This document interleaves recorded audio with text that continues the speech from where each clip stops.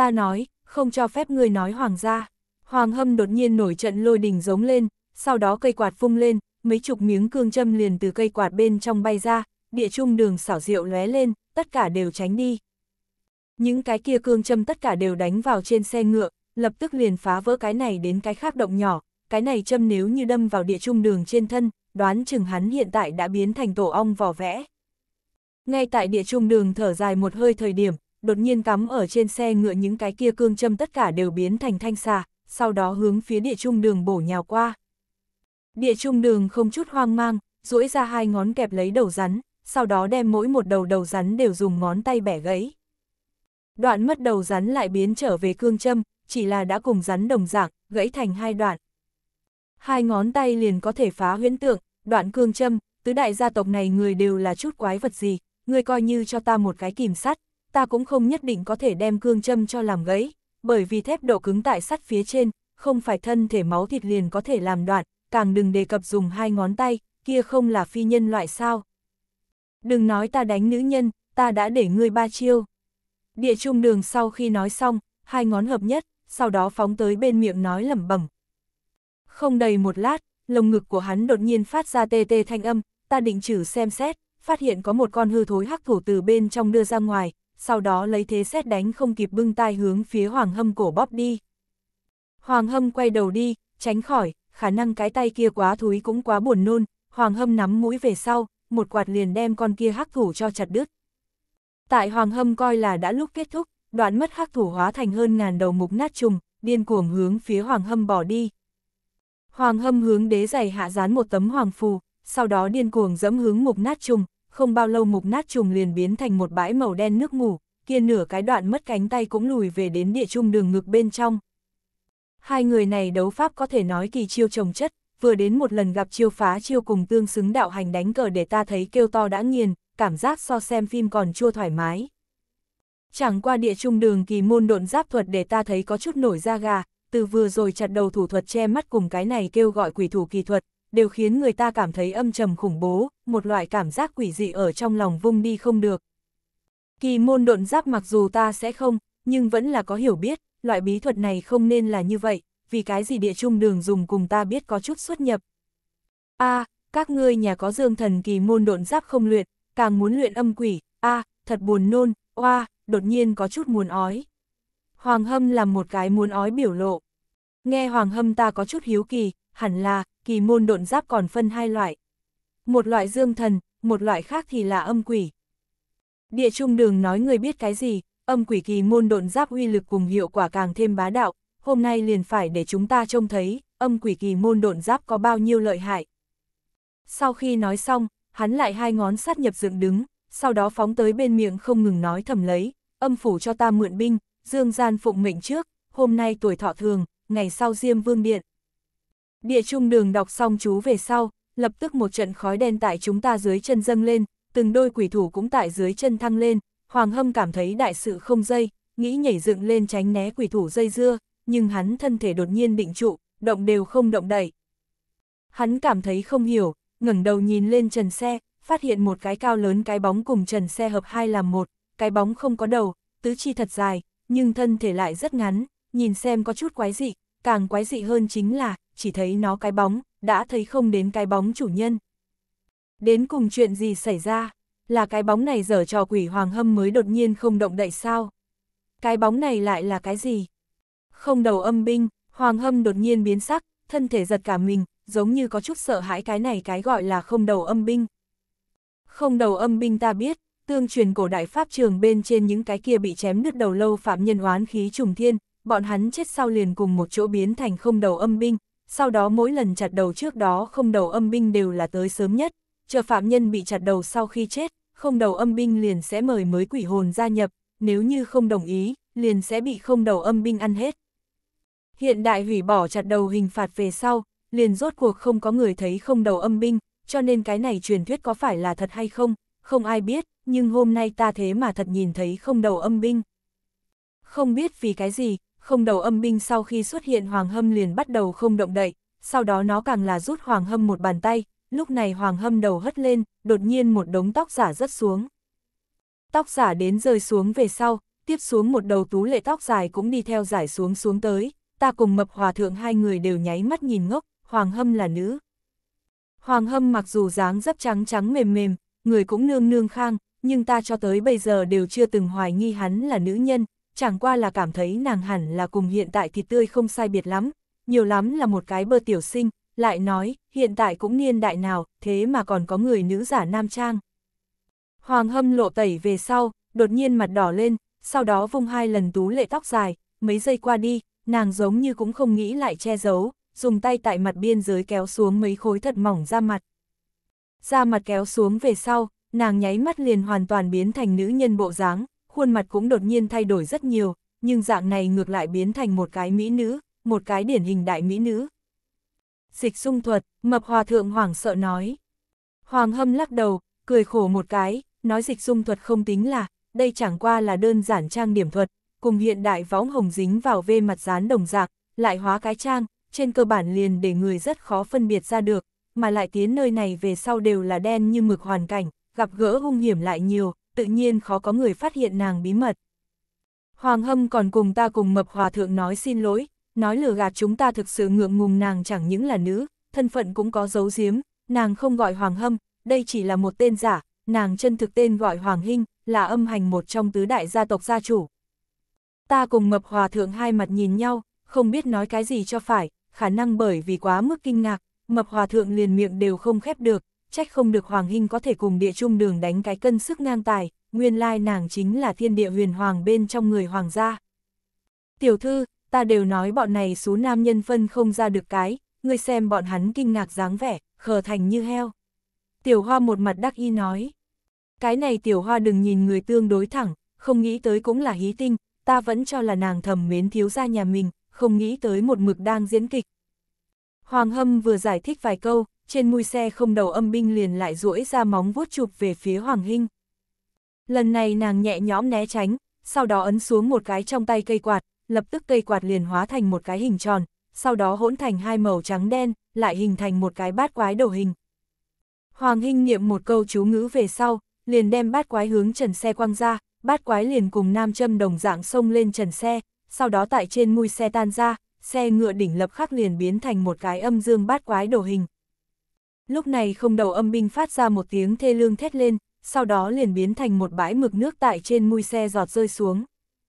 Trông thấy không đầu âm binh bị chu sát, Hoàng Hinh lập tức nhẹ nhàng thở ra, nhưng lúc này địa trung đường lại một trưởng đánh tới, Hoàng Hinh vội vàng hướng về sau tránh, nhưng đã tới không kịp, bị một trưởng đánh vào bả vai trái bên trên. Hoàng Hinh lùi lại mấy bước về sau, phun ra một ngụm máu đen, may mắn tiểu hoa kịp thời nâng lên nàng, nhưng nàng mặt vẫn là lập tức trở nên trắng bệch. Thắng bại đã phân, âm hành tứ đại gia tộc hai đại cao thủ quyết đấu đã kết thúc, rõ ràng địa trung đường kỳ môn độn giáp càng hơn một bậc, chẳng qua làm ta không hiểu là, vì cái gì Hoàng Hinh phun ra máu là màu đen. Địa trung đường cười lạnh một tiếng, nói Hoàng Hinh chúng hắn âm hồn trưởng, trên người bây giờ tất cả đều là quỷ ban, nếu như trong vòng 3 ngày không có giải dược, liền sẽ hóa thành nước ngủ mà chết. Quả nhiên, ta nhìn thấy Hoàng Hinh tay cùng trên cổ trải rộng màu nâu lốm đốm, cùng thi ban không sai biệt lắm, chính là nhan sắc không giống, chẳng lẽ đây chính là quỷ ban. Cái đồ chơi này nhưng mới mẻ, ta cho tới bây giờ đều chưa từng gặp qua. Hoàng Hinh giống như biết quỷ ban, nàng mặt tái nhợt nổi lên hiện một điểm ý sợ hãi, thân thể cũng tại run nhẹ nhẹ. Tiểu Hoa trông thấy Hoàng Hinh thụ thương, lập tức trong lòng tức giận, nói muốn thay Hoàng Hinh báo thù, nơi nới lỏng tay chân liền nghĩ đi lên cùng địa trung đường liều mạng, may mắn bị Hoàng Hinh cho kéo lại. Hoàng Hinh gọi nàng đừng xúc động, nàng không phải địa trung đường đối thủ, đi lên cũng chỉ là mất mạng. Địa trung đường cũng không muốn Hoàng Hinh mệnh, nói thắng bại đã phân, Hoàng Đại Tiểu Thư vẫn là tự động rời đi đi, giải dược hắn qua đi sẽ hai tay dâng lên, bốn người của đại gia tộc không cần thiết vì Mã Lâm mà tàn sát lẫn nhau, điểm đến là dừng liền có thể, lại nói, Hoàng Hinh là nữ, nàng đoạt Mã Lâm đổ cái gì? Cần phải liền mệnh đều dựng vào sao? Không nghĩ tới Hoàng Hinh cũng là tính bướng bỉnh, nàng dựa lưng vào trên xe ngựa, lau đi khóe miệng bên cạnh máu đen, nói nàng liền không đi, có bản lĩnh liền giết nàng. Địa trung đường đột nhiên mặt mày giữ tợn gào lên, nói rượu mời không uống uống rượu phạt, cho thể diện mà không cần, thật đúng là cho là hắn không dám động thủ giết Hoàng Hinh.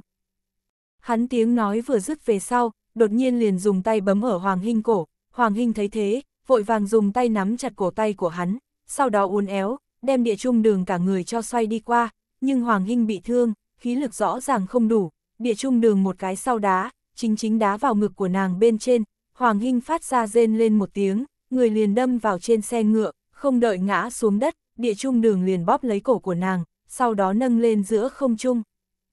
Tiểu hoa tâm gấp hộ chủ, song quyền như là mãnh hổ rời núi, trực tiếp đánh phía địa trung đường kiểm môn, khuôn mặt. Địa trung đường cười lạnh một tiếng, nói người còn non thật nhiều, sau đó một cái tay khác trực tiếp liền đem tiểu hoa hai nắm đấm cho bắt, tiểu hoa giấy ruộng nửa ngày, cứng ngắc lấy một chút tác dụng không có, giống như bị xích sắt khóa lại, song quyền hoàn toàn không thể động đậy. Tiểu hoa đành phải nhấc lên chân phải hướng địa trung đường chân đá vào, nhưng nàng đá chúng về sau, người lập tức phát ra rên lên một tiếng, sắc mặt đều trở nên xanh xám, gót chân của nàng tê dại đồng dạng, đang không ngừng run rẩy. Địa trung đường lại là cười lạnh một tiếng, theo sát một chân đá hướng tiểu hoa ngực, tiểu hoa lập tức bay ngược ra ngoài, người ném tới ta cùng mập hòa thượng ở giữa, chúng ta vội vàng tiếp được nàng, nhưng nàng vẫn là phun ra một ngụm máu tươi, trên mặt một điểm huyết sắc không có. Cái này địa trung đường coi là thật lợi hại như thế.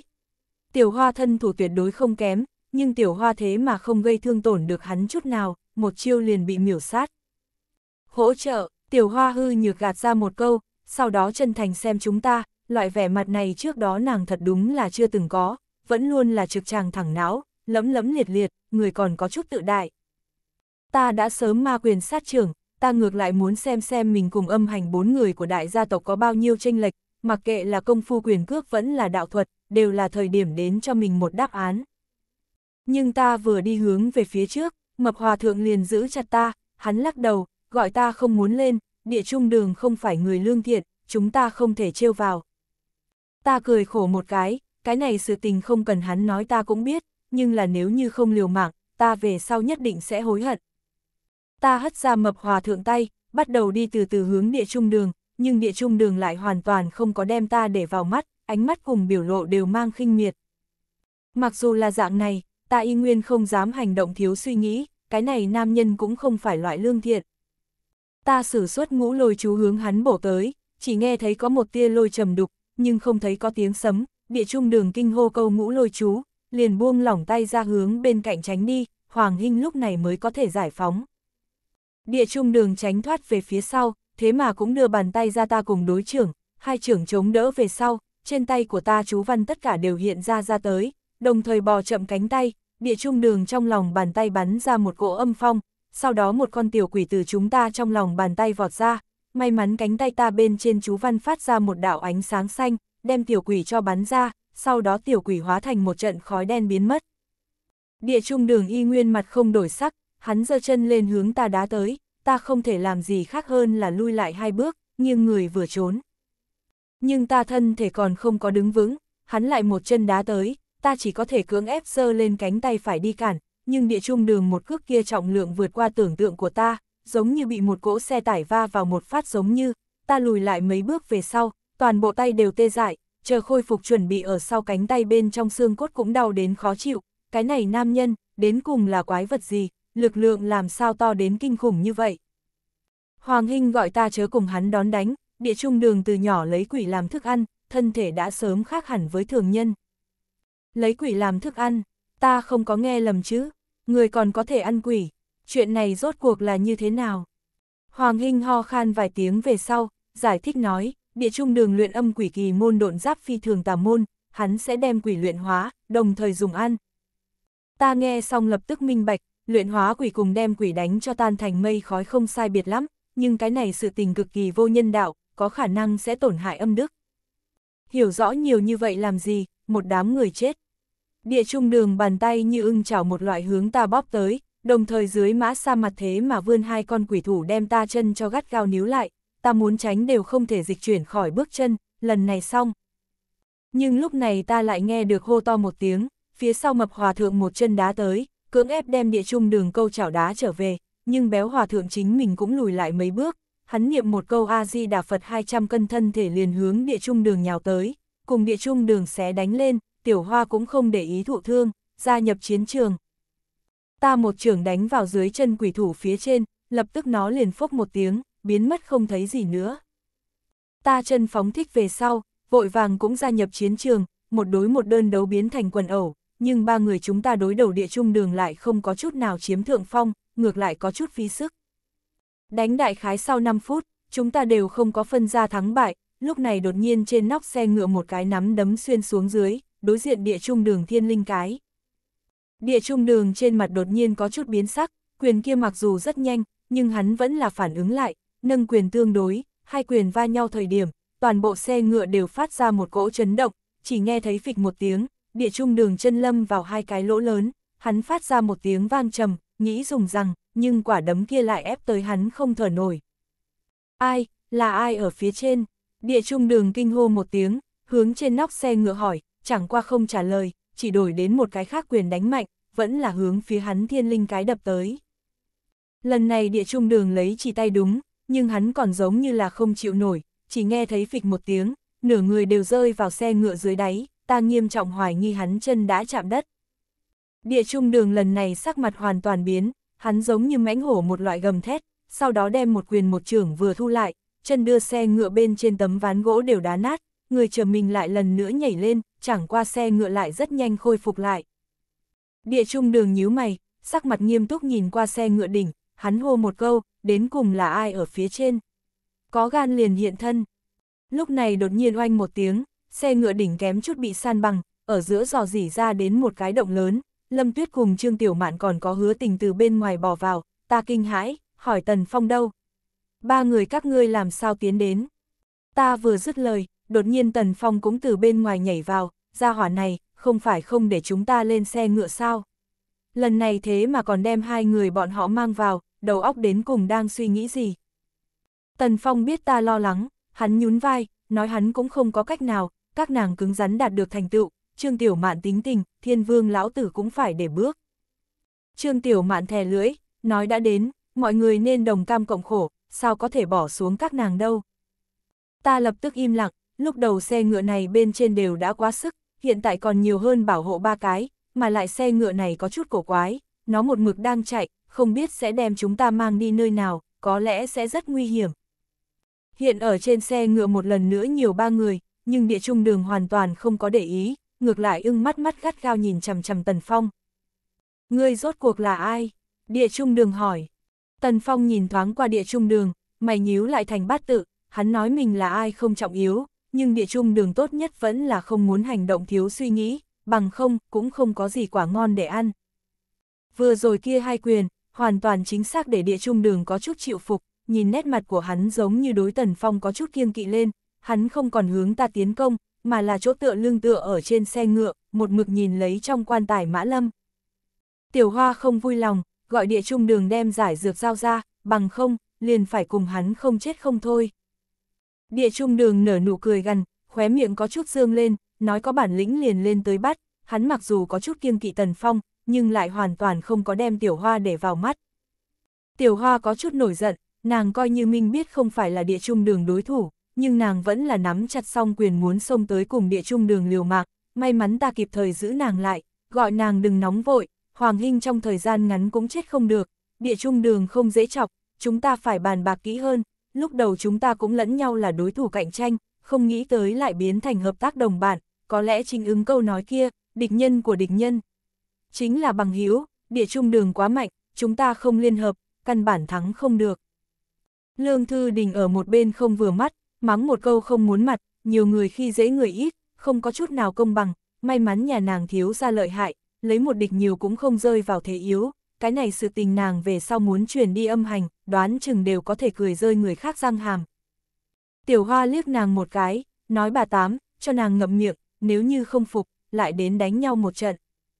Lương Thư Đình cũng không cam chịu yếu thế, nói đánh là đánh, hiện tại tiểu hoa bị thương, thật đúng là không nhất định là Lương Thư Đình đối thủ.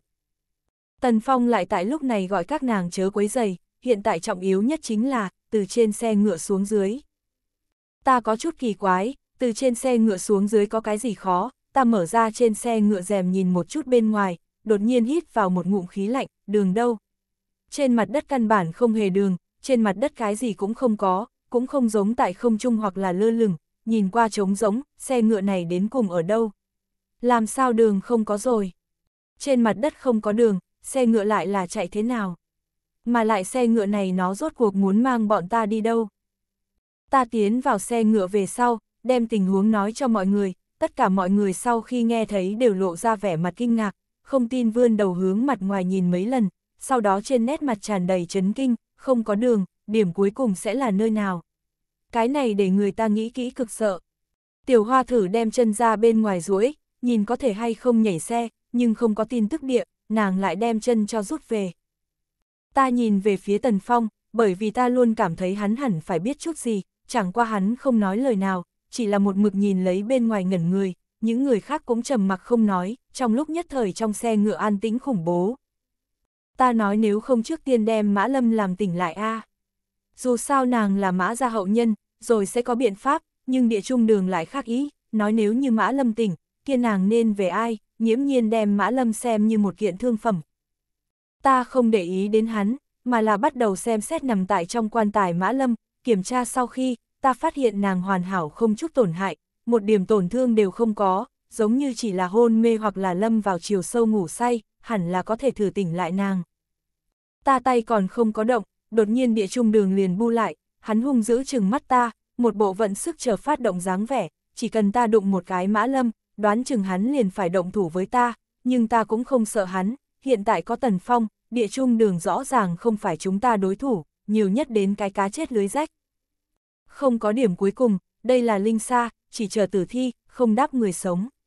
Đột nhiên Tần Phong mặc mặc nói một câu, để ta cùng địa trung đường đều dừng lại động tác trên tay. Chỉ có chúng ta chết rồi, khả năng xuống xe, liền cùng khách sạn này lão bản đồng dạng. Tần Phong tiếp tục nói. Khách sạn lão bản, hẳn là chính là vừa rồi ở trên xe ngựa nói chuyện cái kia thanh thanh âm. Hứa tình nghe xong liền sợ hãi, dọa đến kém chút không có khóc lên, nàng nói chính mình là miễn cưỡng theo tới tham gia náo nhiệt, nàng cũng không muốn chết, nhiều nhất về sau đánh chết nàng cũng không động vào âm hành khối này, nàng hiện tại chỉ muốn về nhà. Ta gọi nàng không nên gấp, luôn có biện pháp, chúng ta ngồi đến linh xa không phải cũng cổ quái kỳ lạ sao. Chúng ta còn không phải như vậy sống sót rồi. Tần Phong nói không giống, cái này linh xa oán niệm quá sâu, mà lại là ngựa rồi, thuộc về cơ thể sống, sống linh xa, càng khủng bố hơn, bởi vì kia hai con ngựa, cũng có oán khí, chỉ cần có người sống lên xe, bọn chúng liền sẽ lôi kéo một mực chạy, thẳng đến người trên xe chết mới thôi, chỉ có người chết mới có thể xuống xe. Còn có, nếu như tại chiếc này linh xa chết người, lại biến thành vô quỷ không cách nào đầu thai, chân chân chính chính người không ra người, quỷ không quỷ. Ta hỏi Tần Phong, thật chẳng lẽ không có biện pháp nào sao? Chẳng lẽ chúng ta một xe người đều phải chết ở chỗ này a? À? Tần Phong thở dài, lắc đầu nói không có cách, hắn ngăn cản không được chúng ta, đành phải cùng chúng ta cùng tiến lên đến, nói xong hắn nhìn thoáng qua Trương Tiểu Mạn, trong mắt tràn đầy thương yêu, nhưng không có hối hận. Ta có chút nghi hoặc, hắn thật sự là vừa mới cùng Trương Tiểu Mạn ở một chỗ sao? Tại sao ta cảm giác hắn giống như yêu Trương Tiểu Mạn thật lâu, cũng rất giống hiểu rất rõ nàng, chẳng lẽ là ảo giác, Tần Phong người này, trên người điểm đáng ngờ nhiều lắm. Ngay từ đầu mọi người cũng không tin Tần Phong, bọn hắn không ngừng tìm kiếm để xe ngựa dừng lại đến hoặc là xuống xe biện pháp, nhưng là thử nửa ngày sau bọn hắn tất cả đều từ bỏ, liền địa trung đường đều nghĩ không ra bất kỳ biện pháp. Cái này xe có lẽ thật chỉ có người chết khả năng xuống xe, mà lại con đường phía trước một mảnh trắng xóa, căn bản liền không nhìn thấy đường, càng đừng đề cập điểm cuối cùng. Ngay tại chúng ta một đám người ngồi ở trên xe ngựa chờ chết thời điểm, đột nhiên một thanh âm truyền tới, là trời một thanh âm. Lâm Nguyên, người giúp ta hung hăng bóp một chút mã lâm cái nhà đầu kia. Trời một không biết ở nơi nào, nhưng thanh âm của hắn lại có thể thật sự truyền vào xe ngựa, nơi này tất cả mọi người nghe được rõ ràng, bằng không, ta còn tưởng rằng là ảo giác. Ta nghe được trời một thanh âm về sau, vô cùng cao hứng, hỏi hắn tại sao tới đây, hiện tại người ở đâu. Trời một không trả lời, vẫn là băng lãnh tái diễn câu nói kia, không có cách, mặc dù nghẹn một bụng nghi vấn, nhưng vẫn là phải dựa theo trời một chỉ thị đi làm, chẳng qua ta có chút không hiểu, tại sao phải đi bóp mã lâm. Dạng này liền có thể đưa nàng tỉnh lại sao, đó có phải hay không muốn ấn huyệt nhân chung. Mặc kệ, trước vì tiện bóp một cái đi, nhưng ta còn không có động thủ, đột nhiên mã lâm liền mở mắt ra, làm ta sợ hết hồn. Hừ, lâm nguyên, ngươi dám, mã lâm từ trong quan tài ngồi dậy, hung dữ chừng mắt ta. Ta dựa vào, cái này người giả bộ hôn mê sao. Lần này vội vàng không kịp chuẩn bị thật là đem ta dọa đến quá sức, người dọa người là sẽ hù chết người, ta còn tưởng rằng xác chết vùng dậy. Những người khác giống như ta lộ ra vẻ mặt kinh ngạc, trừ trời một, không ai nghĩ được Mã Lâm thế mà là Trang. Ta nói đại tỷ, quan tài ngủ được thư thái như vậy sao? Mấy người chúng ta vì cứu ngươi liền mệnh đều không cần, ngươi rõ ràng tỉnh, lại nằm tại trong quan tài không nhúc nhích, chúng ta vì ngươi còn ra tay đánh nhau. Mã Lâm nhếch miệng, một điểm ái náy dáng vẻ đều không có, ngược lại oán trách nói, ai muốn chúng ta tới cứu, nàng chính là muốn đem cái kia xú ra hỏa dẫn ra ngoài. Nói xong còn không ngừng nói thầm, thối trời một, xấu trời một, ta hận chết ngươi, thế mà gọi người bóp nàng. Đúng vào lúc này, Hoàng Hinh đột nhiên hô một câu mã lâm tỷ tỷ, nhưng bởi vì nàng ăn địa trung đường một trường, thân thể rất suy yếu, nói câu nào đều muốn ho khan ba câu, ta sợ nàng lại một lần nữa ho ra một ngụm máu lớn tới. Tiểu hình ngươi làm sao cũng tới rồi, a à, đều là ta có lỗi với ngươi, ta chỉ là nghĩ đùa nghịch một đùa nghịch những cái này xú nam nhân, thuận tiện đem cái kia trốn tránh ta chết ra hỏa dẫn ra, không nghĩ tới ngươi cũng tới. Mã Lâm đau lòng ôm lấy Hoàng Hinh, trên mặt rốt cục có một điểm áy náy biểu lộ, xem ra Hoàng Hinh cùng Mã Lâm đã sớm nhận biết, mà lại hẳn là tình như tỉ muội, không phải Hoàng Hinh cũng sẽ không bốc lên nguy hiểm tính mạng tới cứu Mã Lâm, ta liền nói nàng một nữ nhân vì cái gì còn tới, mưu cầu cái gì. Hiện tại ta có thể tính minh bạch. Chẳng qua Mã Lâm nữ nhân này thật là đáng sợ, nàng biết không biết mình chương này quỷ thiếp âm hành bên trong chết bao nhiêu người, hiện tại tới đoán chừng đã không có còn mấy cái, khó mà nói cũng chỉ có chúng ta cái này trong xe ngựa người sống. Mã Lâm giống như cũng không quan tâm những cái này, trong mắt của nàng chỉ có trời một, những người kia nàng đoán chừng liền thi thể cũng sẽ không nhìn một chút, cho nên nữ nhân này đối với chúng ta nam nhân mà nói, là thật vậy đáng sợ. Lúc này Mã Lâm đối địa trung đường hung dữ mà nói, mau đưa giải dược lấy ra. Địa trung đường cũng không có lập tức giao giải dược, mà là hỏi Mã Lâm quỷ dán lên viết sự tình còn giữ lời sao. Mã Lâm trợn trắng mắt, nói cái khác âm hành số nam nhân ngốc thì thôi, bốn người của đại gia tộc cũng ngốc, rất rõ ràng kia là nàng đùa giỡn, mà lại nàng biết rõ, nơi này trừ trời một, không ai có thể cứu nàng.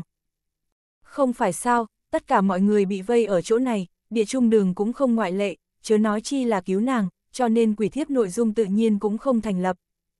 Số bà nương, lại dám đùa nghịch ta, địa trung đường đột nhiên phẫn nộ gầm thét lên, trên mặt có chút dữ tợn.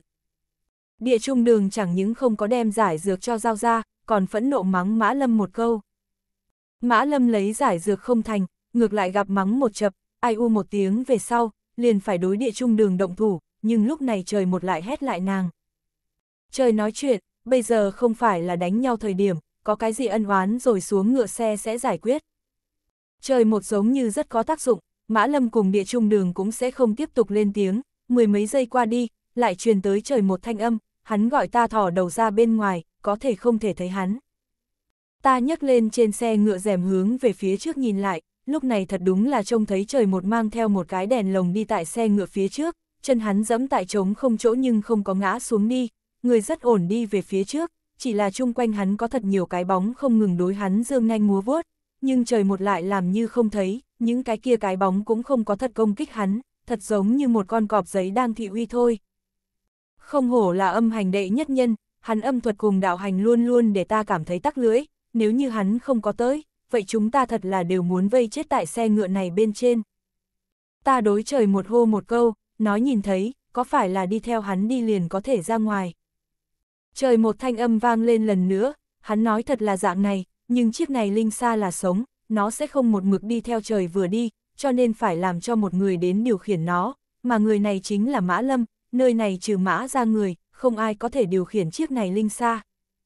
Mã Lâm nghe nói trời một ở bên ngoài, cao hứng cùng cái tiểu hài tử đồng dạng liền xông ra ngoài, nơi nào còn cần người khác gọi, trực tiếp liền điều khiển lấy xe ngựa chỉ lên trời một bay đi. Nói cũng kỳ quái, cái này hai con chỉ còn khung xương ngựa chết thế mà tại Mã Lâm trước mặt ngoan phải cùng sủng vật đồng dạng, cái này khiến ta cảm thấy có chút kỳ quái, bọn chúng coi như thịt nát xương tan cũng sẽ tự động phục hồi như cũ, hẳn là sẽ không sợ sệt ai mới đúng. Về sau ta quan sát một chút mới phát hiện huyền bí trong đó, nguyên lai like cái này hai con ngựa là đang sợ Mã Lâm trong tay cản thi roi.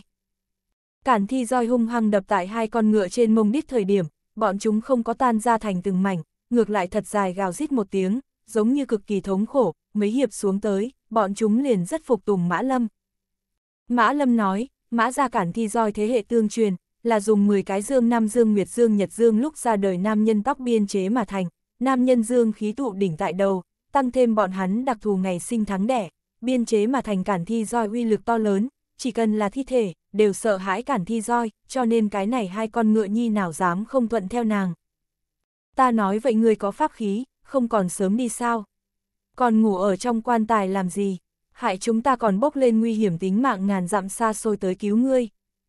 Mã Lâm trợn mắt nhìn ta một cái, nói ta chó bắt con chuột, xen vào việc của người khác, ai bảo ta đến. Ta vốn là muốn nói trời nhường lối ta đến, nhưng ngẫm lại vẫn là nuốt vào trong bụng, nếu như nói ra tới, đoán chừng trả lại cho nàng mừng rỡ không được. Mã Lâm xua đuổi lấy Linh Sa một đường đi theo trời một, đại khái nửa giờ sau, trời một lại đột nhiên biến mất, ta còn tưởng rằng đã xảy ra chuyện gì, thẳng đến nhìn thấy trước mắt lại xuất hiện nhà kia khách sạn ta mới yên tâm, chúng ta hẳn là trở về. Đến khách sạn trước cửa về sau, chúng ta chạy vội xuống xe ngựa, sợ nó lại một lần nữa đem chúng ta cho lôi đi, cái này trải qua quá tuyệt vọng, chúng ta không nghĩ lại trải qua lần thứ hai.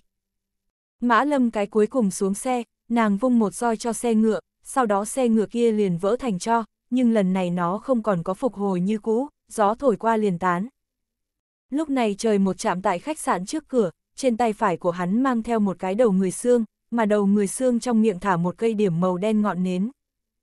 Ta giật cả mình, trong lòng tự nhủ nguyên lai like vừa rồi trời nhấc lên không phải đèn lồng, mà là cái đồ chơi này, dùng đầu người xương làm đèn lồng là dụng ý gì. Còn có, vì cái gì trên thế giới này có màu đen ngọn nến. Ta lại là lần đầu tiên trông thấy. Trời một không để ý đến xuống xe ngựa chúng ta, cũng không để chúng ta đi vào khách sạn, mà là đối khách sạn nói, ta cho lão nhân ra người mang cái lễ vật, không biết người rất là ưa thích. Nói xong cầm trên tay xương sọ người ném vào trong khách sạn. Khách sạn cửa đột nhiên giật giật, sau đó biến thành một cái miệng, mà toàn bộ khách sạn lại biến thành một cái đầu người, trong lòng ta lạc trèo lên một chút, may mắn nó trước đó không có đem chúng ta nuốt vào, nếu không đoán chừng chúng ta bây giờ thi thể đều lạnh. Trời một tướng đầu người xương ném vào khách sạn về sau, nó đột nhiên cứ nói, hư, tiểu tử thúi, thế mà đem hài cốt của ta đều đào lên. Trời máy động nhưng nở nụ cười gần, nói mấy trăm năm, thì cốt không tốt đào, cơ bản đụng một cái liền nát, chỉ có bộ xương này đầu giữ lại tốt nhất. Khách sạn cảm thán nói, đúng a mấy trăm năm, hắn đã bị vây ở chỗ này mấy trăm năm, người không ra người, quỷ không quỷ, không thể đi đầu thai. Trời vừa cùng khách sạn đối thoại để ta cảm thấy có chút không hiểu thấu, ta ước chừng đoán một chút, hẳn là mấy trăm năm trước có người chết rồi, sau đó biến thành vô quỷ không thể đi đầu thai, hắn oán niệm cực sâu, một mực đang nơi này hại người. Khách sạn sau đó còn nói, các ngươi là cùng tiến lên, vẫn là từng cái đến. Lại nói các ngươi tứ đại gia tộc giống như thiếu một cái, không đúng, rõ ràng đều đến, còn có một cái ở đâu. Trời vừa quay đầu lại nhìn lướt qua phía sau chúng ta, nhẹ gật đầu nói xác thực đều đến, chỉ là hắn không nghĩ hiện thân, cũng không sao, dù sao một mình hắn liền đủ rồi, không cần đến người khác. Khách sạn đột nhiên nở nụ cười, nói trời một không khỏi cũng quá tự đại, hắn nhưng là từ trước tới nay oán niệm mạnh nhất vô quỷ, cho dù là thiên gia người, đơn thương độc mã cũng khó có thể đối phó hắn. Trời một mặt bên trên không có bất kỳ cái gì biểu lộ, y nguyên lạnh như băng nói, ta một cái, đủ để. Nói xong đem trên lưng chiếc hộp màu đen cởi ra. Trước đó cái này màu đen hộp dài trời một cũng mở ra, bên trong tất cả đều là thiên gia liệt tổ liệt tông linh bài, bọn hắn anh linh đều phụ ở trên đây, một mực bảo hộ lấy thiên gia hậu thế. Hộp mở ra sau khi, quả nhiên cùng lần trước đồng dạng, mỗi cái linh bài bên trong đều xông tới một màn màu đen cái bóng, mấy giây qua đi, trên bầu trời liền đã quỷ ảnh trùng điệp, mà lại âm phong trận trận, đem chúng ta cào đến phía sau ứa ra mồ hôi lạnh. Ha ha, người ngốc sao? Vô quỷ liền thích ăn quỷ hồn, người thế mà để tổ tông ra tới coi ta điểm tâm ngọt, thật là thú vị, cũng được, vừa vặn đói bụng. Khách sạn ha ha cười nói. Lúc này ta mới nhớ tới đồ đần ruột cùng kia không gặp lỗ tai, nguyên lai like đều là cho hắn ăn, nguyên lai like hắn chính là khách sạn lão bản. Trời một không để ý đến khách sạn chế diếu, hắn mười ngón giao nhau, sau đó ngón trỏ cùng ngón giữa đụng vào nhau, dựng thẳng lên, ngay sau đó không ngừng nhắc tới chú ngữ. Lúc này khách sạn cũng bắt đầu phát huy, miệng của nó trở nên vô cùng lớn, khoa trương đến che khuất bầu trời, giống như có thể đem cái này tất cả thổ địa đều nuốt vào đồng dạng, đầu lưới của nó cùng móc sắt, hướng chúng ta câu đi qua, nó không chỉ muốn ăn quỷ, hơn nữa còn thuận tiện đem chúng ta cũng nuốt vào. Khách sạn miệng như là một cái lưới lớn đồng dạng, hướng phía trên trời quỷ hồn cùng chúng ta cắn tới, muốn đem chúng ta thôn vệ sạch sẽ. Nhưng lúc này thiên gia tất cả quỷ hồn tụ hợp lại cùng nhau, sau đó biến thành một con to lớn tấm võng lớn màu đen đem khách sạn cho bao trùm. Khách sạn liều mạng giấy ruộ lấy, nhưng Thủy Trung đều trốn không thoát chương này lưới lớn, lúc này trời một làm ra một cái làm người ta giật mình không thôi cử động, hắn thả người nhảy lên, thế mà tiến vào khách sạn miệng bên trong, sau đó thuận miệng bò đi vào. Mã Lâm thấy thế, lập tức liền gấp, nàng cũng muốn đi theo nhảy vào đi, nhưng bị ta cho kịp thời giữ chặt, trời một làm như vậy khẳng định có hắn lý do, chúng ta không nên can thiệp hắn. Ngay từ đầu Mã Lâm rất kích động, chết sống không chịu nghe lời của ta, cuối cùng chúng ta cùng một chỗ mới đem nàng cho khuyên xuống dưới, nhưng là nếu như trời một trong vòng 3 phút chưa hề đi ra, ai cũng không cho phép lại cản nàng. Trời đi vào không bao lâu, đột nhiên khách sạn liền thu nhỏ, mười mấy giây sau liền khôi phục nguyên trạng, trong lòng ta vui mừng, vô quỷ hẳn là bị trời đưa một cái chế phục, hắn thật là có có chút tài năng. Nhưng kỳ quái là, trong khách sạn yên lặng, đã qua không sai biệt lắm 3 phút, hắn vẫn là không có ra tới, Mã Lâm lo lắng phải bờ môi đều nhanh cắn nát, nếu như hắn không còn ra, đoán chừng Mã Lâm liền phải xông đi vào, lần này ai cũng ngăn không được nàng. Ngay tại chúng ta đều vì trời một gánh tâm thời điểm, ta nhìn thấy một người đẫm máu từ cửa khách sạn đi ra, người kia chính là trời một. Trời một toàn thân đều là máu, một bộ áo trắng đã sớm bị nhuộm đỏ, trên người hắn có rất nhiều vết thương, mỗi cái vết thương đều có máu tràn ra, khi hắn hướng chúng ta đi tới thời điểm, máu đã vung đầy đất, không biết còn tưởng rằng hắn mới vừa từ huyết trì bên trong chui ra. Trời vừa rời đi khách sạn về sau, khách sạn này đột nhiên liền sập, sau đó biến thành bột phấn cho bụi, thiên gia quỷ hồn tại bột phấn cho bụi bên trên xoay quanh vài vòng về sau, lại chui về linh bài bên trong. Trời một, ngươi, ngươi làm sao rồi, mã lâm mắt lập tức đỏ một vòng, nàng chạy tới đỡ lấy trời một, đau lòng sờ lấy miệng vết thương trên người hắn. Trời một lắc đầu, nói không có việc gì, chỉ là bị thương ngoài ra thôi, hắn tại trong túi móc ra một viên dược hoàn, nuốt vào sau máu giống như chậm rãi ngừng lại. Con kia vô quỷ đâu, địa trung đường không có chút nào quan tâm trời một thương thế, ngược lại lo lắng vô quỷ đi đâu rồi. Trời vừa quay đầu lại nhìn một cái kia đã sớm biến thành cho bụi bột phấn khách sạn, sau đó chỉ vào nơi đó nói, khả năng chôn ở dưới đáy đi. Địa trung đường một bộ nửa tin nửa ngờ dáng vẻ, sau đó dùng chân quét mấy lần cho bụi bột phấn, chờ hắn xem rốt cục hạ thời điểm, đột nhiên liền một mặt hoảng sợ lui về phía sau mấy bước, đồng thời hô lớn, hắn còn tại.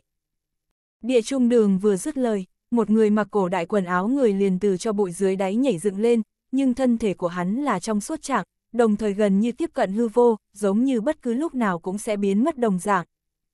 Địa trung đường còn nói, không có khả năng, vô quỷ là không có mặt, hắn làm sao có mặt. Trời một hư nhược nhìn một cái, nói chỉ có điều hồi quang phản chiếu thôi, hắn còn có 5 phút. Mặc dù chúng ta đều không rõ trời một, nhưng đối với vô quỷ, trong lòng chúng ta là có sợ hãi, cho dù hắn đã trong suốt gần như biến mất. Vô quỷ không để ý đến chúng ta, mà là chăm chú nhìn chằm chằm Tần Phong, trên mặt của hắn không có chút nào không cam lòng, cũng không có oán khí, ngược lại có vẻ đắc ý cùng chờ mong. Ngươi tại sao phải làm như vậy? Chính là vì tập hợp âm hành tứ đại gia tộc tới đối phó ta sao? Tần Phong đột nhiên nói, câu nói này để ta hiếu kỳ, cũng cho ta cảm thấy nghi hoặc cùng không hiểu. Vô quỷ ha ha phá lên cười, nói hắn vì chuẩn bị hôm nay báo thù, dòng dã chuẩn bị mấy trăm năm, hôm nay, rốt cục có thể đạt thành, tứ đại gia tộc tăng thêm mã gia hậu nhân, đủ để đem Tần Phong cho tiêu diệt, cuối cùng hắn còn mạnh mẽ nguyền rủa một câu, để Tần Phong xuống địa ngục đi. Vô quỷ sau khi nói xong, đột nhiên thân thể liền bắt đầu biến hình vặn vẹo, hắn phát ra từng tiếng thê thảm thét lên cùng kêu rên, không đầy một lát hắn liền hóa thành một đạo trong suốt bạch quang bị hút vào khi trời tối cái dương một khối linh bài bên trong. Trời vừa từ miệng bên trong phun ra một ngụm máu, sau đó dùng chân trên mặt đất họa một đạo phù, hắn hô một câu phong, dùng sức hướng trên mặt đất dẫm mạnh, lập tức cái kia đạo huyết phù liền biến mất, ta định trừ xem xét, phát hiện kia huyết phù xuất hiện tại vừa rồi khối kia trên linh bài mặt.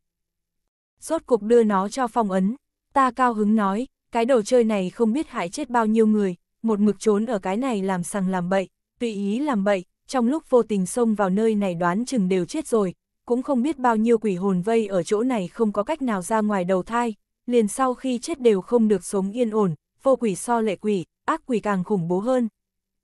Chúng ta gần như biểu tình của tất cả mọi người đều như chút được gánh nặng, trừ trời vừa cùng Mã Lâm, Mã Lâm ta còn có thể lý giải, có thể là lo lắng trời một thương thế, nhưng trời một bộ dáng này lại là chuyện gì xảy ra.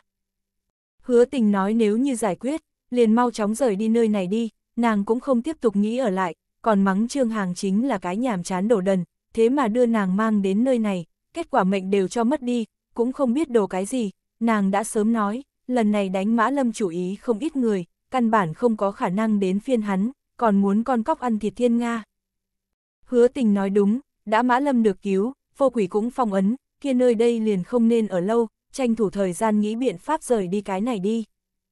Chờ một chút, nhưng chúng ta vừa mới chuyển thân, đột nhiên trời vừa cùng Mã Lâm đem chúng ta đồng thời cho gọi lại. Chúng ta tất cả đều không hiểu nhìn xem bọn hắn, hoàn toàn đoán không ra hai người này trong hồ lô đến cùng đang bán thuốc gì. Lúc này trời vừa cùng Mã Lâm đồng thời nhìn về phía Tần Phong, ánh mắt cực kỳ sắc bén, biểu lộ càng là nghiêm túc đáng sợ, trong lòng ta lập tức lạc trèo lên một chút, xem ra Tần Phong thật sự có cái gì không thể cho ai biết bí mật. Trương Tiểu Mạn nhìn trời vừa cùng Mã Lâm trận thế này, người lập tức khẩn trương lên, nàng đột nhiên ngăn tại Tần Phong phía trước, các người nghĩ đối bạn trai của ta làm gì.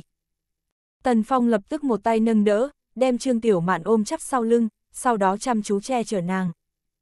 Tần Phong nói, mặc kệ xảy ra chuyện gì, đều không tới phiên Trương Tiểu Mạn đến bảo hộ hắn, tương phản, liền xem như cha ruột đến, hắn cũng sẽ đứng tại Trương Tiểu Mạn bên này bảo hộ nàng cả một đời, tuyệt đối sẽ không để nàng thiếu một sợi tóc. Ta nhíu mày, không biết vì cái gì nghe câu nói này cảm giác trong lòng ê ẩm. Hứa tình nhìn bầu không khí không đúng, liền vội hỏi xảy ra chuyện gì, làm sao tất cả mọi người không đi.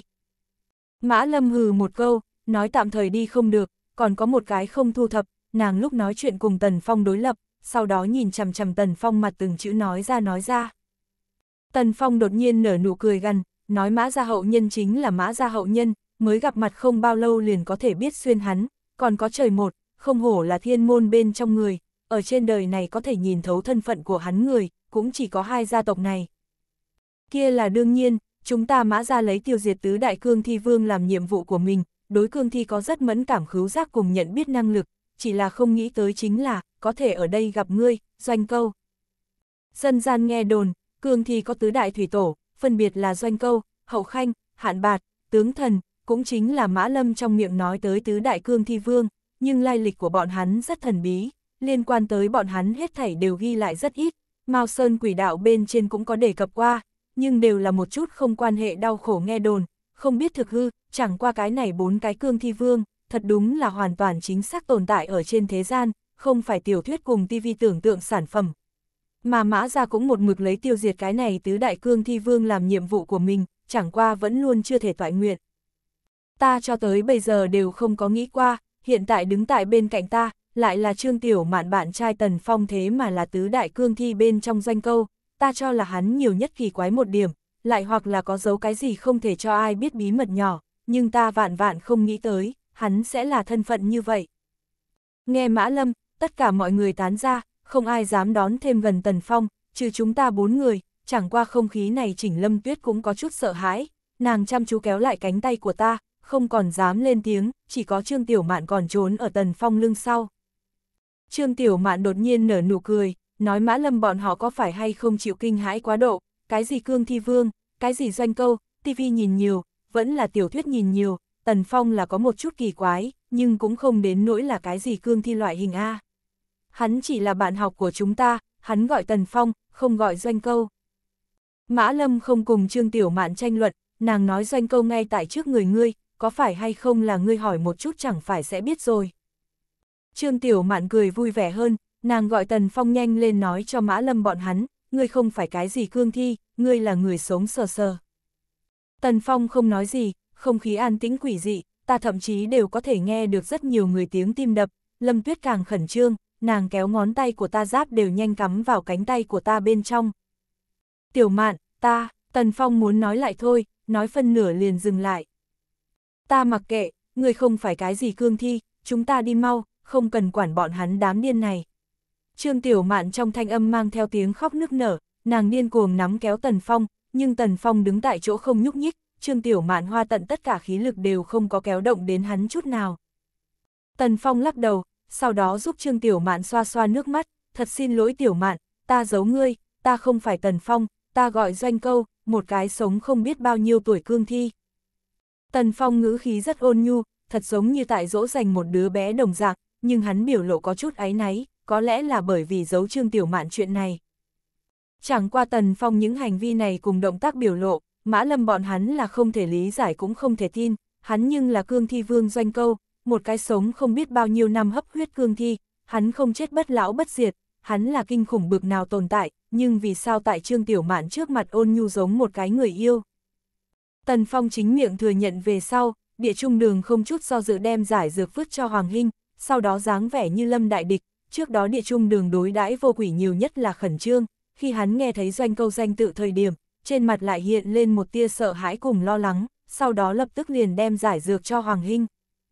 Trừ huyền ra người không có ở, thiên địa hoàng tam người sử dụng đối phó doanh câu, đã nhanh nhanh đứng thành một đầu chiến tuyến, lại thêm mã gia hậu nhân mã lâm, trận này xưa nay chưa từng có người cương đại chiến sắp liền phải triển khai, nhưng trời một nhận được bị thương rất nặng, đoán chừng bọn hắn có thể thắng doanh câu tỷ lệ rất nhỏ.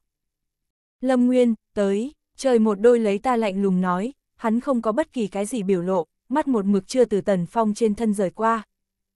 Đúng a là thời điểm đứng đội, sự tình phát sinh quá đột ngột, ta đến bây giờ đều còn không có hoàn toàn kịp phản ứng, nếu như chưa từng có cùng tần phong chung đụng, vậy ta khẳng định không cần suy nghĩ liền đứng ở trời một bên kia, nhưng bây giờ không được, ta thực sự không quyết định được, ta đã không muốn cùng trời một bọn hắn là địch, cũng không nghĩ đối tần phong ra tay, mà ta lo lắng nhất vẫn là Trương Tiểu Mạn. Chẳng qua làm tần phong thừa nhận mình là cương thi vương doanh câu thời điểm, ta trước kia gần như tất cả nghi hoặc đều giải khai, cái bóng lưng kia thật sự là hắn. Ngày đó nghĩ tại ký túc xá cắn ta, cương thi vây thành thời điểm, tại sao lưng ta phát ra một vệt kim quang dọa đi cương thi đều là hắn, hắn là cương thi vương, tự nhiên là đẳng cấp cao nhất cương thi, cho nên hắn là màu vàng mắt, đạo kim quang kia, chính là mắt của hắn phát ra tới. Trách không được không có cương thi dám vào trường học, nguyên lai like trong này còn có một cái tồn tại càng khủng bố hơn, cũng chính vì vậy, trường học mới lấy trốn qua kiếp nạn. Ta không có lập tức đứng đội, mà là đem những chuyện này đều nói ra, còn hỏi một lần Tần Phong, cái này đến cùng phải hay không hắn. Tần Phong nhẹ gật đầu, nói không sai, hai lần đều là hắn, khi đó hắn kỳ thật muốn giết ta, nhưng cũng không có ngoạm ăn, cuối cùng ta tỉnh về sau, hắn mới tông cửa sông ra. Ta có chút nghi hoặc, hắn lúc ấy vì cái gì muốn giết ta, ta giống như cùng hắn cũng không có ân oán, nếu như chỉ là đơn thuần muốn hút máu, kia không có khả năng trùng hợp như vậy hết lần này tới lần khác chọn chúng ta đi. Tần Phong không trả lời, mà là đem để tay đến Trương Tiểu Mạn trên mặt, sau đó ôn nhu nở nụ cười, ta lập tức minh bạch, hắn là vì Trương Tiểu Mạn. Đám kia Hoàng Hà vất thi người cũng là người cắn A. Cuối cùng còn làm cho cương thi vây thành, Mã Lâm hỏi. Tần Phong cũng không có dấu giếm, hào phóng nhẹ gật đầu, thừa nhận đám kia Hoàng Hà vớt thi người chính là hắn cắn. Tần Phong đem mình phong ấn tại trong quan tài, không biết ngủ say bao lâu hắn đột nhiên nghe được nhân khí, tỉnh sau hắn cảm thấy trước nay chưa từng có đói, cho nên đám kia vất thi người liền gặp nạn, bị Tần Phong toàn bộ cắn chết, sau đó biến thành cương thi. Trừ đám kia vất thi người, còn có một người càng không may, vậy liền là chân chính Tần Phong. Ngày đó hắn chẳng qua là tại tham gia náo nhiệt, muốn nhìn một chút người khác vất quan tài, nhưng không nghĩ tới chính là, lại bị cương thi cho cắn chết. Cương thi vương doanh câu có một loại năng lực đặc biệt, kia chính là có thể tùy ý biến thành bị cắn chết đối tượng bộ dáng cùng hình thể, chân chính Tần Phong bị cắn chết về sau, doanh câu liền biến thành hắn bộ dáng cùng cướp đoạt thân phận của hắn, sau đó liền thay thế Tần Phong xuất hiện tại trước mặt chúng ta, nhưng hắn tồn tại cảm sẽ trở nên cực thấp, thậm chí sẽ từ từ bị người quên lãng, đây chính là doanh câu biến thành Tần Phong chân tướng. Doanh câu sau khi nói xong, ta trước đó nghi hoặc mới toàn bộ bị giải đáp, nguyên lai thật Tần Phong cũng sớm đã chết rồi. Lúc này Trương Tiểu Mạn trên mặt đột nhiên xuất hiện chấn động, làm nàng sau khi biết chân tướng, thân thể đều đang run rẩy, nàng không ngừng nói thầm lấy, ngươi không phải Tần Phong, ngươi giết Tần Phong, ngươi là giết người không chớp mắt hấp huyết cương thi, không phải thật sự, không phải thật sự, không có khả năng. Qua một hồi lâu, Trương Tiểu Mạn mới bình tĩnh lại, mà lại nét mặt của nàng tỉnh táo phải làm cho người đáng sợ, nàng nhìn về phía doanh cầu ánh mắt rất là kiên định. Ta không không cần biết ngươi là cái gì, ta mặc kệ, chỉ cần ngươi tốt với ta, coi như ngươi là người người qua phố kêu đánh chuột, ta cũng không quan tâm. Trương Tiểu Mạn ở bên cạnh hô hào, nàng không có rời đi doanh câu, mà là nắm chắc góc áo của hắn. Doanh câu biểu lộ đột nhiên chấn động rất lớn, ta không cách nào hình dung, giống như có cảm động, có đắng chát, có cao hứng, có bi ai, ta lần thứ nhất nhìn thấy một người trên mặt đồng thời xuất hiện nhiều như vậy biểu lộ, đương nhiên, hắn không phải người. Lâm Nguyên, tới, trời nhiều lần một lần đối ta lạnh lùng nói, giống như hạ mệnh lệnh, nhưng lông mày bên trên lại xuất hiện một tia lo lắng. Ta lắc đầu, cự tuyệt trời một, nói Trương Tiểu Mạn không đi, ta cũng sẽ không đi, ta không thể đứng tại nàng đối diện, phải biết Mã Lâm cùng với nàng không hề có một chút quan hệ, nhưng nàng vẫn là không để ý nguy hiểm tính mạng tới đây, ta không thể bỏ xuống nàng. Trời một thở dài, rất là bất đắc dĩ, bắt đầu từ nơi này, hắn liền không lại gọi ta, mà là hết sức chăm chú nhìn xem Tần Phong, cái khác ba người cũng thế, chẳng qua bọn hắn không vội ở động thủ, hoặc là muốn cho Hoàng Hinh cùng trời một thở một ngụm thời gian, dù sao hai người này trên người bây giờ đều có tổn thương. Doanh câu thế mà cũng không vội, thậm chí từ hắn nhìn về phía bốn người ánh mắt bên trong, đầy mang theo khinh thường, giống như hoàn toàn không đem bọn hắn để vào mắt đồng dạng. Doanh câu lôi kéo Trương Tiểu Mạn tay, ôn nhu giúp nàng gọi một chút tóc cắt ngang chán. Lúc trước cho các người giảng cái kia cổ đại linh xa cố sự, ta tiếp tục đưa nó kể xong đi. Doanh câu sau khi nói xong, lại bồi thêm một câu, kỳ thật đây không phải là cố sự. Doanh câu nhìn ta cùng Lâm Tuyết liếc mắt về sau, liền bắt đầu tiếp tục giảng thuật trước đó phát sinh cái kia cổ đại linh xa cố sự. Trước đó giảng đến, kéo linh xa tần minh gặp một bộ quỷ dị thương nhân thi thể, trở lại nửa đường thời điểm còn hạ mưa to, linh sa lâm vào vũng bùn sau cỗ thi thể kia thế mà giúp tần minh cùng một chỗ xe đẩy, đem tần minh dọa gần chết. Tần minh lúc ấy liền xua đuổi lấy linh sa chạy, đi vào một cái khách sạn về sau, gặp một cái nhìn như quỷ dị điếm tiểu nhị, hắn không có quá nhiều để ý tới, muốn cái gian phòng tắm rửa thời điểm đột nhiên liền có một cái nam nhân tiến đến, tần minh hô một tiếng, không có người trả lời. Tần minh thực sự kìm nén không được, mặc xong quần áo liền cẩn thận từng ly từng tí đi ra ngoài, có thể để hắn cảm thấy kỳ quái là, gian phòng bên trong không có người khác, cửa phòng cũng quan phải thật tốt, chỉ có điều gian phòng dưới sàn nhà có ướt sũng dấu chân, còn hòa với bùn đất, tần minh giật mình, trong lòng lạc trèo lên một chút, không phải là cỗ thi thể kia theo tới rồi. Tần minh nghĩ tới đây, lập tức có chút sợ hãi, không nghĩ tới mình kéo thi thể nhiều năm, thế mà còn để thi thể cho đuổi theo, ngẫm lại đều để người cảm thấy da đầu run lên.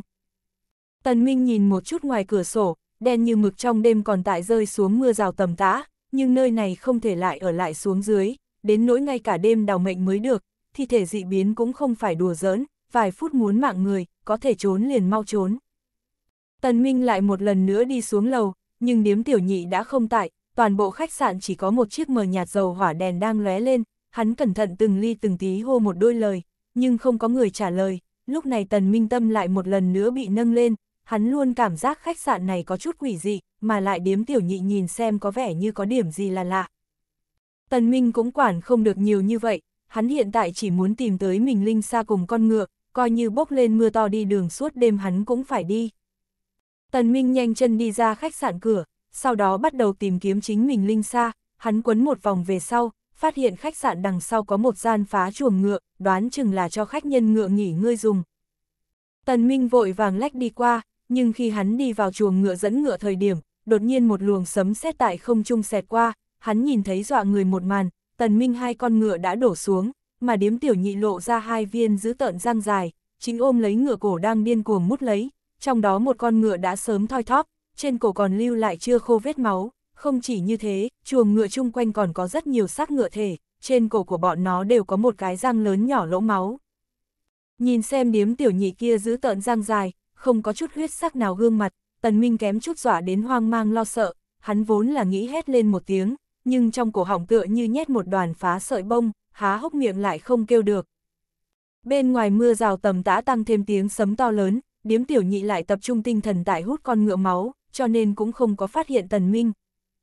Tần minh nện bước hai chân run rẩy lảo đảo bắt đầu hướng mặt trước chạy, khách sạn cũng không dám về, chỉ có một cái ý niệm trong đầu, chính là chạy.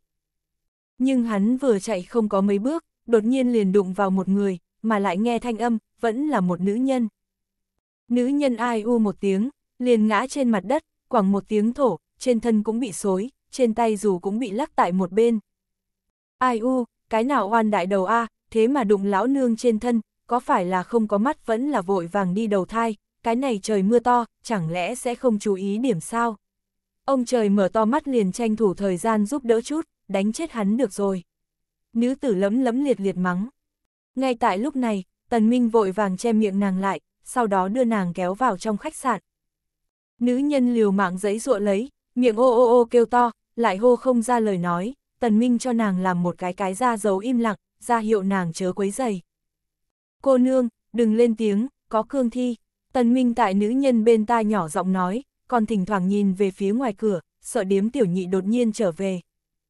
Một lát sau, nữ nhân đáp ứng không còn la to, Tần Minh mới chậm rãi buông ra che miệng nàng lại ba cái tay kia.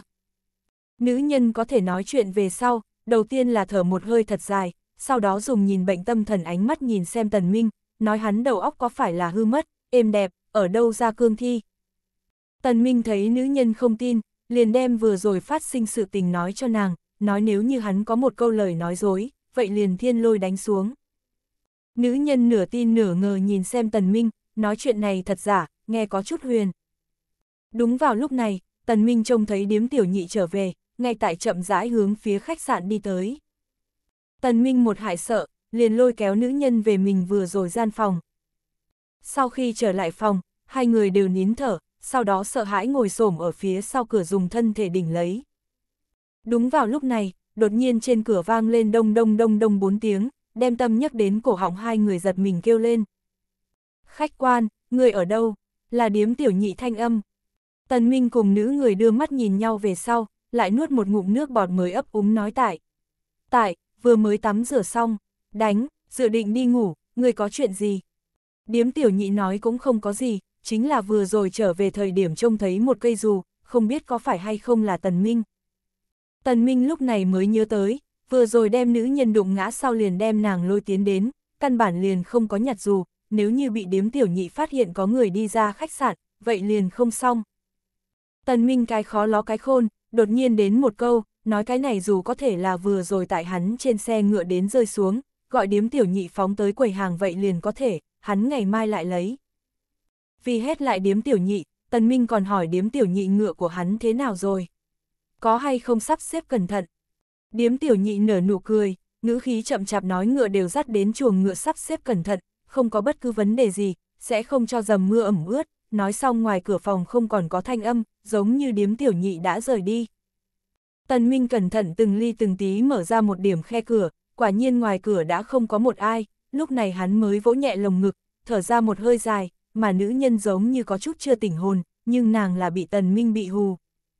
Điếm tiểu nhị sau khi đi, Tần Minh mới cẩn thận quan sát nữ nhân, phát hiện nàng mặc rất ít, quần áo cũng so bình thường nữ nhân rộng mở rất nhiều, trên mặt còn thoa thật dày son phấn, chẳng qua vừa rồi mắc mưa, mặt trang đã sớm hoa, chẳng qua coi như thế một bộ chật vật không chịu nổi bộ dáng, nữ nhân này y nguyên đẹp mắt, có thể thấy được nữ nhân nguyên bản tư sắc cũng không tệ. Tần Minh trông thấy nữ nhân loại trang phục này, lại nửa đêm ra tới, lập tức minh bạch nữ nhân thân phận, rất rõ ràng là ra tới bán. Cổ đại một loại khách sạn không có loại này phục vụ, nhưng một chút tương đối vắng vẻ khách sạn, thậm chí hoang tàn vắng vẻ, liền sẽ có loại nữ nhân này, nếu như khách sạn lão bản là nữ, kia rất có thể nàng liền làm kiêm chức, nếu như đụng phải hài lòng, còn có thể không lấy tiền, dù sao người ở thưa thớt, nàng muốn một lần cũng không dễ dàng, nếu như gặp phải thích nam nhân, lấy lại cũng không quan trọng, chẳng qua nhìn nữ nhân này, hẳn không phải là lão bản nương. Ngươi là, Tần Minh muốn nói lại thôi, có chút ngượng ngùng mà hỏi.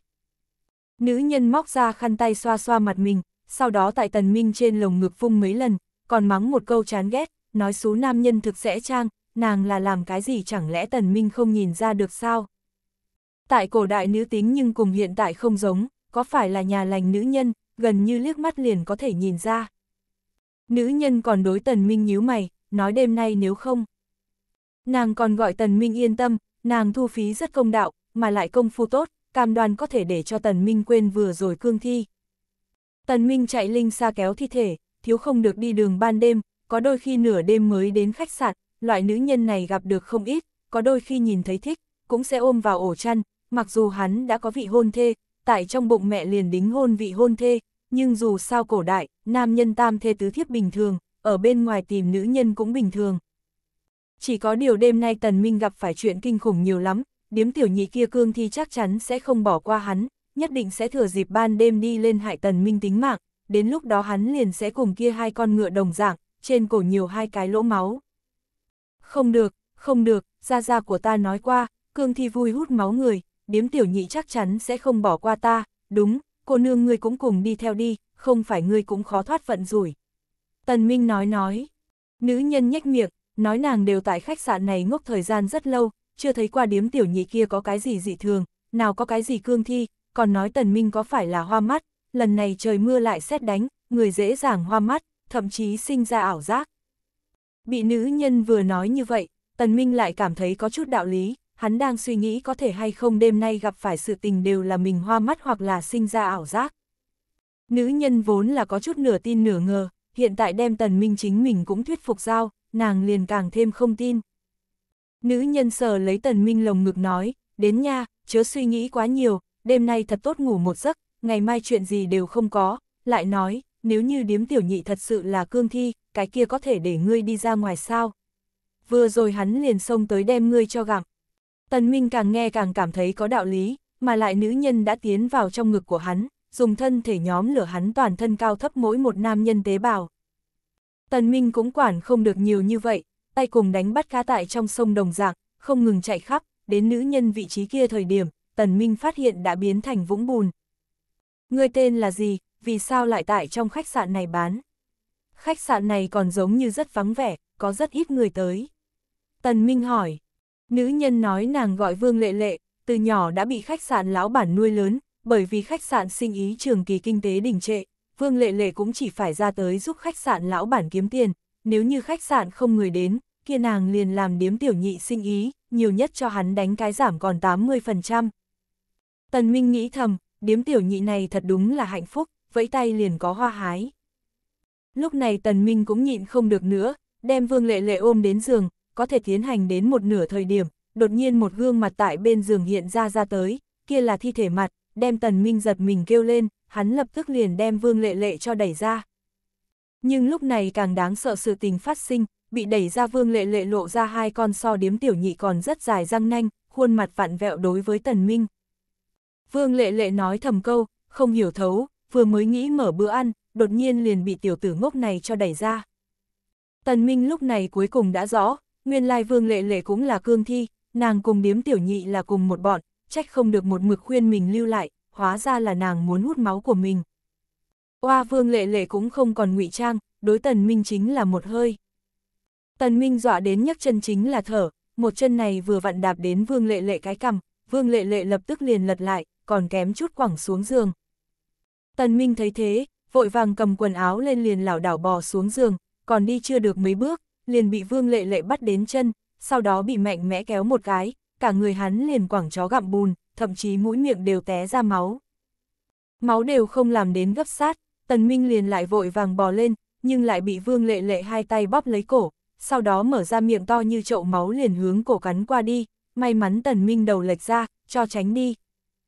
Vương Lệ Lệ không có đắc thủ, lại là hướng bên kia cổ táp tới, nhưng lúc này đột nhiên nàng ở giữa không trung dừng lại, đầu bị một cái tay cho chăm chú chống đỡ. Tần Minh vội vàng thừa cơ tránh thoát Vương Lệ Lệ trói buộc, chờ hắn thấy rõ ân nhân cứu mạng của mình về sau, dọa đến sắc mặt đều tái nhợt, cứu hắn đúng là mình vận cỗ thi thể kia. Tần Minh nào dám tiếp tục lưu lại, mở cửa phòng nhanh chân liền chạy, nhưng lúc này lại tại sau người truyền đến một thanh âm, đừng chạy, nguy hiểm.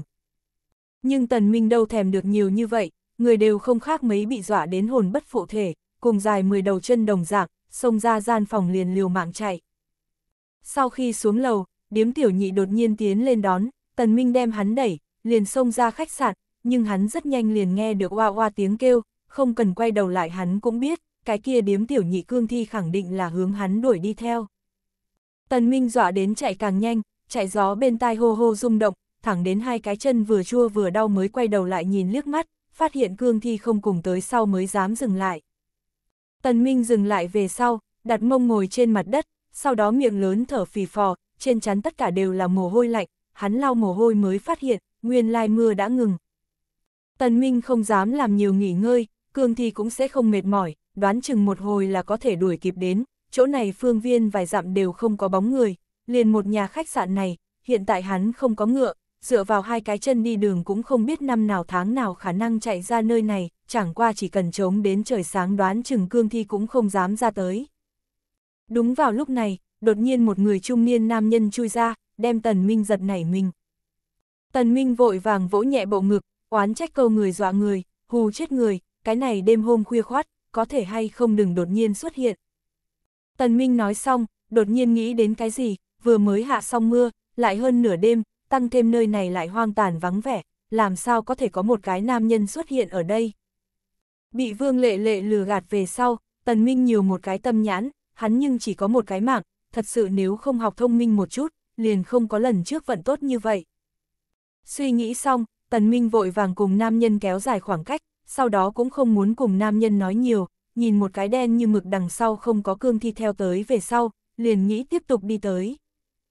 Vị công tử này, xin dừng bước, nam nhân lại đột nhiên đem Tần Minh cho gọi lại. Tần Minh vốn không muốn quay đầu, nhưng lúc này nam nhân kia lại nói hắn là khách sạn lão bản, hắn trông thấy Tần Minh vội vàng hấp tấp từ khách sạn phương hướng chạy đến, có phải là hắn hay không khách sạn đã xảy ra chuyện gì? Tần Minh nghe xong, lập tức ngừng lại, cũng hỏi nam nhân thật sự là khách sạn lão bản. Hắn nếu là lão bản, vì sao không trong khách sạn? Nam nhân nói hắn gọi quách giả, chính xác là khách sạn lão bản, nơi đây người ở thưa thớt, chung quanh liền gia đình đều không có, cho nên hắn muốn đi bên ngoài nhập hàng, nhưng không nghĩ tới trong đêm trở về thời điểm, hạ lên mưa rào tầm tã. Cái này giai đoạn lầy lội không chịu nổi, một chút mưa kia vũng bùn lại thâm sâu lại trượt, xe ngựa rơi vào về phía sau liền ra không được, không có cách, hắn đành phải đi bộ trở về kêu lên điếm tiểu nhị hỗ trợ kéo xe, đi mau đến thời điểm liền gặp một bộ vội vàng hấp tấp bộ dáng Tần Minh. Tần Minh nghe xong, mới hiểu được trong đó nguyên do, nguyên lai lão bản này nhập hàng đi, kia hẳn không có vấn đề. Tần Minh đối quách giả nói, hắn kia khách sạn có hai cái cương thi, điếm tiểu nhị cùng vương lệ lệ đều là, Tần Minh kém chút liền bị bọn hắn cho cắn, may mắn mạng lớn trốn thoát, bằng không thì cũng phải biến thành cương thi. Tần Minh ra ra đã từng nói, nếu như cho cương thi cắn, liền sẽ trúng thi độc, sau đó biến thành mới cương thi. Quách giả nghe xong, dọa đến sắc mặt đều biến, công tử, chuyện này là thật. Không có cùng ta nói đùa. Tần Minh nói cái này hơn nửa đêm, cùng ngươi mở cái này trò đùa làm gì? Chẳng lẽ không chê phải hoảng? Khách sạn lão bản nói, thật sự là hắn có một cái điếm tiểu nhị cùng một cái dưỡng nữ vương lệ lệ, nhưng hắn lúc đi ra hai người đều tốt, làm sao đột nhiên liền biến thành cương thi đây? Tần Minh hỏi quách giả ra tới bao lâu rồi? Quách giả nói hắn đặt mua hàng hóa, lại dò xét nhìn một cái lão hiếu, còn chơi mấy ngày, không sai biệt lắm ra ngoài hơn nửa tháng. Tần Minh nói người đều ra ngoài hơn nửa tháng, chuyện gì không có khả năng phát sinh, hắn đều trông thấy chuồng ngựa bên trong chết rất nhiều ngựa, đoán chừng quách giả đi ra những ngày này còn tới không ít khách nhân. Quách giả nhìn Tần Minh nói phải có bài bản hẳn hoi, rất nhanh liền tin tưởng hắn, hắn nói thà rằng tin là có, không thể tin là không, còn không bằng đợi đến ngày mai lại trở về nhìn, hừng đông an toàn, không phải vạn nhất cho cắn, vậy liền bồi đại phát. Quách giả vì tạ ơn Tần Minh nhắc nhở mình, còn mời hắn đi ngồi xe ngựa của mình, nói chỉ cần hai người bọn hắn hợp lực đưa xe ngựa đẩy lên đến, đến lúc đó thật có cương thi đuổi theo, hai người kia cũng có thể chạy trốn, bằng không, hai cái đùi luôn có chạy lúc mệt mỏi, cho cương thi bắt được liền xong. Tần Minh cảm thấy có đạo lý, khách sạn này lão bản nhìn cũng không có gì kỳ quái chỗ, liền theo quách giả cùng đi tìm kiếm xe ngựa của hắn.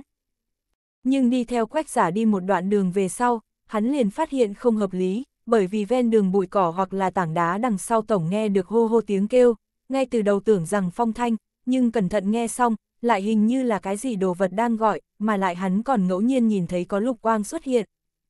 Quách lão bản, còn bao lâu đến? Tần Minh khẩn trương hỏi.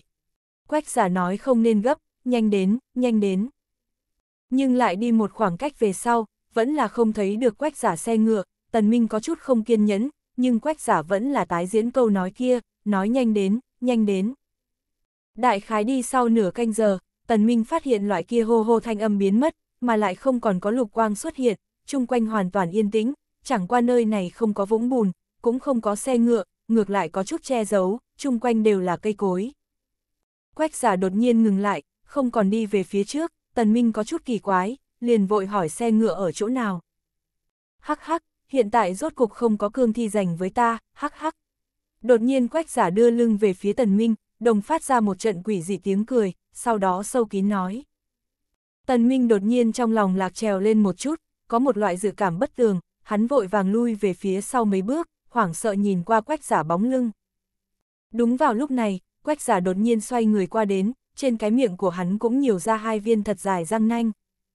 Tần Minh thân thể giật cả mình, rõ ràng chính mình lại bị lừa gạt, cái này cái gọi là khách sạn lão bản nguyên lai like cũng là cương thi. Tần Minh thét lên một tiếng về sau, liền quay người bỏ chạy, nhưng hắn đối mặt liền đụng vào một người, thân thể lập tức liền bắn đi ra, đồng thời đâm đến đầy mắt đều là sao kim. Chờ Tần Minh khôi phục về sau, phát hiện vừa rồi đụng cũng không phải là cái gì người, mà là cương thi điếm tiểu nhị. Lão bản, ta hút máu động vật đã hút tới dinh dưỡng không đầy đủ, tiểu tử này có thể hay không nhường cho ta. Điếm tiểu nhị rất nhanh liền cùng quách giả một trước một sau đem tần minh vây. Lan, người cùng vương lệ lệ đều là thùng cơm, kém chút liền để tiểu tử này trốn thoát. Quách giả đối điếm tiểu nhị mắng. Hai cái cương thi đối tần minh từng bước ép sát, kia dọa người dài răng nanh chính đối tần minh cổ phát sáng. Tần minh đứng lên, dọa đến hai chân đều đang phát run, trong lòng của hắn sợ hãi cực, nhưng là hắn lại không muốn chết, chỉ có thể lấy hết dũng khí quát to một tiếng, sau đó hướng phía trong đó một bên vào tới. Bởi vì điếm tiểu nhị hình thể tương đối nhỏ, cho nên hắn hướng phía điếm tiểu nhị nhào tới, ôm lấy điếm tiểu nhị liền lăn thành một đoàn.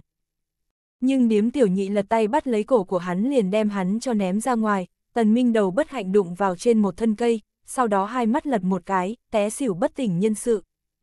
Điếm tiểu nhị lật tay bắt lấy tần minh cổ liền đem hắn cho ném ra ngoài, tần minh đầu bất hạnh đụng vào trên một thân cây, sau đó hai mắt lật một cái, té xỉu bất tỉnh nhân sự.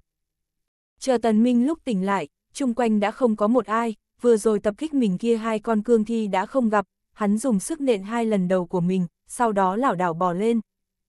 Hiện tại trời đã tảng sáng, mặt trời còn chưa hề đi ra, nhưng tần minh đã cảm thấy có chút chướng mắt, người khác còn có chút mơ hồ, đầu mê man, đi trên đường cùng uống say đồng dạng. Đi hai bước về sau, đột nhiên hắn liền phát hiện trên cổ của mình có hai cái lỗ máu, trong lòng nhất thời lạc trèo lên một chút, hắn có chút minh bạch chuyện gì xảy ra, nhưng trong lòng của hắn không nguyện ý tiếp nhận, hắn không nghĩ biến thành cương thi, cũng không tin mình lại biến thành cương thi, hắn muốn làm người, hắn muốn về nhà. Mặt trời rất nhanh liền ra tới, chờ ánh mặt trời chiếu đến trên người hắn thời điểm, lập tức liền đánh tan hắn tất cả may mắn tâm lý, hắn sợ hãi ánh nắng, vừa gặp phải ánh nắng da của hắn liền phát ra xì. Xì, tiếng vang, một cỗ nhói nhói cảm giác lập tức truyền khắp toàn thân, đồng thời toàn thân rét run, thân thể giống như muốn nổ tung đồng dạng, mà lại kinh khủng nhất chính là, ngón tay của hắn giáp cùng răng ngay tại chậm rãi dài ra. Tần Minh rốt cuộc xác định, mình là thật biến thành trong truyền thuyết cương thi, chỉ là hắn có chút kỳ quái, ra ra hắn nói qua, cương thi tứ chi cứng đờ, sẽ chỉ nhảy nhót, như là cái xác không hồn, thích ăn máu người, nhưng hắn biến thành cương thi về sau, cùng người không sai biệt lắm, có thể nói chuyện có thể đi đường có thể suy nghĩ, căn bản cũng không phải là cái xác không hồn, còn có tối hôm qua gặp phải con kia cương thi cũng là dạng này, hẳn là truyền thuyết cùng chân thực cương thi có rất lớn xuất nhập. Tần Minh thực sự chịu không được ánh nắng chiếu xạ, ra ra hắn nói cương thi sợ ánh nắng, điểm ấy vẫn là không sai, cứ theo đà này, Tần Minh đoán chừng sẽ trực tiếp bị bốc hơi rơi. Tần Minh tìm một cái dâm mát chỗ trốn tránh lên, nơi đó ánh nắng không chiếu vào được, một lát sau, hàm răng của hắn cùng móng tay lại như kỳ tích hoàn nguyên, hắn cảm thấy thương tâm khổ sở đồng thời lại cảm thấy có chút thần kỳ, hắn ngồi xổm ở nơi đó dòng dã một ngày cũng không dám đi ra ngoài, thẳng đến mặt trời xuống núi. Lúc này hắn đột nhiên bụng có chút đói, bụng không có ục ục gọi, ngược lại là răng có chút ngứa, đồng thời một loại khát máu cảm giác một mực đang đầu óc hắn xoay quanh, hắn không muốn ăn đồ vật, hắn muốn hút máu. Cực kỳ khát vọng. Tần Minh biết dạng này là không đúng, hắn không nghĩ mình biến thành một con khát máu cương thi, nhưng hắn khống chế không nổi mình, hắn cùng như chó điên chạy ra ngoài, hắn muốn tìm tìm huyết dịch. Chạy đại khái một cây số về sau, hắn rốt cục nhìn thấy một gia đình, hắn chạy đến bên cửa sổ, trông thấy bên trong có hạnh phúc một nhà ba người đang ăn cơm tối, nhưng hắn lúc ấy mắt đều đỏ, cái này đâu còn là người, tất cả đều là tần minh trong mắt đồ ăn. Tần minh nhìn xem cổ của bọn hắn thẳng nuốt nước miếng, một lát sau tần minh mắt đã hoàn toàn biến thành màu máu, hắn nhìn thấy tất cả mọi thứ đều là máu tanh, răng cùng móng ngón tay lại dài đi ra, mà lại ngứa lạ vô cùng. Ngay tại hắn nghĩ nhào vào đi thời điểm, đột nhiên một cái tay bóp lấy cổ của hắn, một cái khác che miệng của hắn, cái kia hai tay cực kỳ hữu lực, tần minh vô luận như thế nào dãy dụa đều không có một chút tác dụng nào, cứ như vậy bị hắn sống sờ sờ kéo đi một khoảng cách lớn, chờ lúc ngừng lại, tần minh lại trở lại nhà này kinh khủng khách sạn. Đến khách sạn về sau, tần minh bị buông ra, hắn dọa đến ngã nhào trên đất, sau đó liều mạng về sau bò một khoảng cách mới xoay người lại, lúc này mới phát hiện ngăn cản mình chính là cỗ kia biến dị thi thể. Đều biến thành cương thi, lá gan còn như thế nhỏ, có thể trách mất mặt. Thi thể chậm rãi nói. Tần Minh hoảng sợ nhìn qua thi thể, có một loại nói không nên lời sợ hãi, hắn ấp úng mà hỏi, ngươi, ngươi là, ngươi là ai, là người, vẫn là quỷ. Thi thể cười cười, nói hắn không phải là người, cũng không phải quỷ, sau đó nhiều hứng thú nhìn xem tần minh. Ta là cương thi, thi thể nói nói, còn có, tên ta là, gọi. Thi thể nói đến đây, đột nhiên liền gõ lên đầu của mình, giống như quên đi tên của mình, còn nói thầm lấy mình rốt cuộc gọi cái gì tới. a ta nhớ lại, tên ta là Doanh Câu, thi thể nhớ tới tên của mình về sau, có chút cao hứng, đập đầu của mình càng thêm ra sức. Tần Minh nuốt một ngụm nước bọt, nói không đúng rồi, người ủy thác nói người chết kia là thương nhân, tên gọi Lưu Đại Bằng, không gọi Doanh Câu, Tần Minh còn thấp thỏm hỏi hắn có phải là khi còn sống cũng bị cương thi cắn, cho nên giống như hắn, biến thành cương thi. Thi thể lắc đầu, nói hắn không phải cái kia thương nhân, cái kia thương người đã bị hắn cắn chết.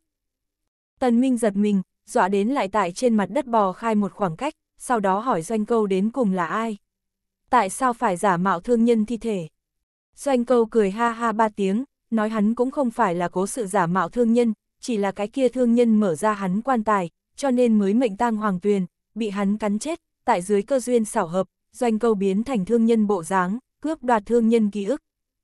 Tần Minh nghe có chút hồ đồ, hắn gãi đầu một cái, nói cái gì quan tài, lại cướp đoạt ký ức, lại biến dạng, hoàn toàn nghe không hiểu nửa câu. Doanh câu không có cách, dù sao nhàn dỗi cũng nhàn dỗi, liền cùng Tần Minh nói tất cả chân tướng, dù sao trong đầu hắn cũng có thương nhân ký ức. Doanh câu chính là cương thi chi vương, hắn không biết khi nào sinh, khi nào diệt, hắn bất lão bất tử, không rơi vào luân hồi, không tại tam giới lục đạo bên trong, nếu như hắn du lịch chán dính nhân gian, liền sẽ mình đi vào mộ địa, sau đó tại quan tài bên trong ngủ say. Mà cái này gọi lưu đại bằng thương nhân trước kia cũng không phải thương nhân, là thổ phu tử, cũng chính là mọi người thường kêu trộm mộ, về sau phát một chút của cải người chết, liền chậu vàng rửa tay không làm, đổi nghề làm thương nhân. Ngày đó lưu đại bằng đi ra ngoài làm ăn đi ngang qua, đột nhiên liền phát hiện doanh câu mộ, bệnh nghề nghiệp một phạm, tay liền ngứa, đuổi mấy cái tùy tùng về khách sạn về sau, liền tự mình dự định tiến mộ địa đào điểm bảo bối. Nhưng gia hỏa này không biết, mình đã bước vào quỷ môn quan, đây đã là hắn một lần cuối cùng trộm mộ. Lưu Đại Bằng dựa vào mình siêu cao trộm mộ kỹ xảo, rất nhanh liền tìm được quan tài cũng mở ra, nhưng nắp quan tài mở ra trong nháy mắt, doanh câu nghe được nhân khí liền tỉnh lại, ngủ say nhiều năm cương thi tỉnh lại là phi thường khát máu, Lưu Đại Bằng liền mắt cũng không kịp nháy một chút, liền thấy hai đạo kim quang từ quan tài bên trong bắn ra, tiếp lấy hắn liền biến thành thi làm, thân thể một giọt máu đều không có.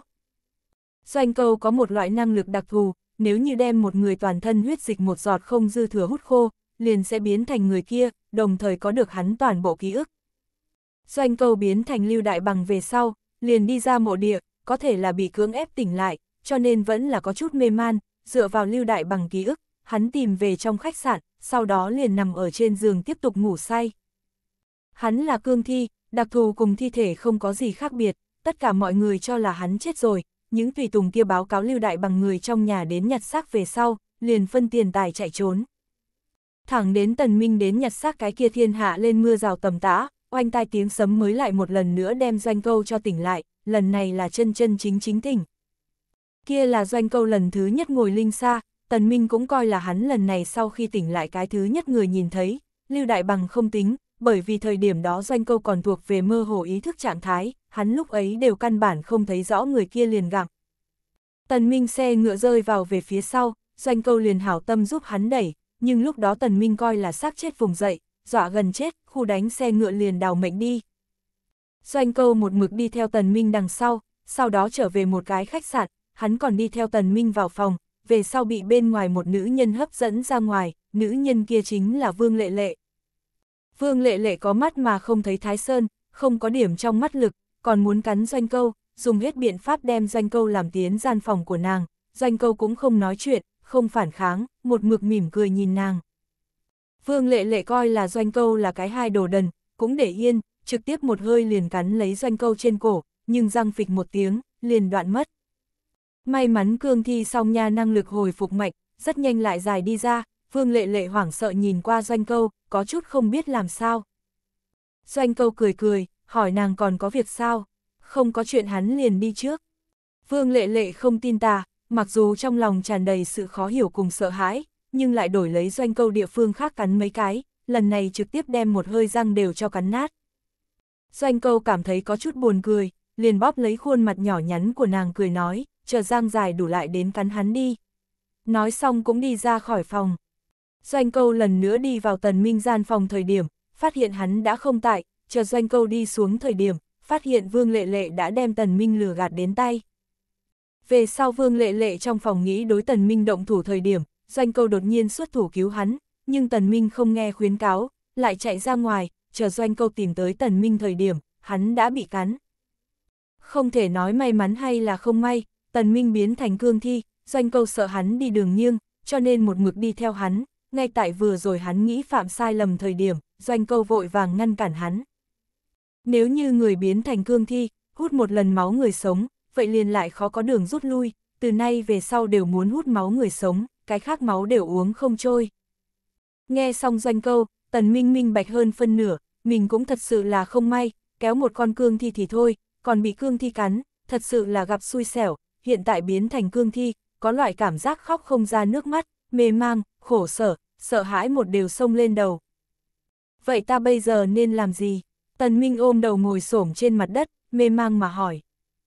Doanh câu nói việc đã đến nước này, biến thành cương thi cũng không sao, chỉ cần Tần Minh ghi nhớ không muốn uống người sống máu, cái kia cũng có thể đi trở về bình thường sinh hoạt, về sau không muốn trực tiếp bại lộ tại ánh nắng dưới đáy là được, ra ngoài chống đỡ đem dù, cơ bản cũng có thể vượt qua cùng thường nhân đồng dạng sinh hoạt.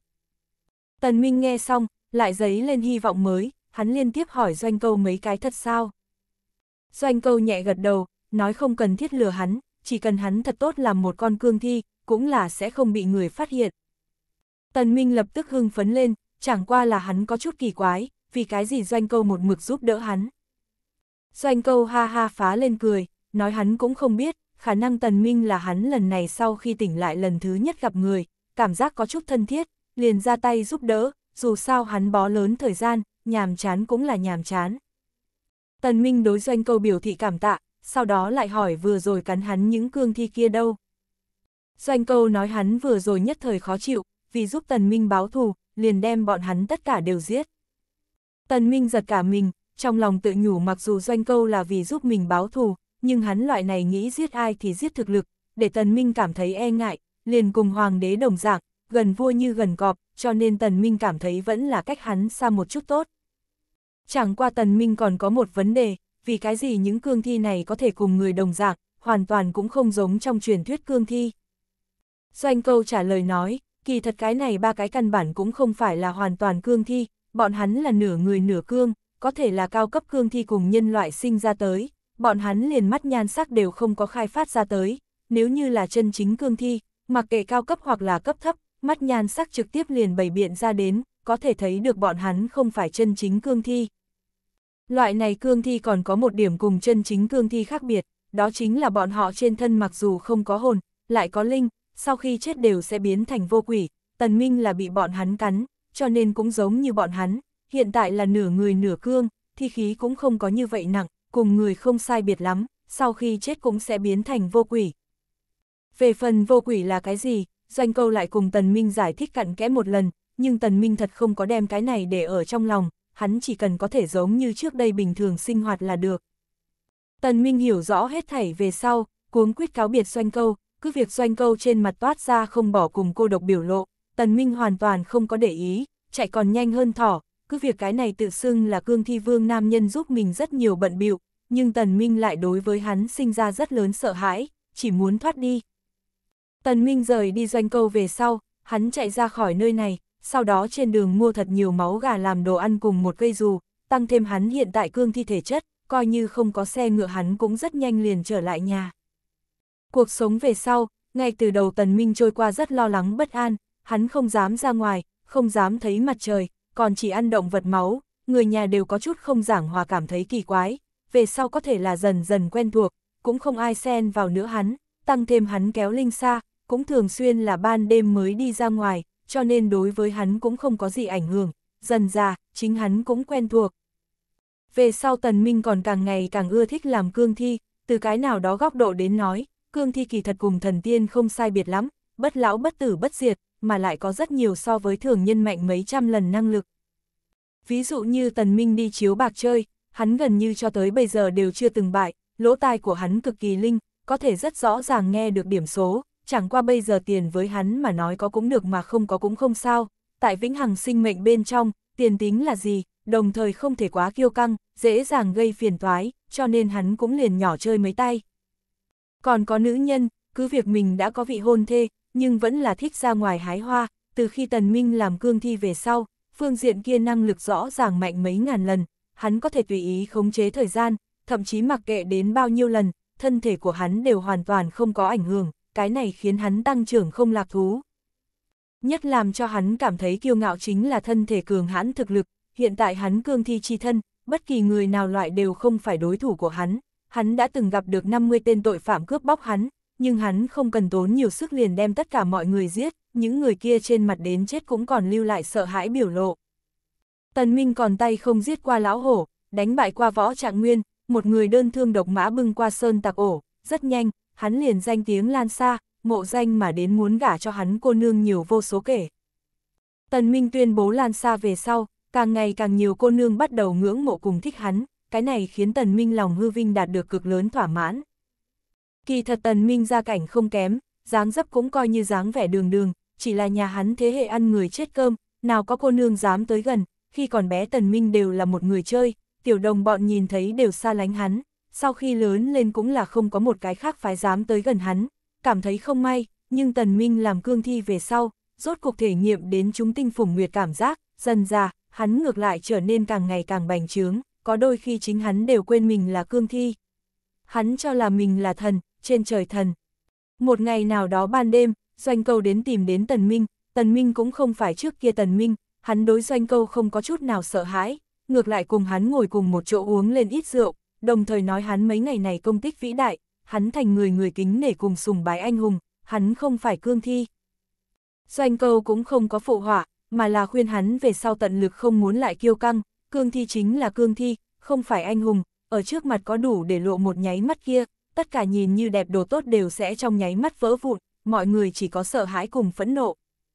Tần Minh hiện tại đâu còn nghe vào loại lời này, chỉ coi doanh câu đang ghen tị hắn, uống nhiều mấy chén về sau, hắn liền vội vàng đem doanh câu đuổi đi. Qua vài ngày nữa, Tần Minh thành thân thời gian liền đến, kỳ thật hắn đã sớm đến cưới lão bà tuổi tác, chỉ là cái kia đáng giết ngàn đao đoán mệnh lão lại còn nói hắn cùng nhà gái bắt tự tương xung, muốn chậm 3 năm, bằng không, trong nhà xảy ra đại phiền toái, nhẹ thì có họa sát thân, nặng thì cửa nát nhà tan, cho nên hai người hôn sự liền kéo cho tới bây giờ. Nói đến thú vị, Tần Minh muốn cưới tiến đến lão bà, chính là quỷ nhà nữ nhân, gọi quỷ tử, hai nhà là thế giao, cho nên nhìn như không liên hệ chút nào hai nhà liền kết thành thân gia, vụ hôn nhân này là từ khi tại từ trong bụng mẹ liền lập thành. Tần Minh thành thân ngày ấy, doanh câu cũng tới, hắn đem Tần Minh đưa đến một cái góc không người, sau đó chất vấn hắn điên rồi sao? Cương thi thế mà cưới lão bà, kia là xảy ra đại sự. Tần Minh cười cười, đối doanh câu không có chút nào để ý, nói cưới lão bà làm sao rồi. Hắn làm cương thi khoảng thời gian này, cũng không biết chơi bao nhiêu nữ nhân, hắn còn nói mình đời này chẳng những muốn cưới lão bà, còn cho mình định cái nhỏ mục tiêu, hắn bất lão bất tử, hắn muốn chơi lượt toàn bộ quốc gia nữ nhân. Doanh câu sau khi nghe xong, đột nhiên bóp lấy tần minh cổ, đem hắn bước đến trên tường, tần minh muốn dẫy ruộng, nhưng hắn phát hiện mình tại doanh câu trên tay, liền như là một con gà con, loại kia cảm giác bất lực từ toàn thân truyền tới, hắn rốt cục nhớ tới ngày đó doanh câu mang cho mình sợ hãi, chỉ cần doanh câu một ánh mắt, đều đủ để để hắn toàn thân phát run. Người nghe, thành thân có thể, nhưng ngàn vạn không thể sinh con, người cùng cương thi liền đã sinh ra nửa người nửa cương quái vật, hiện tại ngươi cái này nửa người nửa cương quái vật lại cùng nhân loại sinh con, ta không biết sẽ toát ra cái gì đầu to Phật ra tới. Doanh câu cảnh cáo nói.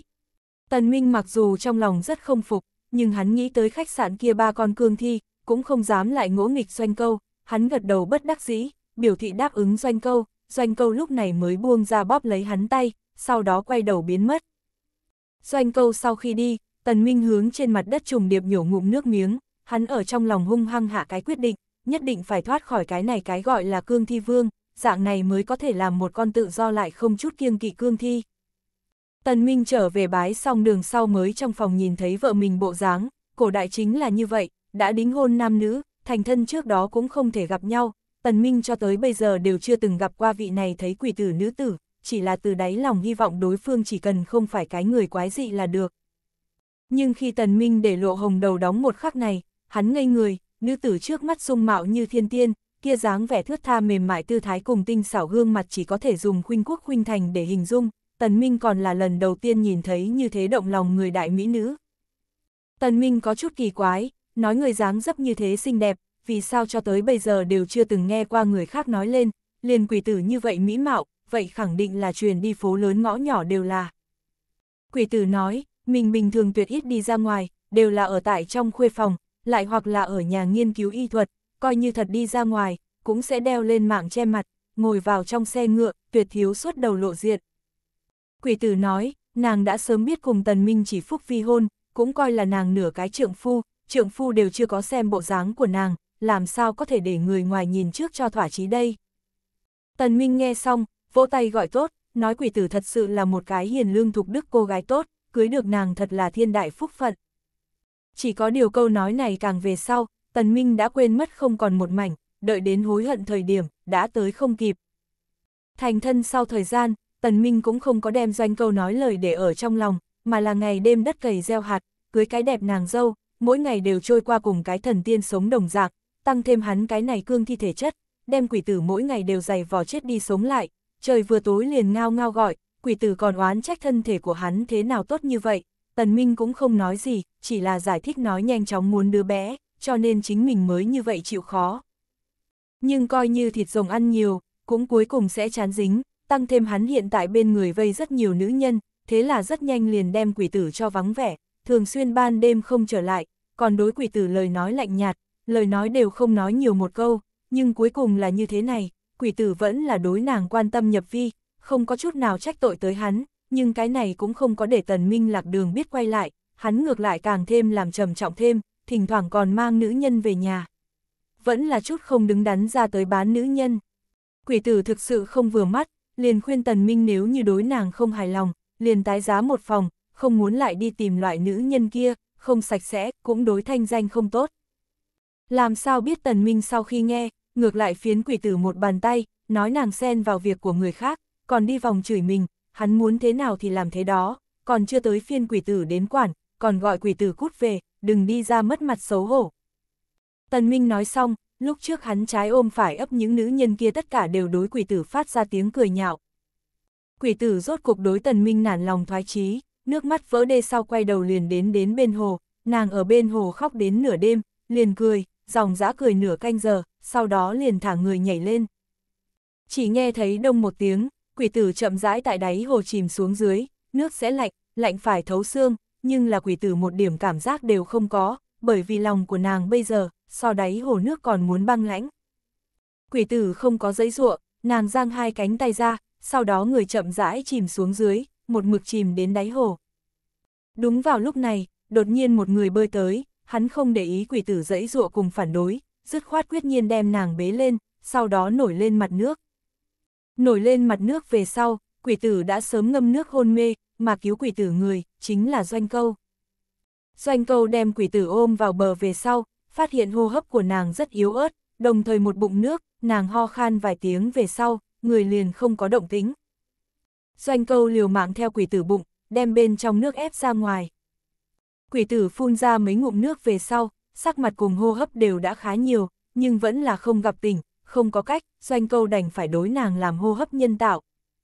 Mấy cái vừa đi vừa về hấp khí hơi thở về sau, quỷ tử đột nhiên tỉnh, nhìn thấy nam tử trước mắt thế mà đối với mình làm chuyện như vậy, nàng giận không thể thành, một bàn tay liền quạt tới, nhưng nàng tay vừa mới vung ra đi, liền bị doanh câu bắt lại. Cô nương, ta hảo tâm cứu ngươi, vì sao muốn đánh ta? Nếu không phải ta, ngươi đã thi chìm đáy hồ. Doanh câu có chút không hiểu. Quỷ tử nói, trừ trượng phu của mình, nàng còn không có cho nam nhân khác hôn qua, nam nữ thụ thụ bất thân, cái này sự tình truyền đi về sau, nàng làm sao gặp người. Loại sự tình này cho dù chết, cũng chứng minh không được trong sạch của mình. Doanh câu đây là tại hại nàng, không phải cứu. Lại nói, quỷ tử bản thân liền nghĩ tự sát, doanh câu cần gì phải đi cứu nàng, hiện tại ngược lại để nàng càng thống khổ hơn so với cái chết. Càng thống khổ hơn so với cái chết, doanh câu không hiểu, hắn nói hắn cũng là lần đầu tiên thân người khác, cái này hơn ngàn năm đến, quỷ tử là hắn cái thứ nhất thân nữ nhân, hắn không biết cái này trọng yếu như vậy, lại có thể để người so chết còn đau khổ. Quỷ tử đối doanh câu trợn trắng mắt, nói người cái này nam nhân thật sự là không đứng đắn, lại còn nói mình sống hơn ngàn năm, đây là vì chính mình ngả ngớn tìm lý do vẫn là nghĩ nói sang chuyện khác, để cho ta quên tội của ngươi. Doanh câu cười khổ một cái, nói hắn chỉ là muốn cứu quỷ tử, cũng không có khác ý nghĩ xấu, hắn cũng hoàn toàn chính xác sống đã ngoài ngàn năm, tuyệt đối không có gạt người. Quỷ tử lại lật một cái liếc mắt, trong lòng tự nhủ cái này nam nhân hẳn là đầu óc có bệnh. Cũng được, dù sao nàng đã không muốn sống, tăng thêm lại để cho nam nhân xa lạ cho nhỏ bé, hiện tại liền càng không muốn sống, những chuyện khác còn quản nhiều như vậy làm gì.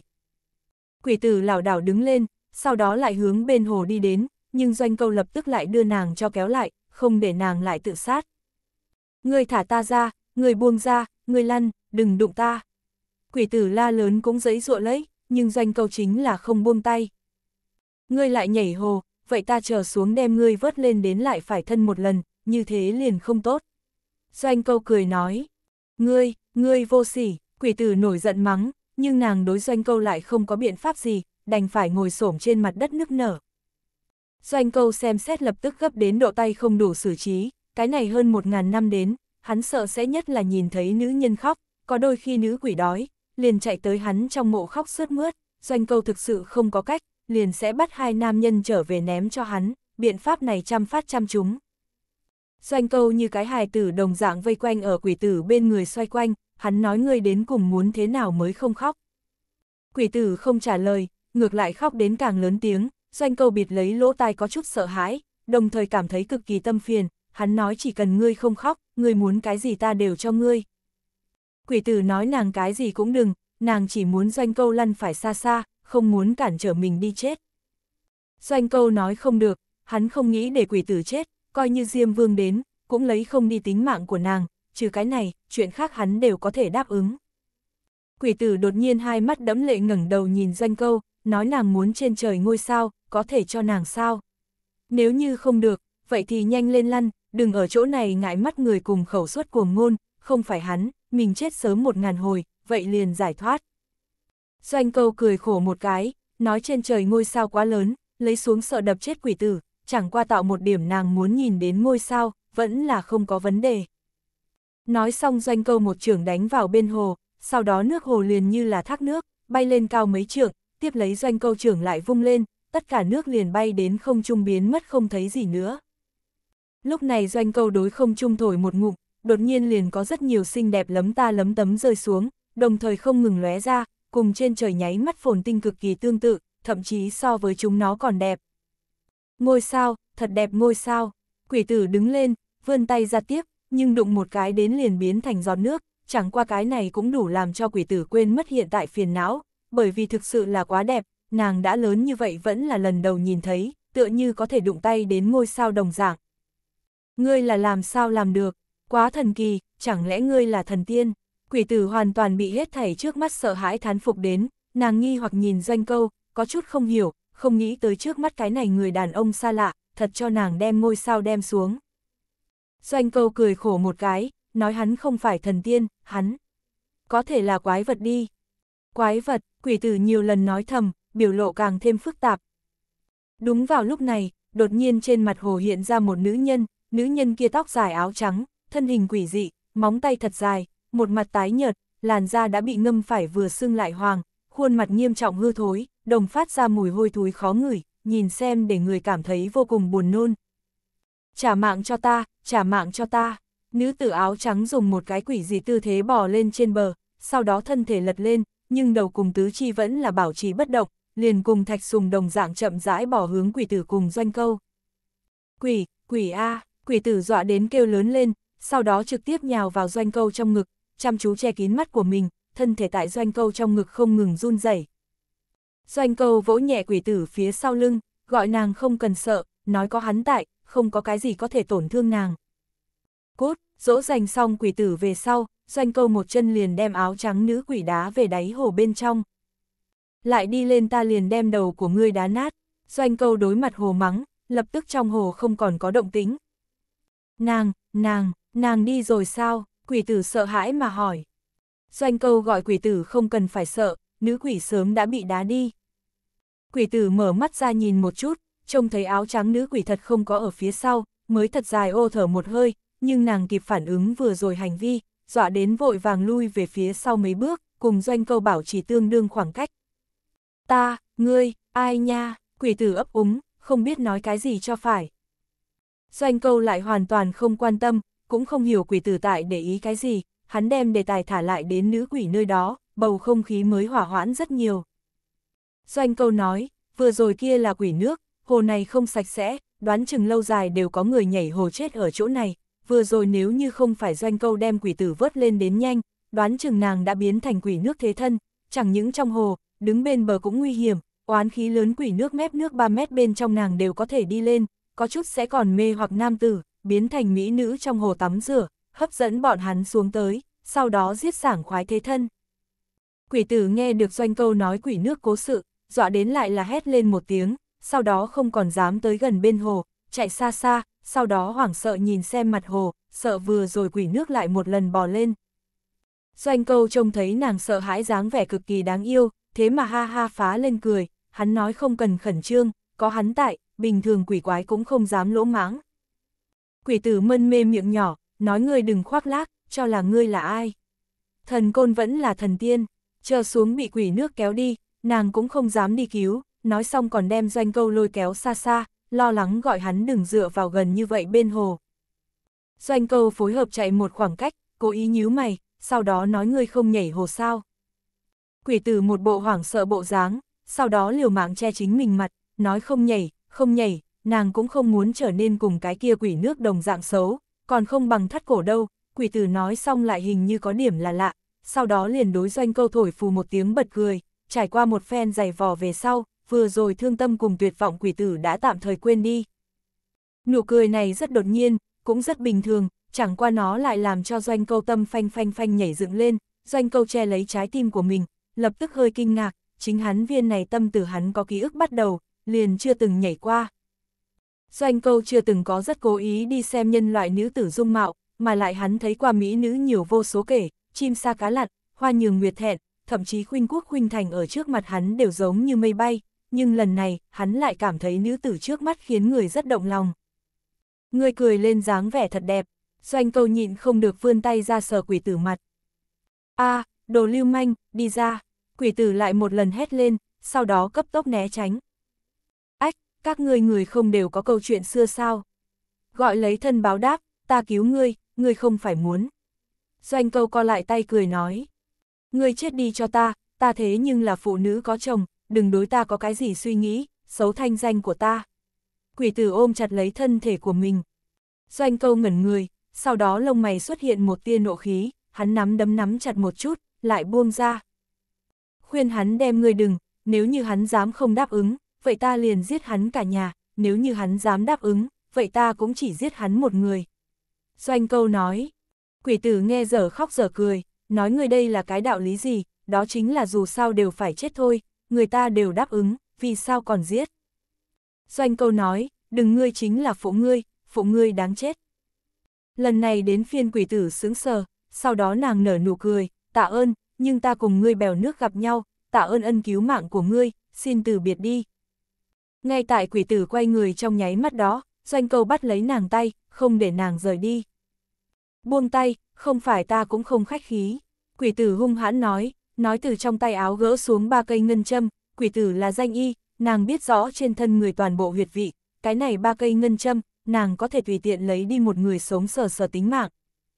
Doanh câu đắng chát nở nụ cười, nói hắn không có ý tứ gì khác, lần đầu gặp nhau, đã tâm động, đến tận đây từ biệt, không biết ngày sau khi nào gặp nhau, hắn muốn vì quỷ tử gảy một khúc, lấy làm hoài niệm.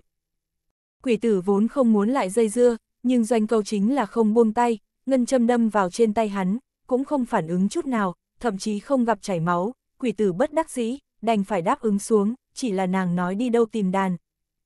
Doanh câu cười cười, nói chỉ cần hắn nghĩ đạn, tất cả thiên địa nhưng vì đàn.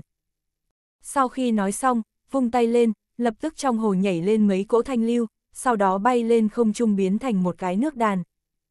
Ngươi, ngươi, quỷ tử che miệng, kinh ngạc nói không ra lời, cái này người chẳng lẽ thật sự là thần tiên A. Xuyệt, lẳng lặng nghe, doanh câu đối nàng làm một cái cái ra dấu im lặng, ra hiệu nàng đừng nói chuyện. Doanh câu ngồi sổ ngồi xuống về sau, rất nhanh dù đẹp cầm thanh liền tràn ngập giữa thiên địa, quỷ tử hai mắt nhắm nghiền, nghe được như si như say, trong lòng yêu thương lập tức quên mất không còn một mảnh, chờ cầm thanh lúc ngừng lại, quỷ tử mở mắt ra, khuôn mặt tươi cười như khói, cuối cùng hai người cùng nhìn nhau, thật lâu không muốn rời đi. Chấm. Tần huynh, ta trăm ngàn năm qua lần thứ nhất yêu một cái dương gian nữ tử, ha ha ha. Mỹ diệu, thật là mỹ diệu. Doanh câu đá văng ra tần minh cửa phòng, cười ha ha, hắn tùy ý ngồi xuống, rót cho mình một ly trà. Tần minh mắng một câu có bệnh, sau đó đẩy ra bên người ba nữ tử, hắn ghét nhất tại ổ gà thời điểm bị người quấy dày, nhưng doanh câu là cương thi vương, hắn có khí cũng không có chỗ nhưng phát, xem ra chỉ có thể trở về đem khí phát tại cái kia xú bà nương trên thân. Ai u, nhà ai nữ tử thế mà có thể vào lão nhân ra ngài pháp nhãn, gọi tên gì, cái kia gia đình A. Ta thay người cầu hôn đi, tần minh mặc vào quần áo, làm bộ làm tịch vỗ doanh câu bả vai nói. Doanh câu nhíu mày, nói hắn cũng không biết, hắn lúc ấy không có hỏi, chỉ là cùng nàng vượt qua một cái khó quên ban đêm, chẳng qua nữ tử kia nói, là cái phụ nữ có chồng. Tần Minh sau khi nghe, trong lòng thầm mắng một tiếng, cái này hỗn đản, kết hôn thời điểm còn khuyên hắn không muốn cưới lão bà, hiện tại mình ngược lại đem người khác lão bà cho ngủ, thứ đồ gì mà. Chẳng qua Tần Minh sau đó tưởng tượng, thế mà cho hắn suy nghĩ ra một ý kiến hay, nói không chừng có thể nhờ vào đó diệt trừ doanh câu, dạng này hắn về sau không còn có uy hiếp. Quản hắn có hay không phu, lão nhân gia ngài coi trọng, đó chính là đoạt cũng phải đoạt tới, người nói là không. Tần Minh lộ ra một cái âm hiểm mỉm cười. Doanh câu không có trả lời, cũng rơi vào trầm tư, sau đó hắn nói không phải đoạt không cướp vấn đề, chủ yếu là nàng không chịu đáp ứng, chỉ cần nàng một câu, trên đời không có bất kỳ người nào có thể ngăn cản doanh câu. Tần Minh nói, nếu nói như vậy, vậy liền trước muốn đoạt phải Mỹ nhân phương tâm, như vậy, cái kia góc tường liền tốt đào. Doanh câu nhẹ gật đầu, tại Tần Minh cổ vũ dưới, trong lòng của hắn đã có chủ ý, nhưng Tần Minh lại cười đến so doanh câu vui vẻ, kế hoạch của hắn bước đầu tiên, xem như hoàn thành. Nếu như doanh câu dám đoạt phụ nữ có chồng, vậy chuyện này nhất định kinh động thiên hạ, thế nhân cũng dung không được hắn, đến lúc đó một là không đi, hắn cương thi thân phận cũng sẽ bại lộ, vậy hắn liền nguy hiểm. Cùng doanh câu cáo biệt về sau, Tần Minh trở về nhà, quỷ tử bởi vì thân thể ẩm ướt, cho nên vừa mới tắm rửa một cái, làn da của nàng cũng bởi vậy trắng nõn hồng nhuận, giống như một đóa hoa sen mới nở. Tần Minh nhìn về sau, trước đó vừa mới làm lạnh bộ vị lại kiên cố, hắn cùng một con chó săn đồng dạng nhào tới, nhưng quỷ tử lại một tay lấy hắn đẩy ra. Tần Minh vừa mới trở lại thời điểm, quỷ tử ngồi tại bên cửa sổ không coi ai ra gì mà cười cười, cũng không biết nhớ ra cái gì đó vui vẻ sự tình, nhưng nàng vừa thấy được Tần Minh trở về, ngay lập tức mặt liền bản khởi đến, lúc này lại cự tuyệt Tần Minh, cũng đem hắn đẩy ra, Tần Minh giận không chỗ phát tiết, liền cùng núi lửa bộc phát đồng dạng, hung hăng phiến quỷ tử một bàn tay. Đàn bà thúi, cho thể diện mà không cần, vợ theo phu, người không biết sao. Coi như ta cho ngươi đi phục thị một con chó công, ngươi cũng phải cho ta đi. Tần Minh vừa nói, còn một bên nắm lên quỷ tử tóc hướng trên bàn đụng. Liền đụng mấy lần về sau, quỷ tử đầu đã vang lên ong ong, cả phòng đều tại trời đất quay cuồng, trên trán càng là có mấy khối máu ứ động. Cái này cũng chưa tính, xong việc sau tần minh dùng đầu gối hung hăng đỉnh một chút quỷ tử bụng, sau đó lại một bàn tay đem quỷ tử phiến đến trên mặt đất. Phi, không đánh không được, tần minh đánh xong sau khi mắng xong, liền đem quỷ tử trực tiếp theo trên mặt đất, sau đó trừ nàng quần áo. Quỷ tử thực sự không thể nhịn được nữa, tại cổ đại, nữ nhân từ nhỏ đều bị dạy bảo, ở nhà theo cha, bên ngoài theo phu, phu tử tòng tử, nàng cho tới bây giờ đều không có nghĩ qua muốn phản kháng chồng mình, nhưng lần này, nàng thực sự là hận. Quỷ tử móc ra ba cây ngân châm, hung hăng đâm về tần minh phía sau lưng. Có thể để nàng ngoài ý muốn chính là, tần minh thế mà không có việc gì, thậm chí liền hừ đều không hừ một tiếng. Số bà nương, lại dám động thủ với ta. Tần minh nổi giận gầm lên một tiếng, sau đó lưng ưỡn một cái, ba cây ngân châm liền bị tần minh cho chấn ra tới, cắm đến trên cây cột. Muốn chết. Ngày thứ hai mặt trời lúc đi ra, tần minh liền bị quỷ tử tiếng nức nở đánh thức. Chỉ thấy quỷ tử đáng thương ngồi xổm ở dưới đáy bàn, trên thân rách rách dưới dưới, khắp khuôn mặt là nước mắt, nhưng tần minh không có chút nào cảm thấy thương tiếc, ngược lại cực kỳ chán ghét. Hắn đem gối đầu hướng quỷ tử đầu hung hăng đập tới, khi đó cổ đại gối đầu cũng không giống như hiện tại mềm nhũn, đây chính là đồ sứ làm, cái này một đập, trực tiếp liền đem quỷ tử cho nện đến mặt mũi bầm dập, trên miệng tất cả đều là máu, thậm chí lại lần nữa hôn mê đi a lỗ tai thanh tịnh, tần minh cười một tiếng, sau đó lại ngã đầu ngủ say. Chấm, trăng lạnh như nước, quỷ tử ngồi ở bên hồ ôm thật chặt hai chân của mình, nước mắt mãnh liệt mà ra, nàng lúc này suy nghĩ nhiều quỷ nước có thể nhảy ra đem nàng cho nuốt, nhưng nàng không biết mình phía sau lưng đã sớm đứng một người, quỷ nước là không còn dám ra tới. Là ai, ai đem ngươi đánh thành dạng này? Doanh câu tại quỷ tử phía sau phẫn nộ hô, nhìn xem mặt mũi tràn đầy vết thương người yêu, doanh câu lần này tâm không phải nhảy lên, mà là đau nhức, loại kia làm người ta sợ hãi ra thịt đau nhức. Chuyện không liên quan ngươi, bàn lại một khúc cho ta nghe đi. Quỷ tử xoa xoa nước mắt nói, nhưng nàng không dám quay đầu, sợ doanh câu thấy được nàng cái này xấu xấu dáng vẻ. Quỷ tử không chịu nói, doanh câu không còn biện pháp nào, đành phải chuyên tâm cho quỷ tử đàn bản nhạc, còn muốn tận đủ loại biện pháp đùa nàng vui vẻ, đồng thời muộn muộn như thế, rất nhanh, bọn hắn khoảng cách sát lại càng ngày càng gần, quỷ tử nhìn thấy doanh câu thời điểm, trên mặt chỉ có nụ cười, trong mắt tràn đầy nhu tình, đặc biệt tại mỗi đêm đều gặp được tần minh đặc biệt đối đãi về sau, đối doanh câu loại tình cảm này liền càng sâu. Ngươi thích ta sao? Doanh câu rốt cuộc tại một đêm bên trên hỏi ra vấn đề này. Mới không có, ta thế nhưng là có trượng phu. Quỷ tử mạnh miệng nói, nàng là cái truyền thống nữ nhân, tư tưởng bên trên lồng giam, nàng vĩnh viễn cũng tránh thoát không được, dù cho nàng đã thật sâu yêu doanh câu. Không, ngươi nói láo. Doanh câu cười nói. Vì cái gì nói như vậy? Quỷ tử cũng cười theo, nhưng nàng trên mặt có chút không hiểu. Đã từng có một người đã nói với ta, thích một người, coi như người khâu ở miệng của nàng, cũng sẽ từ trong mắt chạy đến. Doanh câu mắt chăm chú nhìn quỷ tử mắt thấy, thẳng đến nàng xấu hổ né tránh.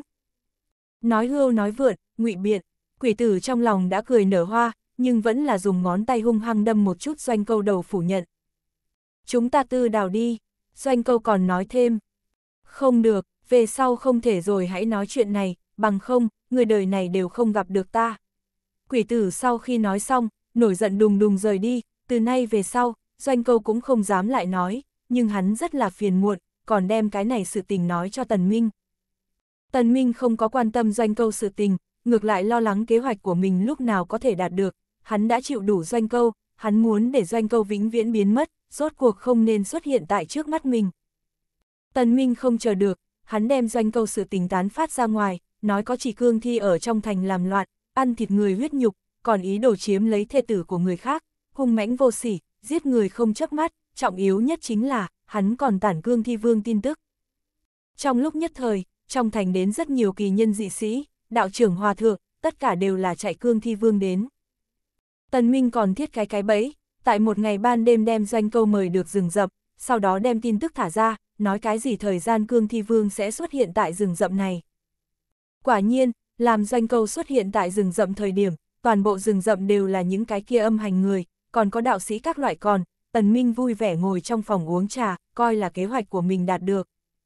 Sau hai canh giờ, Tần Minh chạy tới vùng rừng rậm kia, phát hiện nơi đó đã thây ngang khắp đồng, máu chảy thành sông, gần như mỗi một chiếc lá đều nhuộm thành tinh hồng sắc, nhưng chính là không gặp doanh câu thi thể. Tần Minh biết rõ kế hoạch thất bại, tức giận đến nghiến răng, đem thi thể trên đất đều đá toàn bộ. Sau khi về đến nhà, hắn đem tất cả nộ khí đều phát đến quỷ tử trên thân, mà lại lần này phi thường hung ác, thế mà đem quỷ tử một cái tay cắt đứt, toàn thân cũng đầy là máu ứ động, xong việc sau lại chạy về ổ gà tiếp tục tìm những nữ nhân khác. Quỷ tử kéo lấy tràn đầy vết thương thân thể mỏi mệt đi vào bên hồ, đêm hôm đó mưa rất lớn, quỷ tử khóc đến lại so tiếng mưa rơi lớn, doanh câu tới ôm lấy nàng, nhưng quỷ tử lại nghe đến doanh câu trên thân có một cỗ rất đậm mùi máu tươi, nước mưa cũng cọ rửa không xong mùi máu tươi. Quỷ tử dùng sức đẩy ra doanh câu, nhưng tay lại bởi vậy đau đớn vô cùng, phát ra rên lên một tiếng, toàn bộ thân thể đều run rẩy lên. Ai nha, đau đau đau, trên người ngươi làm sao có cỗ mùi máu tươi, tốt nồng, ngươi làm gì rồi? Mổ heo à nha, quỷ tử oán giận nói, nàng không có chút nào thích mùi máu tươi, thậm chí có chút chán ghét, mặc dù nàng làm nghề y thời điểm không thể tránh né, nhưng từ đầu đến cuối đều chán ghét. Ngươi làm sao rồi, là ai, lại là hắn, doanh câu lúc này mới phát hiện quỷ tử vết thương trên người, còn có con kia đã gãy xương cánh tay, trách không được nàng khóc đến thương tâm như vậy, khóc đến doanh câu tâm đều nát. Không có làm sao vậy, chuyện không liên quan ngươi, ta muốn trở về. Quỷ tử sợ doanh câu truy cứu, quay đầu liền nghĩ rời đi. Không được, lần này coi như ngươi không nói, ta cũng phải biết chuyện gì xảy ra, đến cùng là ai dám dạng này mỗi ngày khi dễ ngươi. Doanh câu sau khi nói xong, đem quỷ tử chăm chú ôm một cái, sau đó hướng nàng miệng hôn tới. Quỷ tử trong lòng muốn tránh, nhưng thân thể lại động đều không động đậy, đồng thời rất hưởng thụ, đã sớm nghĩ dịch chuyển khỏi hai chân liền cùng bị cái đinh đinh gấp trên mặt đất đồng dạng, tay nhỏ không ấn tại doanh câu trên lồng ngực loạn nện lấy, một cái tay thụ thương không dùng được lực, một cái tay không bị tổn thương, nhưng không nỡ dùng sức. Nhưng doanh câu dụng ý lại không ở chỗ này, hắn chỉ là vì đọc đến quỷ tử ký ức. Làm miệng đối miệng thời điểm, trong chốc lát, quỷ tử ký ức tất cả đều hiện lên ở doanh câu trong đầu, nhưng hắn biết tất cả mọi chuyện về sau, hắn nhẹ nhàng đẩy ra quỷ tử, sau đó kinh ngạc nói, nguyên lai ngươi là thê tử của hắn. Sau khi nói xong, doanh câu song quyền nắm chặt, trên thân bắn ra một cỗ trước nay chưa từng có sát khí, ánh mắt như một con mãnh thú hung ác, nhưng hắn nhìn thấy quỷ tử, thần sắc lại khôi phục ôn nhu, chẳng qua hắn tâm, đã sớm sát ý đã quyết, lại dám đối xử với hắn như thế người yêu, cho dù có chín đầu mệnh, cũng không đủ chết. Quỷ tử cùng doanh câu sau khi tách ra, trên mặt đã đỏ thành chỉ quả, nàng vội vàng lui về phía sau mấy bước, đầu cũng không dám ngẩng lên, trong lòng vừa xấu hổ dây dứt lại xấu hổ, trong lúc nhất thời không biết làm sao đối mặt doanh câu, tại cổ đại, cái hôn này đại biểu cho cái gì, quỷ tử rất rõ ràng. Nhưng chờ quỷ tử có dũng khí ngẩng đầu lên thời điểm, trước mắt doanh câu đã biến mất, nàng cảm thấy rất kinh ngạc, cái này đi cũng quá nhanh đi. Mà lại nàng thế mà một chút cũng không có phát giác, nàng thậm chí cảm thấy phải, vừa rồi kia hết thảy có phải là ảo giác. Doanh câu có lẽ đêm nay bởi vì trời mưa căn bản không hề xuất hiện qua. Chẳng qua còn có kỳ quái hơn, quỷ tử tay bởi vì mới vừa rồi bị doanh câu đụng một cái, thế mà như kỳ tích phục hồi như cũ. Không có đau đớn, cũng không có nứt xương, đoạn mất cái tay kia thật tốt, quỷ tử vung mấy lần đều không có bất kỳ cái gì đau đớn, đã có thể bình thường sử dụng, cái này đến cùng là chuyện gì xảy ra.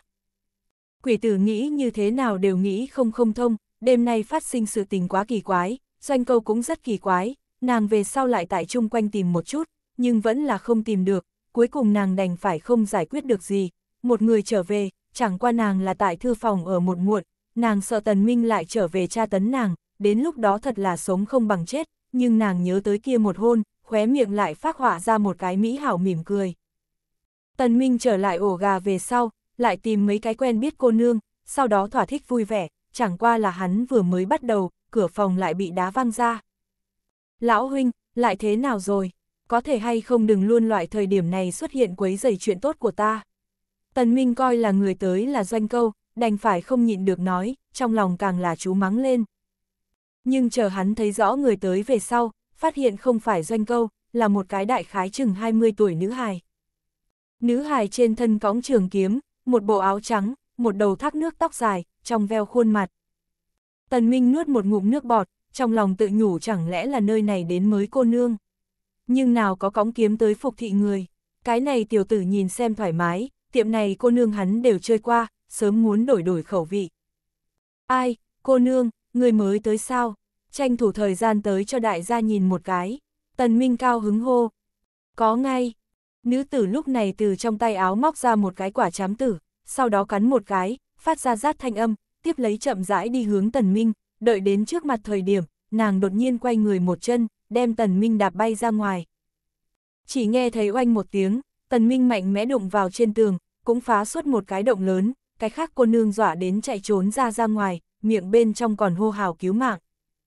Tần Minh sờ sờ bị đá đến lồng ngực, cảm thấy vô cùng đau đớn, hắn rất là kỳ quái, người bình thường là đánh không đau cương thi, chẳng lẽ nữ tử trước mắt là âm nhân. Đến bắt cương thi, nhưng nàng lại làm sao biết Tần Minh là cương thi. Ngươi là ai, vì cái gì vô duyên vô cớ đánh ta. Tần Minh ngồi dậy ho hai tiếng, phát hiện khóe miệng thế mà chảy ra máu tươi, hắn cho tới bây giờ không có chảy qua máu, cũng không biết cương thi thế mà còn có thể chảy máu, khả năng bởi vì hắn là nửa người nửa cương nguyên nhân. Ta là ai? Nữ tử nhíu mày, như người loại này cấp thấp cương thi, nói sợ dọa phá ngươi gan. Tần Minh nghe nàng, đột nhiên thốt ra, chẳng lẽ ngươi là, mã gia hậu nhân? Ừm, thông minh, xem ra gà mờ cương thi chỗ tốt lớn nhất chính là có đầu óc, ta là lấy bắt cương thi làm nhiệm vụ của mình mã gia hậu nhân, mã tuyết y, Mã Tuyết Y sau khi nói xong, đem quả chám tử hạch nhả hướng Tần Minh, chẳng qua bị hắn tùy tiện tránh thoát đi, nhưng sau đó Mã Tuyết Y lại là một chân, Tần Minh đến không kịp trốn tránh, bị chính giữa đá phải khuôn mặt, lần này liền người mang giường cùng một chỗ bị đá lật lại, ván giường đều rơi tan nát. Số bà nương, lão tử, Tần Minh phẫn nộ đứng lên hung hăng mắng một câu, nhưng đừng nói hoàn thủ, lời nói đều chưa nói xong liền bị Mã Tuyết Y một cái tay theo trên mặt, sau đó một tay xách ra. Tần Minh tức hồn hển nắm chặt nắm đấm, sau đó một quyền hướng Mã Tuyết Y đánh tới, Mã Tuyết Y dùng trưởng tiếp được Tần Minh nắm đấm, sau đó tại nắm đấm của hắn dưới xoáy chuyển một tuần, nàng chợt vừa dùng lực, Tần Minh toàn bộ tay đều bị kéo đứt, máu đem vách tường cùng cái bàn đều nhuộm thành tinh hồng sắc. A, a, Tần Minh quỳ trên mặt đất đau khổ kêu rên lên, sắc mặt tái nhợt phải cùng một trang giấy đồng dạng. Mã Tuyết Y lại lấy ra một cái quả chám tử bỏ vào trong miệng, sau đó khẽ cắn, phát ra rát giòn thanh âm. Thôi đi, nửa người nửa cương, thứ đầu gì, thật thấp cấp cương thi, yếu thành dạng này, không uống qua người máu A. Giết người ta liền một tấm phù đều không cần lãng phí người tin hay không? Mã Tuyết Y hỏi. Tần Minh liên tục gật đầu, sau đó nói, đúng đúng đúng, ta không uống qua người máu, ta không có hại qua người, người không thể giết ta. Thôi đi, người bây giờ không có hại qua người, không có nghĩa là về sau không hại, chúng ta mã ra tôn chỉ, gặp được cương thi thả giết lầm, cũng tuyệt không bỏ qua. Mã tuyết y phun ra một cái hạch, sau đó nhảy dựng lên, chuẩn bị một trưởng đánh vào tần minh trên đỉnh đầu. Tần minh dọa đến hai chân đều mềm, căn bản đứng không dậy nổi, đừng nói tránh né. Ngay tại lúc này, đột nhiên một thân ảnh tựa như tia chớp vọt vào, kịp thời đem tần minh cho kéo ra, cái này người chính là Doanh Câu. Cứu ta, Doanh Câu, cứu ta, nàng là mã gia hậu nhân. Tần Minh cầu khẩn nói. Mã Tuyết Y trông thấy Doanh Câu về sau, mũi dùng sức hít hà, sau đó biến sắc, sau lưng kiếm siêu một tiếng liền bay ra. Cương thi vương Doanh Câu, không nghĩ tới ở đây có thể gặp ngươi. Mã Tuyết Y vừa dứt lời, kiếm liền bay về phía Doanh Câu, ngay sau đó mười mấy tấm hắc phù như là trường xà đồng dạng nhào về phía Doanh Câu. Doanh Câu cũng không muốn cùng Mã Tuyết Y đánh, lách mình tránh thoát về sau, một chân đạp lăn cái bàn, sau đó mang theo Tần Minh chạy ra ngoài. Mã Tuyết Y hai ngón vung lên, kiếm trở lại trong tay về sau, hô to một tiếng trốn chỗ nào liền đuổi theo, nhưng lúc này lại bị một đám tráng hán chặn lại. Lão bản, chính là nàng, chính là nàng tới gây sự. Vừa rồi trốn tới cô nương ở phía sau hét lên. Nha, tiểu cô nương dáng rất không tệ, đem nàng bắt lại cho ta kiếm tiền. Lão bản sau khi nói xong, 10 cái tráng hán liền vây quanh. Cút ngay cho lão nương mở. Mã tuyết y trong nháy mắt đạp ra ngoài mười mấy chân, vây tới tráng hán lập tức liền ôm đầu té xuống, đem lầu dưới cái bàn rơi nhão nhuẹt, lão bản trông thấy trận thế này, mới vừa rồi còn dương dương đắc ý, hiện tại dọa đến khẽ run rẩy, người chạy còn nhanh hơn thỏ. Phi, buồn nôn địa phương, lãng phí lão nương thời gian. Mã tuyết y mắng một câu, tông cửa xông ra, nhưng doanh câu đã sớm mất tung ảnh, đâu còn có thể tìm được, tức giận đến nàng hung hăng dậm chân, quay đầu lại đem đám kia tráng hán cho đánh, còn đá người ta chiêu bài, may mắn có người đi cáo nha môn, không phải nàng đoán chừng ác hơn. Đây là địa phương nào? Tần Minh che lấy mình đau nhức cánh tay, sau đó nhìn qua doanh câu dẫn hắn tới nơi này, hắn cảm giác có chút quen thuộc, nhưng lại có chút lạ lắm. Khách sạn, là khách sạn, cũng tốt, ở đây đoán chừng mã gia hậu nhân liền đuổi không kịp đến rồi. Tần Minh thở ra một hơi dài. Nhưng hắn khẩu khí này vừa mới lỏng ra đến, đột nhiên doanh câu quăng lên hắn một cái tay khác cánh tay, sau đó dụng lực kéo một cái, chỉ nghe thấy tê một tiếng, thừa xuống cánh tay cũng không có, máu tươi phải khách sạn chung quanh khắp nơi đều là. a a Tần Minh kêu rên một tiếng, cả người nằm dạp trên mặt đất co quắp, sau đó hoảng sợ nhìn qua một mặt âm trầm doanh câu. Ngươi, ngươi đang làm gì? Tại sao phải tổn thương ta? Tần Minh chất vấn, trong lòng của hắn có chút hư, sợ doanh câu biết hắn thiết sáo sự tình. Cái này sự tình nói đến tần minh cũng khí, lúc đầu đào cái hố nghĩ chôn doanh câu, không nghĩ tới đem mình cho chôn thật sự là không may. Doanh câu nở nụ cười gần, sau đó hung dữ chừng mắt tần minh, người tại sao phải dạng này đối nàng. Tần minh một mặt mờ mịt, không biết doanh câu nói người là ai, hắn đau đến nghiến răng nghiến lợi mà hỏi, cái gì đối nàng? Ngươi nói tới ai? Quỷ tử, thê tử của ngươi, doanh câu nói ra cái tên này thời điểm, hai đầu lông mày tự nhiên mà vậy sinh ra một vẻ ôn nhu. Tần Minh lập tức hiểu rõ ra, nguyên lai doanh câu một mực sách nữ nhân, thế mà chính là thê tử của hắn, quỷ tử. Doanh câu ngươi, đừng khinh người quá đáng, ngươi đối ta lão bà làm cái gì, chẳng lẽ ngươi chưa nghe nói qua vợ của bạn không thể lừa gạt sao? Tần Minh phẫn nộ gầm thét lên, hắn sở dĩ kích động như vậy không phải là bởi vì hắn có bao nhiêu yêu quỷ tử, mà là hắn muốn đảo khách thành chủ đi chỉ trích doanh câu, dạng này hắn mới có thể sống sót. Đương nhiên, đối với Tần Minh đến nói, nhiều nhất vẫn là không cam lòng cùng đố kỵ, hắn đã sớm làm quỷ tử là hắn vật riêng tư phẩm, cho dù hắn cầm đi ném, cũng không cho phép người khác đụng. Doanh câu lại nở nụ cười gần, ánh mắt bên trong mang theo sát khí, hắn đối Tần Minh hung hãn nói, bằng hữu Tại cái này từ từ năm tháng bên trong, trừ cái khác ba cái cương thi vương, trên đời này không ai có tư cách coi ta bằng hữu ngươi lại dám tổn thương nàng, ta muốn ngươi vạn lần hoàn trả.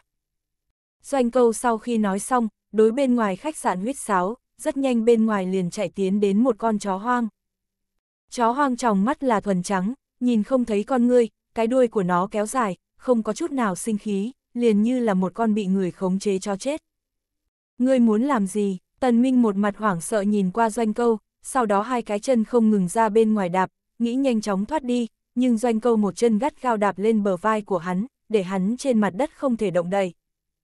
Chân cũng nên cho ngươi phế, miễn cho ngươi loạn động.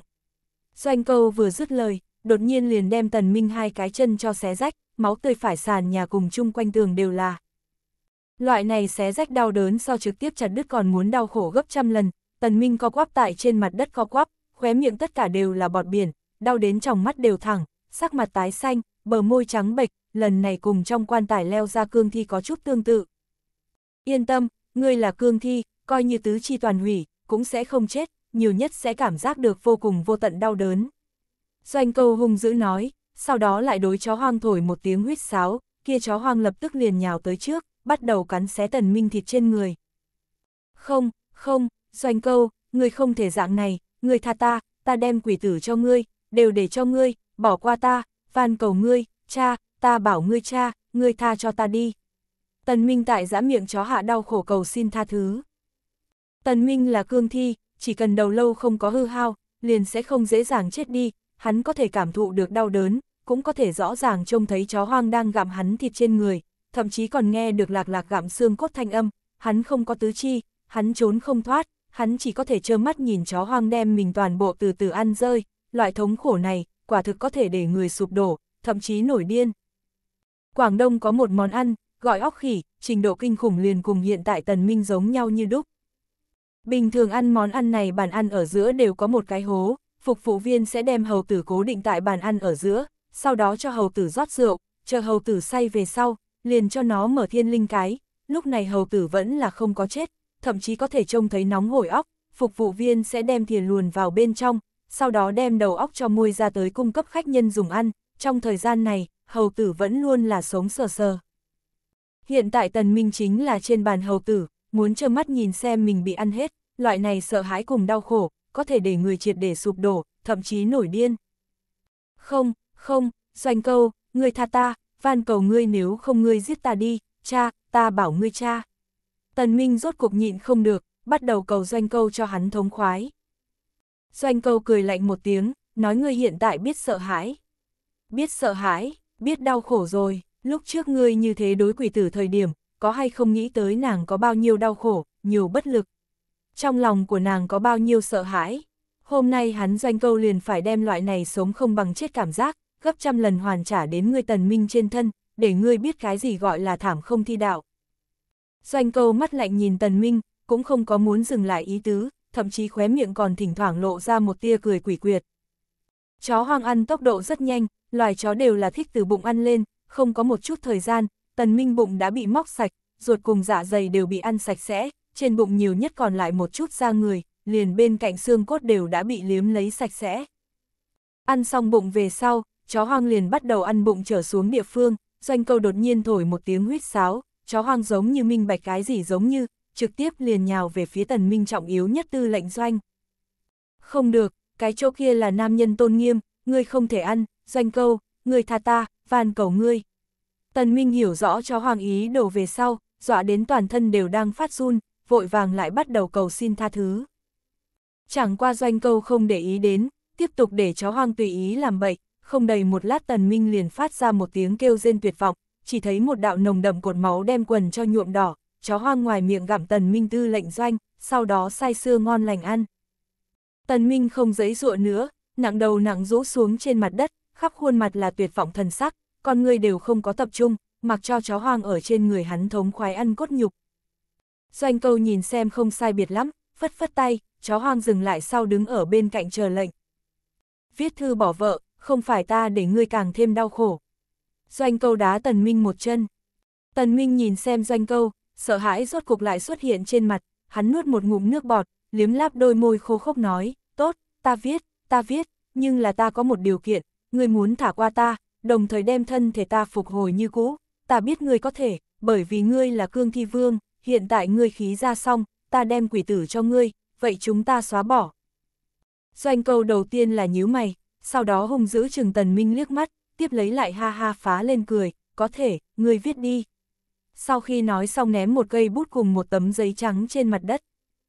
Tần Minh chật vật di chuyển thân thể, dùng miệng cắn bút trên mặt đất chật vật viết xuống một phong thư bỏ vợ. Có thể, người xem qua. Tần Minh lấy lòng đối với Doanh Câu cười nói.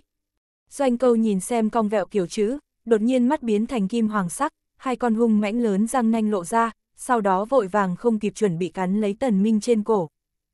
Chỉ nghe thấy Tần Minh hét thảm một tiếng, sau đó tại Doanh Câu bên tai giận dữ hỏi, vì cái gì? Ngươi tại sao phải giết ta? Ngươi lật lọng. Nhưng Tần Minh còn chưa kịp nghe được đáp án, người liền biến thành thây khô, rốt cuộc nói không nên lời nửa câu đến, triệt để lạnh. Oa, doanh câu đối thiên không dài giống một tiếng, chung quanh lập tức đất rung núi chuyển, bên cạnh khách sạn cũng tại trong khoảnh khắc hóa thành cho bụi, hắn trong mắt màu vàng óng tản mát ra vô cùng sát khí, phương viên 10 dặm động vật tất cả đều phát ra hoảng sợ tiếng kêu, sau đó nhao nhao thoát đi, nháy mắt khắp thế giới quỷ khóc sói gào, chim gọi thú giống. Ta nói qua, nếu như ngươi không ngất nàng, ta liền giết ngươi cả nhà, nếu như ngươi bỏ nàng, vậy ta cũng chỉ giết ngươi một người. Trong thiên địa này, thần ma cũng không thể có dựa vào nàng. Tuyệt không thể. Doanh câu khôi phục tỉnh táo về sau, đem trên mặt đất thư bỏ vợ nhặt lên, sau đó đem thư bỏ vợ xé thành vô số khối, sau đó hắn lắc mình biến hóa, biến thành tần minh dáng vẻ, hắn hiện tại không cần thư bỏ vợ, cũng có thể danh chính ngôn thuận cùng quỷ tử cùng một chỗ. Doanh câu trở lại tần minh nhà về sau, bắt đầu tìm kiếm quỷ tử thân ảnh, cuối cùng hắn tại thư phòng tìm được đáng thương quỷ tử. Quỷ tử cuộn cong lại thân thể ngồi trên ghế, sau đó đầu cùng hai cánh tay úp sấp trên mặt bàn, cái chán cùng trên mặt còn có tần minh lưu lại máu ứ động. Doanh câu đau lòng sờ lấy quỷ tử mặt, hận đến nghiến răng, trong lòng mắng lấy vẫn là tiện nghi tên kia, hẳn là để hắn lại thống khổ gấp một vạn lần. Thậm chí 10 vạn lần.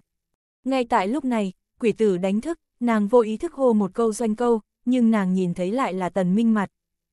Quỷ tử đối doanh câu lộ ra chán ghét biểu lộ, nhưng vẻ mặt rõ ràng còn mang theo một tia sợ hãi, xem ra tần minh hoàn toàn chính xác trong lòng của nàng lưu lại bóng ma. Quỷ tử đá văng ra cái ghế, duỗi ra lưng mỏi, sau đó không để ý đến doanh câu, trực tiếp đi vào phòng ngủ. Nhưng lúc này doanh câu lại chăm chú níu lại nàng tay, không để nàng rời đi. Quỷ tử đầu tiên là rung động run một cái, rõ ràng là đang sợ, nhưng nàng vẫn là dáng chống đỡ lấy mắng, thả ta ra, người cái quái vật này. Từ khi đêm đó ngân châm đâm không thấu tần minh về sau, quỷ tử vẫn đem tần minh xem như quái vật, thậm chí đối với hắn sinh ra to lớn sợ hãi.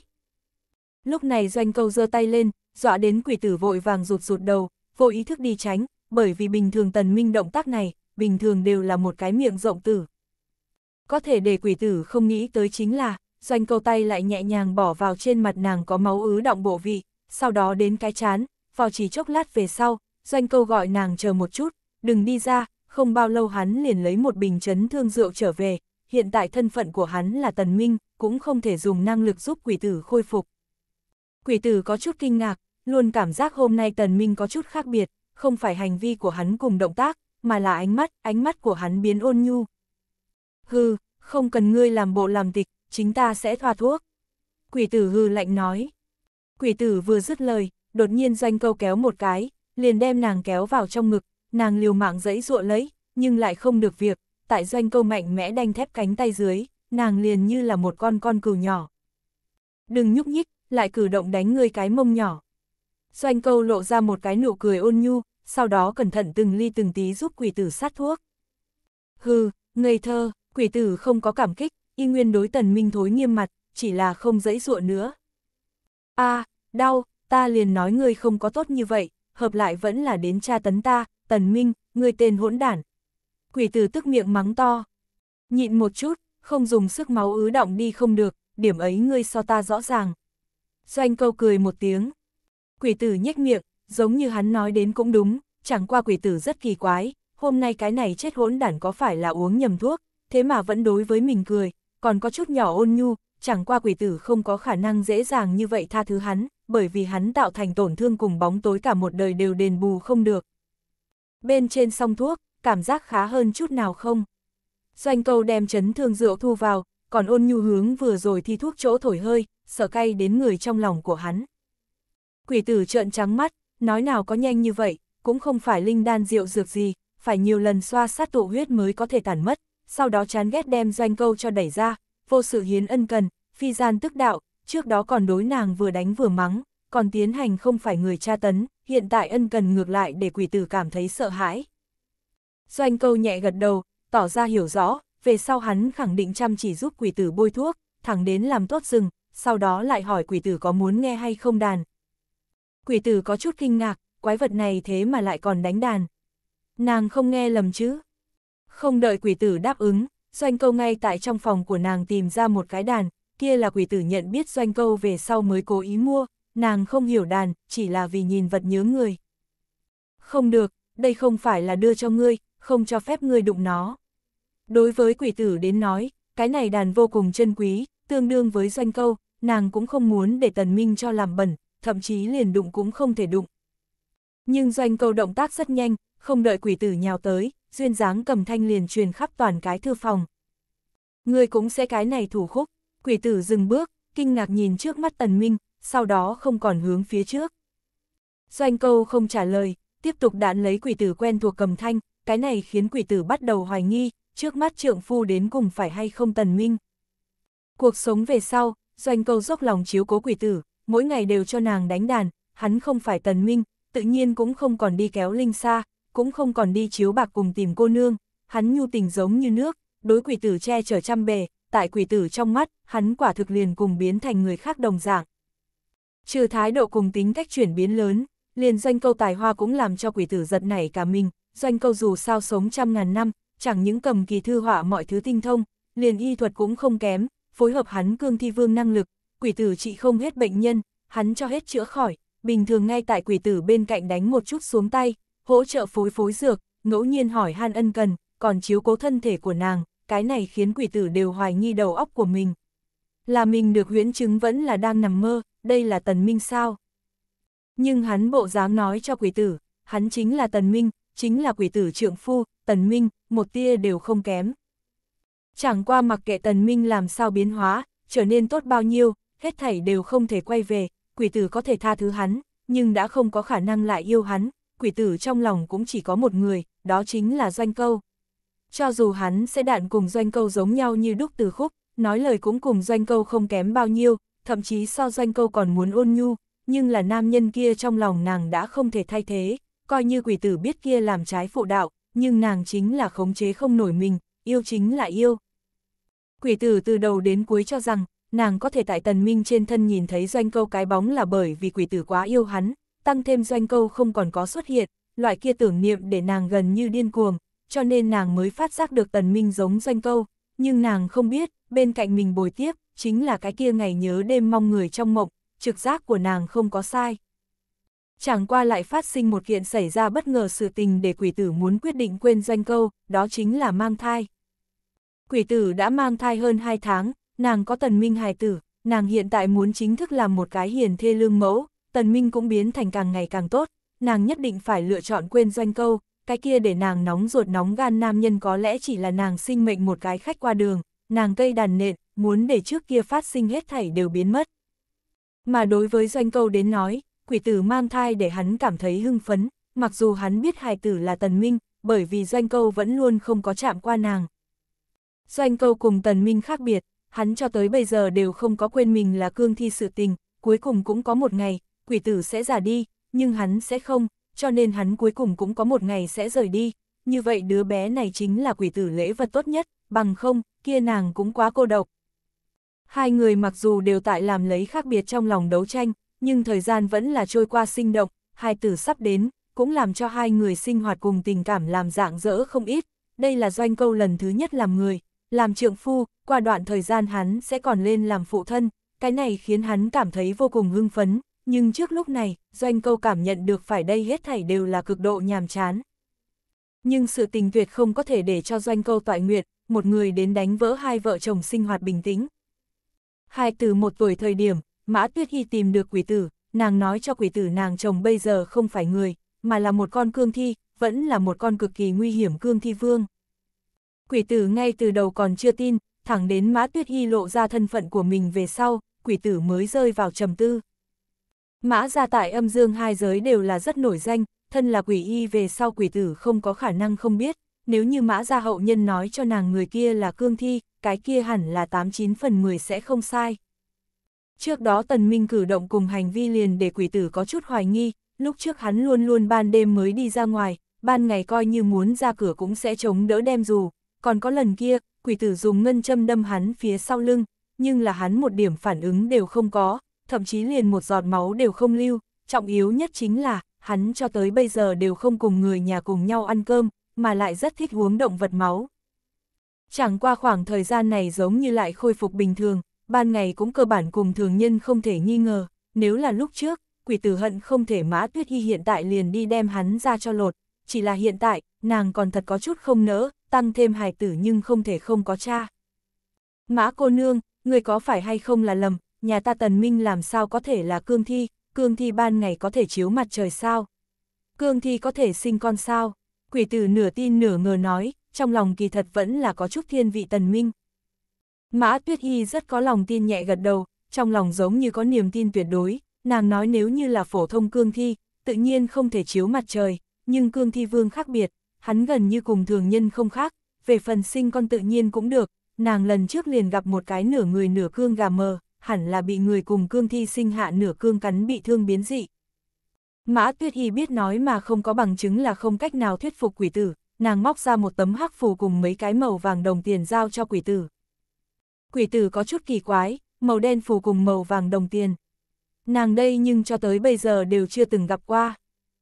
Mã Tuyết Y nhìn ra quỷ tử nghi hoặc, nàng giải thích nói hắc phù là chuyên môn khắc chế cương thi, màu vàng đồng tiền là trong miếu cung phụng 10 năm dầu vừng tiền, lấy ra cách làm 7749 ngày liền sẽ biến thành màu vàng, cũng sẽ đối cương thi tạo thành thương tổn cực lớn, đồng tiền đặt ở hắn dưới gối đầu, hắc phù đốt thành cho lẫn vào trong nước, chỉ cần hắn uống xong, liền sẽ phát cuồng lâm vào nguyên hình.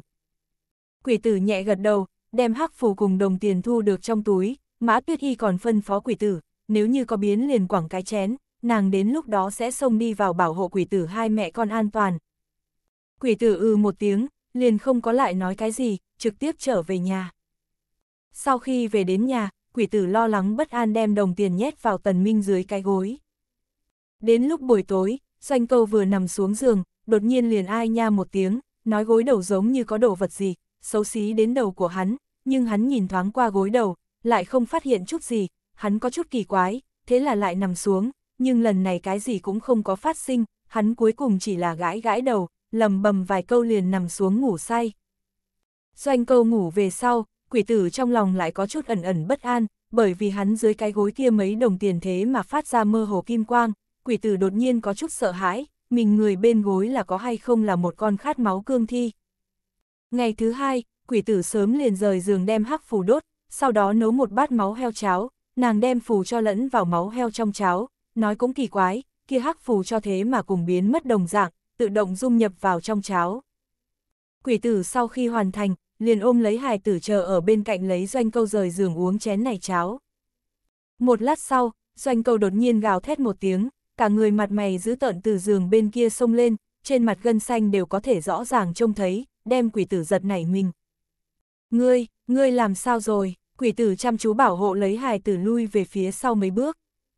Doanh câu đột nhiên sửng sốt một chút, sau đó nhíu mày, nói chính hắn cũng không biết làm sao vậy, đột nhiên liền cảm giác tâm tình bực bội, có một cỗ khí tại trên đầu của hắn đi lại, hắn rất muốn nổi trận lôi đình. Chẳng qua doanh câu sau khi nói xong, hắn gãi gãi mấy lần đầu mình lại khôi phục, trên mặt lộ ra ôn nhu thần sắc, nhưng quỷ tử cũng không dám lại tới gần hắn, chỉ là chỉ chỉ trên bàn máu heo cháo, trong nội tâm nàng biết, tối hôm qua kia mấy đồng tiền hẳn là có hiệu quả. Doanh câu đối quỷ tử không có chút nào hoài nghi, cao hứng đem trên bàn máu heo cháo quét sạch sành xanh, nhưng một bát cháo vừa dứt bụng, đột nhiên doanh câu nụ cười trên mặt liền ngưng kết. Không đúng, cháo này bên trong giống như có đồ vật. Doanh câu sắc mặt lập tức trầm xuống, lông mày vặn thành một đoàn. Là hắc phù, mã ra hậu nhân, doanh câu lập tức khẩn trương lên, liền vội vàng đem quỷ tử kéo đi qua, hộ chắp sau lưng. Mã ra hậu nhân, có cái gì hướng ta đến, tuyệt không thể thương tổn cái này hai mẹ con nửa cái lông tơ. Doanh câu đối ngoài cửa hô, nhưng là ngoài cửa căn bản không có người đáp lại. Lúc này quỷ tử phát ra rít lên một tiếng, một tay lấy doanh câu cho hất ra, nàng hoảng sợ chỉ vào doanh câu nói, ngươi, ngươi, cương thi, ngươi là cương thi. Doanh câu cũng rất giống ý thức được cái gì, hắn hai viên răng nanh cùng móng tay đã lộ ra nguyên hình, trở nên vừa nhọn vừa dài, thậm chí phát ra làm người ta sợ hãi hàn quang, mắt cũng trong nháy mắt biến thành màu vàng. Tử, ngươi nghe ta nói, doanh câu mới tiến lên trước nửa bước, đột nhiên quỷ tử liền lui ra phía sau ba bước. Ngươi không được qua đây, không muốn. Quỷ tử liều mạng lắc đầu, khắp khuôn mặt là sợ hãi biểu lộ, nàng ôm thật chặt hoa hoa khóc lớn hài tử, một mực cùng doanh câu duy trì tương đương khoảng cách, nàng nhìn về phía doanh câu ánh mắt đã ảm đạm đi khá nhiều, thậm chí có chút sợ hãi cùng lạ lẫm. Doanh câu thụ hắc phù cùng đồng tiền ảnh hưởng, tính tình có chút gắt gỏng, hắn trông thấy quỷ tử càng như vậy xa lánh cùng sợ hãi mình, hắn càng là không cam lòng, hắn hướng phía quỷ tử tiến lên, muốn đem nàng kéo vào trong ngực, nhưng động tác này lại đem quỷ tử dọa giật mình, còn tưởng rằng doanh câu muốn thương tổn hai mẹ con bọn nàng, nàng lật tay đẩy, đem bên cạnh cái bàn cho lật đổ, trên bàn bát cũng đi theo đổ nhào trên mặt đất, phát ra phanh một tiếng. Lúc này đột nhiên siêu một tiếng, một nắm đồng tiền kiếm từ trước cửa bay vào, đâm thẳng doanh câu cuống họng. Lúc này quỷ tử ngay tại doanh câu phía sau, hắn không dám né tránh, sợ tổn thương hai mẹ con, đành phải dơ lên cánh tay phải cứng rắn chống đỡ hạ cực tốc đâm tới đồng tiền kiếm. Đồng tiền kiếm chạm đến doanh câu cánh tay về sau, phát ra một trận hỏa hoa, sau đó đâm xuyên doanh câu cánh tay, mũi kiếm còn kém chút đâm đến doanh câu lồng ngực. Doanh câu khóe miệng co giật một chút, sau đó cánh tay trái một quyền đánh vào trên cánh tay phải, cái kia thanh đồng tiền kiếm lập tức bay ra ngoài, cắm ở trên cửa phòng. Oa, doanh câu đối bên ngoài nổi giận gầm lên một tiếng, một trận cuồng phong liền gào thét mà ra, đem hai phiến cửa phòng đều thổi lộn ra ngoài. Ra tới, mã ra hậu nhân, doanh câu hô lớn. Mã tuyết hy tại trên nóc nhà đánh cái bổ nhào nhảy xuống, sau đó thuận thế quay người hai cước đem bay ra ngoài cửa phòng đá đến nhão nhuẹt, nàng rút về đồng tiền kiếm gánh tại trên vai. Hừ, cương thi vương đổi tấm ra túi lừa gạt đừng lão bà của người ta, ra mặt có thể hay không lại dày một điểm. May mắn gặp ta mới vạch trần ngươi trò xiếc, làm tốt, quỷ tử. Mã tuyết hy đối quỷ tử nhíu mày, hừ hừ nói. Doanh câu xoay người qua không biết làm sao nhìn xem quỷ tử, dùng không dám tin ngữ khí hỏi, là ngươi. Vì cái gì? Quỷ tử ôm thật chặt díu rít thuốc thiết hài tử không nói lời nào, ánh mắt bên trong đã mang theo sợ hãi, lại giận áy náy. Còn vì cái gì, chính ngươi làm cái gì không biết sao? Thối cương thi, ta hôm nay liền muốn mạng của ngươi. Mã tuyết y cắn nát ngón tay, đem giọt máu tại đồng tiền trên thân kiếm.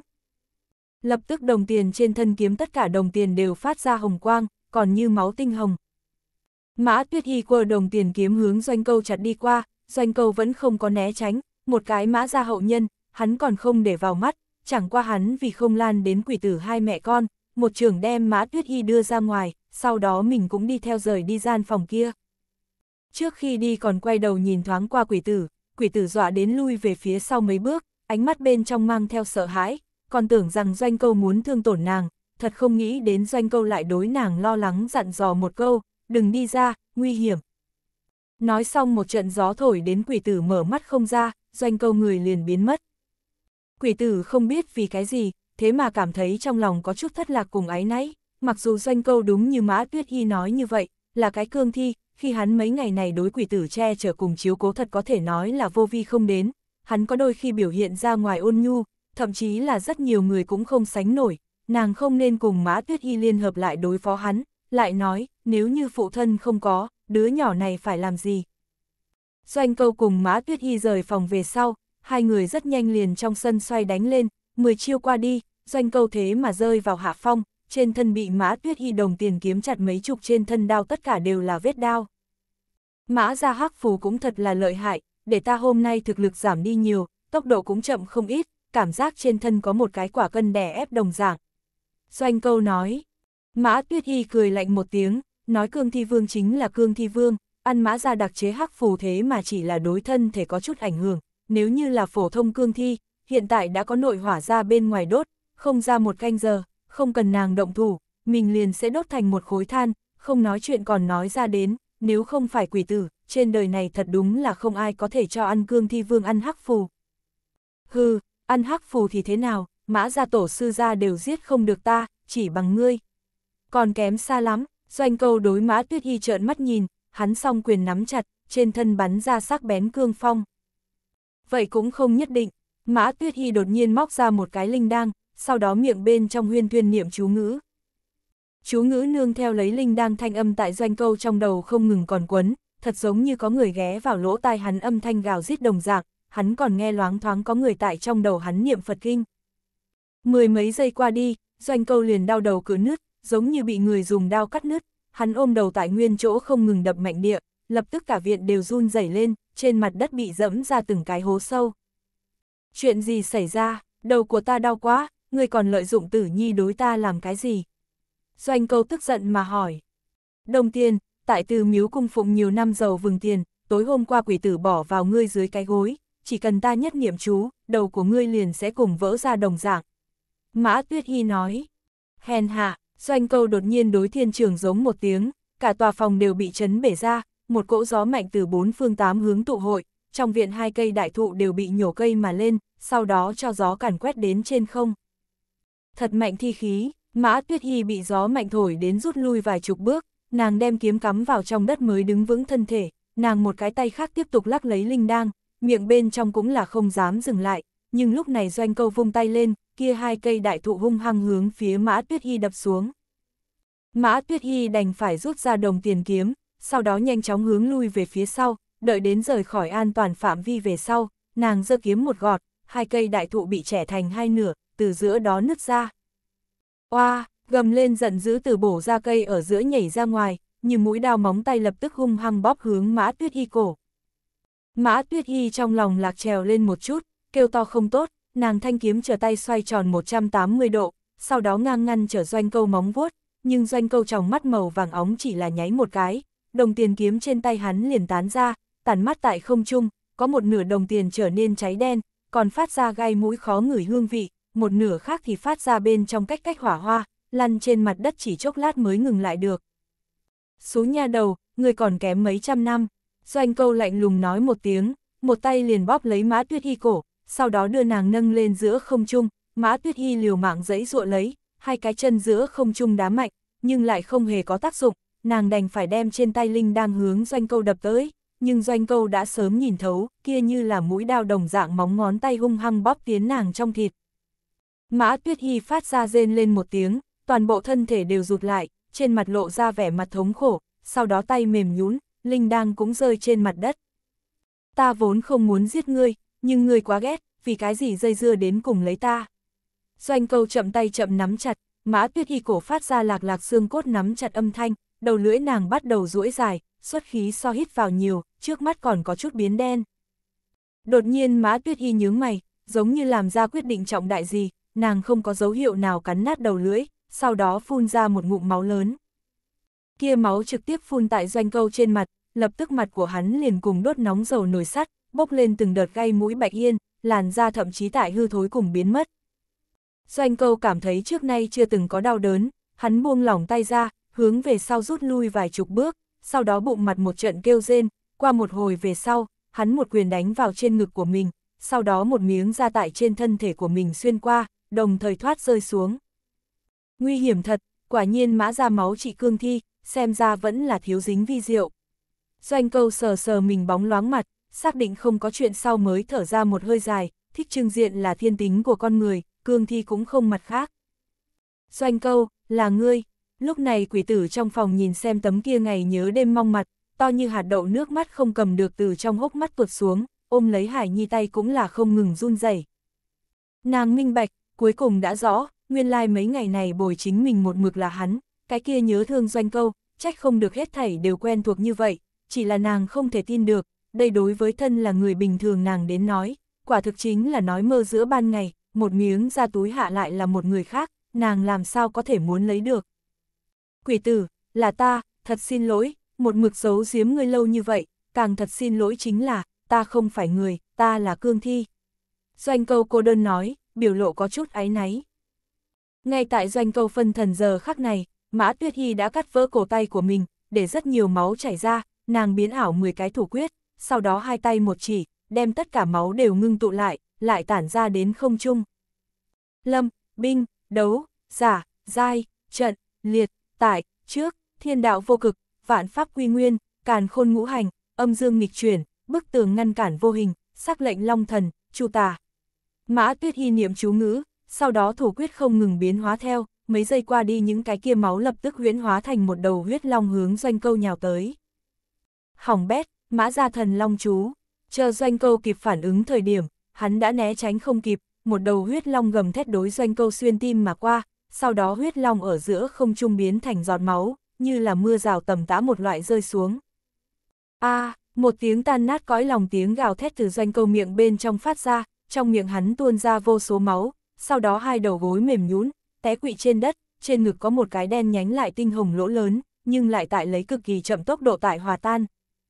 Không hổ, không hổ là cương thi vương, thật sự là mạnh đến mức đáng sợ. Mã tuyết y trắng bệch như tờ giấy trên mặt lộ ra cái nụ cười khó coi, nhưng một kích này, nhất định có thể đưa ngươi tiêu diệt, doanh câu, trên hoàng tuyền lộ có ta, ngươi khẳng định không cô đơn.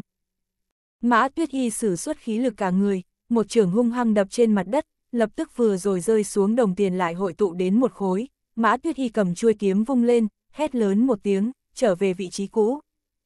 Tất cả đồng tiền liền cùng sẽ biết đường linh kiện đồng dạng, toàn bộ đều tự động trở về vị trí cũ, lập tức lại biến trở về lúc đầu đồng tiền kiếm, chỉ là có chút đồng tiền đã biến sắc. Mã Tuyết Hy đem trên tay còn lưu lại máu bôi đi lên, sau đó niệm vài câu chú ngữ, lần này đồng tiền không có biến thành tinh hồng sắc, mà là phát ra một vệt kim quang, Mã Tuyết Hy cầm kiếm, hai chân đạp một cái nhảy đến giữa không trung, sau đó hướng phía doanh câu hô to đâm tới, một kiếm này, đem xuyên qua doanh câu thiên linh cái, trên đời này sẽ thiếu một cái cương thi vương cùng một cái mã gia hậu nhân. Nói thì chậm, khi đó thì nhanh, tất cả mọi chuyện đều phát sinh ở trong chớp mắt. Không muốn, quỷ tử phát ra một tiếng la lên, người so mã tuyết y tới trước một bước, nàng đứng tại phía trước, mà doanh câu nửa quỳ, vừa vặn đem doanh câu cho hoàn toàn ngăn trở. Mau tránh ra, ta thu không trở về cái này kiếm. Mã tuyết Y biến sắc, trong lòng kêu to không tốt, bởi vì khí thế lao tới trước quá mạnh, tăng thêm nàng lần này sử xuất khí lực cả người, chính nàng cũng không kịp thu hồi một kiếm này. Oa, oa, oa, chỉ nghe thấy Hải Nhi phát ra một tiếng thê thảm khóc lóc, một trận ấm áp máu rơi tại doanh câu trên mặt. Doanh câu ngẩng đầu nhìn lên, mã tuyết Y đồng tiền kiếm xuyên qua quỷ tử ngực, máu dọc theo thân kiếm tí tách chảy tới doanh câu trên mặt, còn có quỷ tử ngoài miệng cũng phun ra một ngụm lớn máu tươi. Doanh câu, người biết ta có mơ tưởng ngươi sao? Ở thời đại này, nữ tử là không xứng có được tình yêu, nhưng ngươi xuất hiện, để ta minh bạch cái gì là yêu, cái gì là tình, mặc kệ ngươi là người cũng tốt, là cương thi cũng tốt, ta đều yêu ngươi, ta mãi mãi cũng yêu ngươi. Quỷ tử duỗi ra hơi lạnh hai tay, run rẩy vuốt ve doanh câu mặt, nàng mặt tái nhợt một điểm huyết sắc không có, giống như một tấm giấy trắng. Không, không, ngươi đừng nói chuyện, ta hiện tại liền cứu ngươi. Doanh câu ngực động rốt cục chậm rãi tái hợp, hắn rốt cục có thể động, hắn ôm thật chặt quỷ tử, nước mắt giàn ruộng, đây là hắn trăm ngàn năm qua lần thứ nhất khóc. Không cần, không kịp, đem hài tử đưa về cho quỷ nhà, doanh câu, ta yêu ngươi. Quỷ tử tại doanh câu trên chán nhẹ nhàng hôn một cái, sau đó thân thể mềm nhũn, người ngã xuống. Doanh câu một tay tiếp được hài tử, một tay ôm chặt lấy quỷ tử, hài tử oa oa khóc lớn, nhưng quỷ tử đã không có hô hấp, huyết tương xiêm y của nàng toàn bộ nhuộm thành màu đỏ, sắc mặt cũng trắng bệch như tờ giấy, nàng đã là một người chết, gương mặt xinh đẹp lại không còn động, mê người hai mắt cũng sẽ không lại mở ra. Ta cũng yêu ngươi, tử. Doanh câu ôm chặt lấy quỷ tử cùng hài tử, nước mắt như là như hồng thủy vỡ đê. a a mã ra hậu nhân, ta muốn đem ngươi chém thành muôn mảnh. Doanh câu gào thét lớn, nhưng khi hắn ôm lấy hài tử đứng lên thời điểm, mã tuyết hy đã đổ vào trong vũng máu, nàng tay còn nắm thật chặt đồng tiền kiếm, nhưng người cũng đã không có hô hấp. Chết rồi, Mã Tuyết Y cũng chết, thần long chú hao phí nàng tất cả huyết khí, đây chính là người Mã gia sứ mệnh, lấy truy sát tứ đại cương thi vương làm nhiệm vụ của mình, Mã Tuyết Y không là cái thứ nhất vì giết cương thi hy sinh người Mã gia, cũng sẽ không là cái cuối cùng, đây chính là Mã gia số mệnh. Mã Tuyết Y một cái tay khác còn chăm chú dắt lấy một cái quả chám tử, tay đã bỏ vào bên miệng, nhưng không có ăn vào, khả năng người đúng vào lúc này tắt thở. Về sau thời gian, doanh câu đem hài tử ôm trở về cho quỷ nhà, hài tử về sau cũng đi theo họ quỷ, xem như điển hình quỷ tộc người. Quỷ tử thi thể doanh câu không có trả về cho quỷ người nhà, mà là dùng băng quan cho nàng che lại, bỏ vào một chỗ mộ địa chung, dạng này thi thể của nàng liền có thể ngàn năm không thay đổi, mà mã tuyết y thi thể, doanh câu cũng không có làm ra cái gì chuyện gì quá phận, tìm cái thích hợp thời gian liền trả về cho người mã ra. Về phần doanh câu, hắn rất mệt mỏi rất mệt mỏi, vì không còn bị người quấy dày, hắn đem quan tài ném vào trong hoàng hà, sau đó lại đem mình phong ấn đi vào, thẳng đến kia một thuyền vớt thi đội người đem hắn vớt ra, mới phát sinh một loạt sự kiện.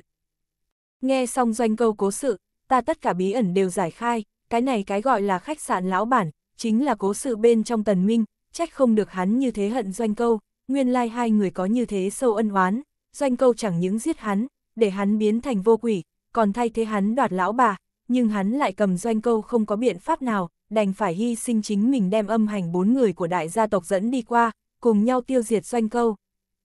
Chẳng qua cái này cũng đều là tần minh gieo gió gặt bão, người bạc tình bạc nghĩa, đáng đời rơi vào cái kết quả như vậy. Chỉ là có một việc ta vạn vạn không nghĩ tới, cố sự bên trong thế mà xuất hiện quỷ nhà người, mà quỷ tử cùng doanh câu tình yêu, thì đem lâm tuyết mấy nữ hải đều nghe khóc, mã lâm ngoại trừ. Doanh câu sau khi nói xong, giúp Trương Tiểu Mạn xóa đi trong hốc mắt nước mắt, sau đó ôn nhu mà hỏi, người biết ta tại sao phải tới gần ngươi sao? Trương Tiểu Mạn lắc đầu, cuống họng còn có chút nghẹn ngào. Bởi vì ngươi cùng tử nhi giống nhau như đúc, ta dám khẳng định, ngươi chính là nàng nhờ thế, ta không biết ngươi đầu vào bao nhiêu thai, nhưng dung mạo của ngươi, cùng năm đó giống nhau như đúc, không giảm chút nào. Doanh câu nói, Trương Tiểu Mạn sửng sốt một chút, sau đó sở chính mình mặt, nói thầm lấy chẳng lẽ mình thật cùng quỷ tử giống nhau như đúc. Doanh câu nói, hắn ngủ say nhiều năm như vậy, không nghĩ tới sau khi tỉnh lại còn có thể gặp phải cái kia để hắn nhớ thương người, đây đều là duyên phận, ông trời đối với hắn thật tốt, cái này đoạn duyên phận, hắn không cho phép bất luận cái gì lại từ bên cạnh hắn cướp đi, ai cũng không được. Sau khi nói xong, doanh câu cua cua ống tay áo, một lớp da từ trên người hắn thoát thay đổi đến, sau đó xuyên qua thân thể của hắn rơi trên mặt đất, lúc này doanh câu hoàn toàn biến thành một cái bộ dáng khác. Lập thể ngũ quan đao khắc tuấn Mỹ, cả người phát ra một loại uy chấn thiên hạ vương giả khí thức, tà ác mà trên khuôn mặt tuấn Mỹ lúc này ngậm lấy một vòng phóng đáng không câu nệ cười lạnh, hắn màu da trắng nón, ngũ quan thanh tú bên trong mang theo một vòng anh tuấn, cùng trước đó cái kia bề ngoài bình thường không đáng chú ý tần phong tưởng như hai người, hắn xoái cùng trời một khác biệt, trời một là băng lãnh bên ngoài khốc, để người yêu thích nhưng lại chùn bước, doanh câu chính là anh Tuấn bên trong mang theo một điểm tà mị.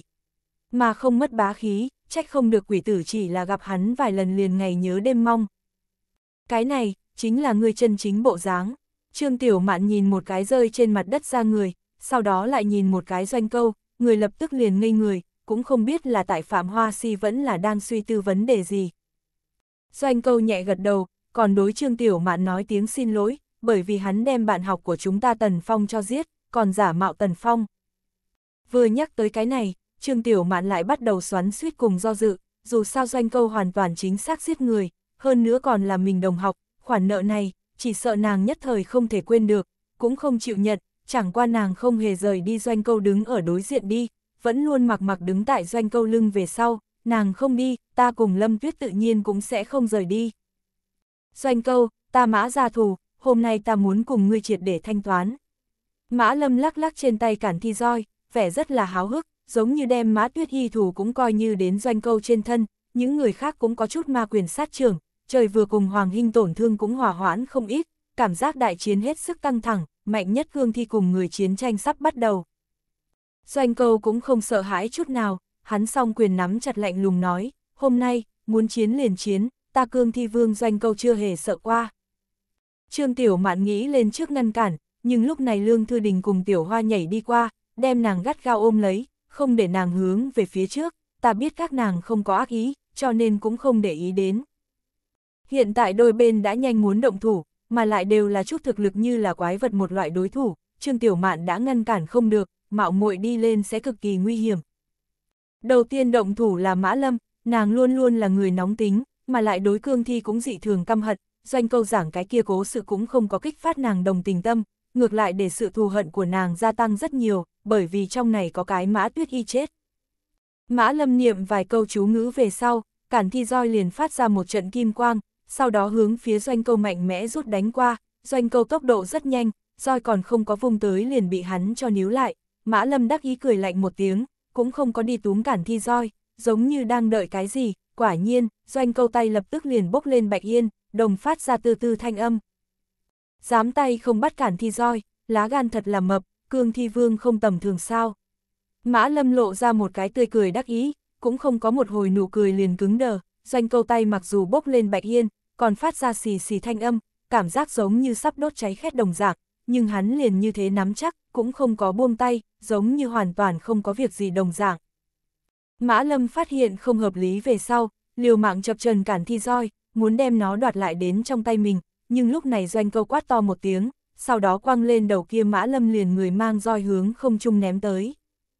Mã Lâm hét thảm một tiếng, rất nhanh liền bị văng ra ngoài, nhưng nàng tại không trung trở mình mới rơi trên mặt đất, mặc dù cái mông mạnh mẽ trước chạm đất, chẳng qua thân thể lại không làm sao thụ thương. Loại vật này vô dụng với ta, còn có, ngươi cùng mã tuyết y so ra, còn kém rất xa cấp bậc. Doanh câu tay hoàn toàn chính xác có chút cháy đen, nhưng hắn vùng mấy lần về sau, lại khôi phục. Mã ra chỉ có thể dùng thần long chú khả năng đối phó ta, chẳng qua chỉ có thể dùng một lần, bởi vì phát động thần long chú sẽ mất máu quá nhiều mà chết. Doanh câu đền bù nói. Đúng vào lúc này, doanh câu đột nhiên phát hiện dưới chân của mình thế mà nhiều một cái bát quái hình vẽ, hắn nhanh chóng di động mấy bước, nhưng là bát quái tựa như là khác vào dưới chân hắn đồng dạng, cũng đi theo hắn di động, hắn mạnh mẽ đạp một cước dưới mặt đất, lập tức mặt đất liền sụp đổ ra một cái hố to, nhưng Duy chỉ có cái kia bát quái không có nhảy, còn không ngừng xoay tròn lấy, để doanh câu nhìn xem có chút hoa mắt choáng đầu. Nói thì chậm, khi đó thì nhanh, doanh câu còn chưa hiểu là tình huống như thế nào thời điểm, trong bát quái liền vươn vô số con quỷ tay nắm lấy hắn chân, sau đó liều mạng hướng trong bát quái kéo. Doanh câu nhấc chân một đá, tất cả quỷ thủ liền cùng đúa đồng dạng bị đá phải gãy thành hai nửa, sau đó hóa thành bùn đất biến mất, nhưng nhóm này quỷ thủ biến mất về sau, một nhóm khác lại như măng mọc sau mưa đồng dạng xông ra. Bát quái phong ấn, kỳ môn độn giáp thuật, doanh câu biến sắc, nhảy thân liền nghĩ thoát đi bát quái phạm vi bên trong, nhưng dưới chân bát quái liền cùng thuốc cao, gắt gao dính chặt hắn, vô luận hắn làm sao chạy nhảy vọt, chính là trốn không thoát dưới chân cái này bát quái đồ. Hư, không tại trong ngũ hành, nhảy ra tam giới bên ngoài, bất lão bất tử bất diệt, vậy liền phong ấn ngươi tốt. Địa trung đường ngồi xổm ở một bên, hai ngón hợp nhất, thì thầm trong miệng ta nghe không hiểu chú ngữ, lúc này trên người hắn thế mà che kín huyết hồng bát quái, hai mắt có chút tinh hồng, nhìn qua rất là làm người ta sợ hãi. Địa trung đường dùng kỳ môn độn giáp bên trong bát quái phòng ấn đem doanh câu gắt gao kiềm chế lại, doanh câu vô luận như thế nào dãy dụa đều thoát khỏi không được, từ trong bát quái vươn ra quỷ thủ vô luận bị vặn gãy bao nhiêu lần, đều sẽ một lần nữa mọc ra, sau đó gắt gao níu lại doanh câu chân đem hắn đi đến kéo. Nói đi thì nói lại, doanh câu bát quái phòng ấn mặc dù rất lợi hại, nhưng luôn luôn cho người ta một loại tà âm cảm giác, bát quái trí âm trí dương, trí nhu trí cương, là hàng tà chi vật, nhưng từ cái này vươn ra vô số quỷ thủ, quả thực có chút không hợp nhau, nhìn qua không có nửa điểm chính khí, ngược lại có chút dọa người, mà lại bát quái kia đen trắng hai điểm có chút quái dị, nếu như ngươi xem xét tỉ mỉ, sẽ phát hiện kia hai điểm nhưng thật ra là hai viên đầu người, một viên tóc đen mặt đen, một viên tóc trắng mặt trắng, thấy ta nổi ra gà tất cả đứng lên. Còn có địa trung đường kia một thân bát quái đồ, càng làm cho người cảm thấy dùng mình, cũng không biết hắn là thế nào mọc ra.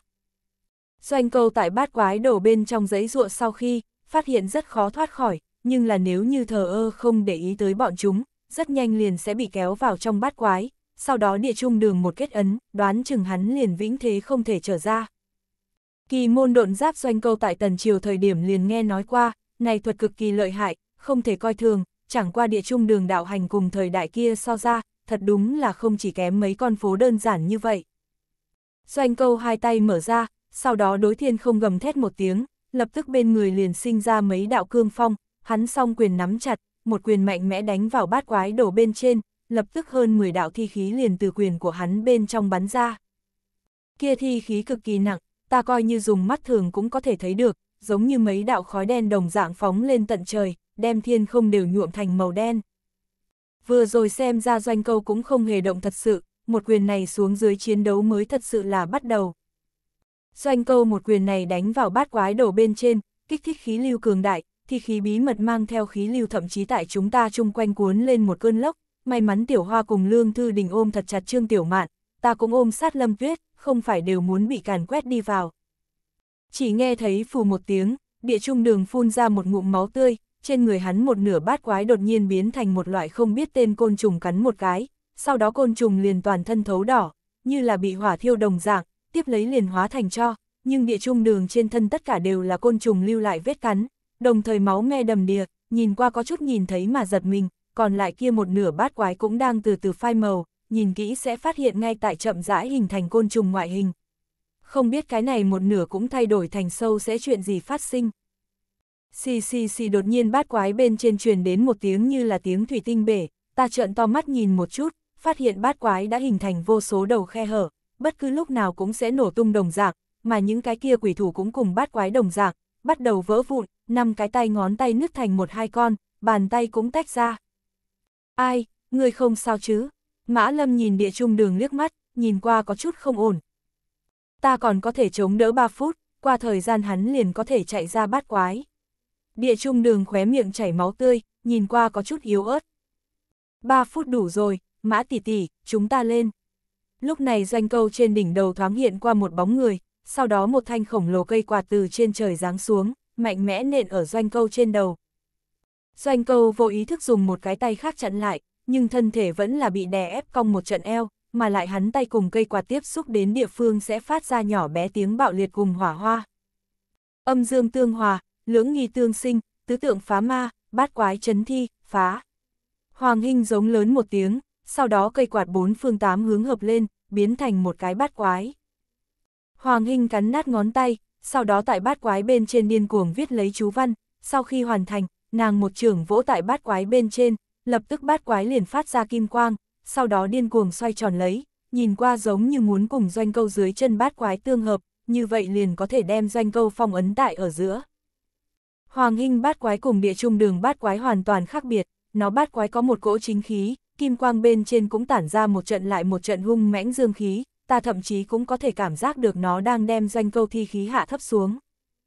Doanh câu giống như có chút không chịu nổi bát quái áp lực, phát ra kêu đau một tiếng về sau, một chân quỳ gối địa trung đường bát quái phía trên, lúc này hắn hai con ngươi màu vàng óng phát ra hai đạo kim quang, sau đó đổ quát một tiếng, vậy mà gắt gao đem phía trên bát quái cho kháng trụ, càng đáng sợ chính là, doanh câu ngay tại nếm thử chậm rãi đứng lên, khi hắn đứng thẳng người thời điểm, đoán chừng hai cái này bát quái đều sẽ trở nên vỡ thành mảnh nhỏ.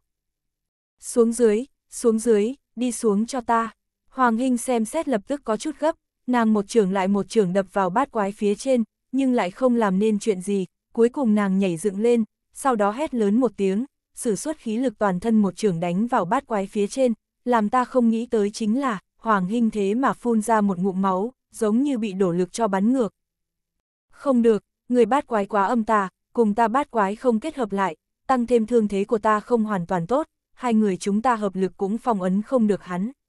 Hoàng Hinh lau đi khóe miệng máu nói, trên mặt biểu lộ có chút lo lắng. Lúc này Mã Lâm đã từ dưới đất bò dậy, vừa rồi quảng thời điểm hơi chậm lại, hiện tại rốt cục khôi phục. Nàng lấy ra một cái chuôi kiếm, sau đó đem một nhóm lớn đồng tiền vung đến không trung, Mã Lâm niệm vài câu chú ngữ cùng thi triển ba cái thủ quyết, lập tức đồng tiền liền tụ đến cùng một chỗ, biến thành một thanh kiếm, sau đó cùng chuôi kiếm trùng hợp đến cùng một chỗ, biến thành một nắm đồng tiền kiếm. Mã Lâm đem giọt máu đến đồng tiền trên thân kiếm, trên thân kiếm phát ra một trận kim quang, sau đó đung đưa kịch liệt. Ta nghe nói mã ra đồng tiền kiếm gặp được thi khí mạnh cương thi sẽ có phản ứng, nhìn nó cái phản ứng này, cái này cương thi vương thi khí phải có mạnh cỡ nào. Mã Lâm cầm kiếm cua đâm về doanh câu, lúc này thời cơ tốt nhất, bởi vì doanh câu đã không thể động đậy, hắn kẹp ở hai cái trong bát quái ở giữa, hai cánh tay đều dùng tại bát quái bên trên, hoàn toàn không cách nào bứt ra. Phát ra kim quang đồng tiền kiếm hung hăng đâm vào doanh câu trong lồng ngực, huyết dịch đỏ thắm cũng thuận thân kiếm chảy tới mã lâm trên tay, nhất thời không khí đều động lại, chung quanh an tĩnh đáng sợ, ba người bọn họ cũng là đứng không nhúc nhích.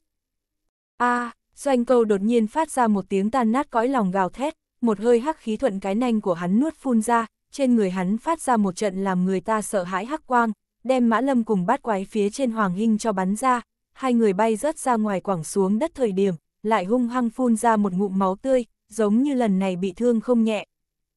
Hai người bắn ra về sau, doanh câu lại một quyền đập xuống đất, chỉ nghe thấy phịch một tiếng, địa trung đường bát quái vỡ thành cặn bã, những cái kia quỷ thủ cũng hóa thành bụi đất rơi xuống trên mặt đất, biến mất không thấy gì nữa.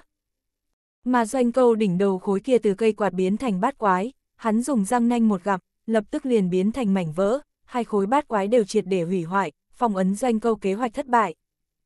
Hủy hoại bát quái về sau, doanh câu dùng tay che lấy mới vừa rồi bị mã lâm đâm bị thương vết thương, nơi đó có một cái đồng tiền lớn nhỏ lỗ máu, nhưng doanh câu dùng tay bôi sau một lúc, vết thương liền đã khép lại, trừ trên quần áo còn lưu lại vết tích. Hoàng Hinh bản thân liền có tổn thương, hiện tại tổn thương càng thêm tổn thương, sắc mặt của nàng trắng bệch như tờ giấy, hư nhược nằm trên mặt đất, một không thể động đậy được, bên khóe miệng còn mang theo thật dài tơ máu. Địa trung đường cũng không khá hơn chút nào, hắn còn dư lại trên người kia một nửa tinh hồng bát quái cũng thay đổi thành côn trùng, sau đó điên cuồng gặm nuôi thân thể của hắn, côn trùng hóa thành cho biến mất về sau, toàn thân hắn cũng đã máu me đầm đìa, nhìn xem những cái kia lít nha lít nhít huyết nha ấn, ta toàn thân đều giật cả mình, quá nhìn thấy mà giật mình, mà lại địa trung đường bát quái bể nát về sau, hắn giống như nhận phản phệ đồng dạng, người oa một tiếng, từng ngụm từng ngụm phun máu tươi. Kém chút hai mắt khẽ đảo liền ngất đi. A-di-đà Phật, thiện tai thiện tai. Lúc này mập hòa thượng ở bên cạnh nhắc tới một câu, hắn nói địa trung đường là lấy máu nuôi bát quái, lấy bát quái nuôi âm tà chi vật, cho nên bát quái vừa vỡ, hắn liền nhận phản phệ, may mắn hắn là bốn người của đại gia tộc, không phải máu bát quái phản phệ, người bình thường đã sớm một mệnh ô hô. Lúc này Lương Thư Đình cùng Tiểu Hoa nơi nào còn có không quản trương Tiểu Mạn, hô một câu sau liền nghĩ hướng chủ nhân của mình tiến lên. Đừng tới đây, Hoàng Hinh cùng địa trung đường đồng thời hô, hai người bọn họ hiện tại cực độ suy yếu, giống như dùng hết cuối cùng một hơi đến hô câu nói này. Một tiếng này đem Tiểu Hoa cùng Lương Thư Đình hai người đều gọi ở, chủ nhân mệnh lệnh như thế, các nàng cũng không dám vi phạm, nhưng các nàng lộ ra cực kỳ lo lắng biểu lộ, Tiểu Hoa thậm chí còn gấp đến độ tại nguyên chỗ thẳng dậm chân. Doanh câu triệt để thoát khỏi bát quái đồ trói buộc sau cũng không có nóng lòng động thủ, mà là lạnh lùng nhìn xem Mã Lâm, bởi vì hiện tại chỉ có một mình nàng có thể động, còn lại hai cái đã nửa chết nửa sống, trên cơ bản đã không có năng lực gì lại cùng hắn chống lại. Mã Lâm một cái đại phong xa lật lên thân, sau đó trên người một lớn chồng hắc phù như là một đầu trường xà đồng dạng bay ra ngoài, hướng phía doanh câu đập vào mặt. Doanh câu gặp được hắc phù về sau, cũng không có quá lớn động tác, chỉ là hơi dùng cánh tay vung vẩy mấy lần, hắc phù dính vào trên người hắn thời điểm, sẽ sinh ra một điểm hỏa hoa, sau đó liền đốt thành cho, không bao lâu một lớn chồng hắc phù liền không có, doanh câu vỗ nhẹ trên người phù cho, xem thường, hắn nói trừ phi đem hắc phù nuốt vào, không phải những cái này đồ chơi nhỏ đối với hắn là lên không là cái gì tác dụng. Không có cách, Mã Lâm đành phải rút lần nữa lên đồng tiền kiếm sau đó cô hướng doanh câu chém tới.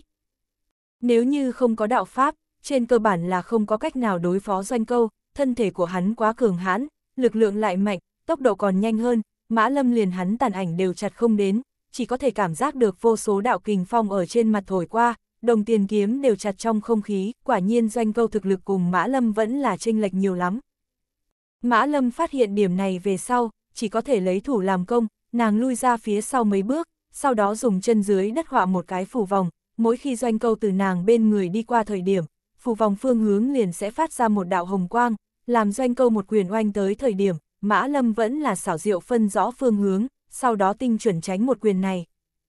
Nhưng Mã Lâm vẫn là quá ngây thơ, một quyền rơi xuống về sau, theo nhau mà tới chính là vô số cái như là như sắt thép nắm đấm, nàng lung tung dùng đồng tiền kiếm ngăn trở doanh câu nắm đấm, nhưng vẫn là bị một quyền oanh trên mặt, sau đó bay ngược ra ngoài, nàng miễn cưỡng lại bò dậy, nhưng người đã có chút suy yếu, một quyền kia đem nàng thất khổng đều đánh ra máu, ta nhìn nàng không ngừng nháy mắt, không biết là có hay không thị lực đã nhận ảnh hưởng. Doanh câu nhưng không có thương hương tiếc ngọc, nếu như hắn đối mã gia hậu nhân nhân từ, đó chính là đối với mình lớn nhất tàn nhẫn, lại nhỏ uy hiếp cũng là uy hiếp, nương tay chắc chắn sẽ lưu lại họa lớn. Mã Lâm cũng còn không có chậm tới, doanh câu liền cùng một trận gió đồng dạng đi vào trước mặt của nàng, nàng kinh hô một tiếng hướng về sau trốn, nhưng nàng bước ra một bước về sau, liền bị doanh câu bóp lấy cổ, sau đó như là gà con đồng dạng nâng lên giữa không trung. Ta còn không có cắn qua mã gia hậu nhân, hôm nay thử một lần nhìn lại biến thành cái dạng gì. Doanh câu mở ra thật dài răng nanh, sau đó hoa một tiếng hướng phía mã lâm cổ cắn, trong lòng ta lạc trèo lên một chút, không khỏi vì mã lâm lo lắng, dựa vào, ra hỏa này điên rồi đi. Nhưng doanh câu cũng không có hạ đến miệng, địa trung đường úp sấp trên lưng của hắn, sau đó ôm thật chặt ở đầu của hắn không để hắn hạ miệng. Lăn đi, a doanh câu thẹn quá hóa giận, giống lớn một tiếng, muốn đem trên lưng địa trung đường cho bỏ rơi đến, nhưng là địa trung đường một tấm kim phù đập vào trên trán của hắn, doanh câu lập tức liền bất động, liền cùng ta tại trên tivi nhìn thấy cương thi giống nhau như đúc, vừa kề sát bên trên hoàng phù liền bất động, chỉ có điều đây là kim phù. Chạy mau, kim phù mặc dù lợi hại, nhưng cũng chỉ có thể định trụ hắn 30 giây. Địa trung đường đối Mã Lâm hô lớn. Mã Lâm nhẹ gật đầu, sau đó một chân đá vào doanh câu trên thân, nàng mượn lực nhoáng một cái, người tài từ doanh câu trên vuốt trốn xuống dưới, mặc dù bị định trụ, nhưng doanh câu tay vẫn là chăm chú bóp lấy hắn, cương thi vương lực lượng không thể khinh thường. Mã Lâm mới vừa vặn trốn xuống tới, đột nhiên tấm kia kim phù liền tự động thiêu đốt mất, căn bản không hề 30 giây, nhiều nhất 20 giây. Móa, cái này cương thi vương quả nhiên không phải chúng ta có thể đối phó, phải mời côn luân ngũ lão quỷ xuống tới, nhưng ta sợ chúng ta mất mạng. Địa trung đường nói còn chưa dứt lời, đột nhiên liền cùng một trái bóng ra đồng dạng bay ra ngoài, hắn đụng vào trên một tảng đá mặt, trực tiếp đem tảng đá cho băng nát, người đã trở nên máu thịt be bét, không biết là chết hay sống. Các ngươi vẫn là quá non, theo thời gian lưu truyền, đạo pháp truyền thừa sẽ càng ngày càng yếu, mà chúng ta cương thi sẽ chỉ càng ngày càng mạnh, hôm nay các ngươi tất cả đều phải chết tại cái này, ta sẽ không lại để các ngươi có quấy giày cơ hội của ta, sẽ không còn có. Doanh câu vung tay lên, một đạo thi khí nương theo lấy cương phong gào thét mà qua, làm bộ đến gần Hoàng Hinh vẫn không có thể ra tay liền rơi vào cùng địa trung đường một cái hạ tràng, nàng bị thổi tới trên bầu trời hung hăng ngã xuống, miệng bên trong máu tươi liền cùng suối phun đồng dạng tràn ra, người toàn thân đều tại run rẩy, không bao lâu liền bất động, ta cũng không biết nàng sống hay chết. Không, Mã Lâm cuồng hống một tiếng, người thật giống như tiếp cận bờ biên giới chuẩn bị sụp đổ, nàng mắt dị thường đỏ, khóe mắt chảy xuống hai hàng nhiệt lệ. Trời một, ngươi ở đâu? Ngươi đi đâu rồi? Trời một, ô ô, ta không nghĩ tới Mã Lâm thế mà lại khóc lên, nàng nhìn về phía vừa rồi trời một trạm địa phương, người đã không tại, vừa rồi từ đánh đến nay, trời một thật giống như đột nhiên biến mất đồng dạng, hoàn toàn chưa từng xuất hiện. Trời một biến mất, giống như lại đối Mã Lâm tiến hành lần thứ hai đả kích, nàng xem ra càng thêm sụp đổ, chẳng qua ngay tại ta vì nàng cảm thấy lo lắng thời điểm, nàng thế mà tại ngắn ngủi mấy giây lại thu thập xong cảm xúc, nàng nhìn xem nằm trên mặt đất Hoàng Hinh cùng địa trung đường, biểu lộ có chút kiên định, dường như làm xảy ra điều gì quyết định. Hỏng bét, Mã Lâm muốn dùng mã gia thần long chú. Trong lòng ta lạc trèo lên một chút, lập tức ý thức được Mã Lâm làm ra quyết định, nhưng ta không có cách nào đi ngăn cản nàng, hiện tại chiến đấu đã tiến vào thiên về một bên giai đoạn, trời một lại vô duyên vô cớ biến mất, hiện tại Mã Lâm nhất định phải dùng thần long chú, nếu không hậu quả có thể nghĩ, trước đó ta còn tại dầu dĩ đứng một bên nào, bây giờ nghĩ lại, có lẽ ta đứng một bên nào đều đối kết quả không hề ảnh hưởng. Mã Lâm dùng đồng tiền kiếm cắt huyết mạch, một cỗ máu đỏ tươi lập tức tuôn ra, doanh câu nhíu mày, tuyệt không lui lại, thần sắc cũng không có bao nhiêu biến hóa, y nguyên chỉ là lạnh lùng nhìn xem Mã Lâm, hắn biết Mã Lâm sau đó phải làm gì, nhưng là hắn giống như không sợ, y nguyên như một cái vương giả sừng sướng tại Mã Lâm phía trước. Mã Lâm tiếp tục niệm chú ngữ cùng làm lấy thủ quyết, trong thời gian này nàng vô số lần quay đầu nhìn về phía trời một nguyên lai chỗ đứng, nhưng là nàng lại vô số lần thất vọng, trời vừa đi, hắn không trở về, không biết duyên cớ nào. Có lẽ là bởi vì tham sống sợ chết, lại hoặc là không phải, nhưng lúc này Mã Lâm khóe miệng lại có chút dương lên, phát ra một cái đáng sợ nụ cười. Lâm, binh, đấu, giả, giai, trận, liệt, tại, trước, thiên đạo vô cực, vạn pháp quy nguyên, càn khôn ngũ hành, âm dương nghịch chuyển, bức tường ngăn cản vô hình, sắc lệnh long thần, chu tà. Mã lâm hét lớn một tiếng, máu tươi của nàng hình thành một đầu huyết long gầm thét hướng doanh câu đập vào mặt mà đi. Doanh câu không có tránh né, mà là giống lớn một tiếng, giơ lên nắm tay phải vọt lên ba trượng, sau đó một quyền đánh về phía long đầu. Doanh câu nắm đấm cùng long đầu chạm nhau đụng thời điểm, phát ra to lớn hỏa hoa, còn có tinh hồng sắc tia chớp, long đầu không ngừng gầm thét, phát ra tiếng vang điếc tai, thậm chí còn bí mật mang theo mùi tanh, doanh câu bị huyết long một mực đụng phải lui về sau, cuối cùng huyết long một đỉnh, doanh câu toàn thân đều bạo liệt ra, còn truyền đến bên trong cách cách tiếng nổ, hơn 10 đạo cột máu từ trên người hắn phun ra ngoài. Doanh câu cuối cùng đụng vào tảng đá trồng bên trong, tất cả tảng đá đều biến thành bột phấn, sau đó bị doanh câu máu nhuộm thành tinh hồng sắc, thật giống như máu hạt. Doanh câu hiện lên hình chữ đại nằm tại thạch mạt trồng bên trong, đầu trùng điệp rũ xuống, tay phải của hắn đã biến hình, lấy khó mà tin nổi góc độ xoay đến trên lưng, hắn đã không có bất kỳ phản ứng nào, giống như đã chết. Tần Phong, mặc dù doanh câu đã biểu lộ thân phận cùng danh tự, nhưng Trương Tiểu Mạn vẫn là đổi không được miệng, y nguyên kêu Tần Phong danh tự. Thả ta ra, Tần Phong, Tần Phong, Trương Tiểu Mạn muốn tránh thoát Tiểu Hoa cùng Lương Thư Đình trói buộc, nhưng hai người đều là luyện qua, nàng làm sao đều tránh thoát không ra, hai người liền cùng hai đạo gông xiềng đồng dạng, chăm chú đưa nàng ôm lấy. Trương Tiểu Mạn lo lắng đến doanh câu, mà ta thì càng thêm quan tâm Mã Lâm, nếu như trễ chữa trị cho nàng, thật sẽ mất máu quá nhiều mà chết. Đừng tới đây, hắn còn sống, ta còn không có chạy tới Mã Lâm liền ngăn cản ta, nàng hư nhược đối ta phất phất tay, sau đó chỉ vào doanh câu nói. Ha ha ha ha ha, doanh câu đầu đột nhiên dương lên, sau đó điên cuồng cười to, cho đến cười đáp cuống họng phát ra khụ khụ khụ thanh âm hắn mới đình chỉ.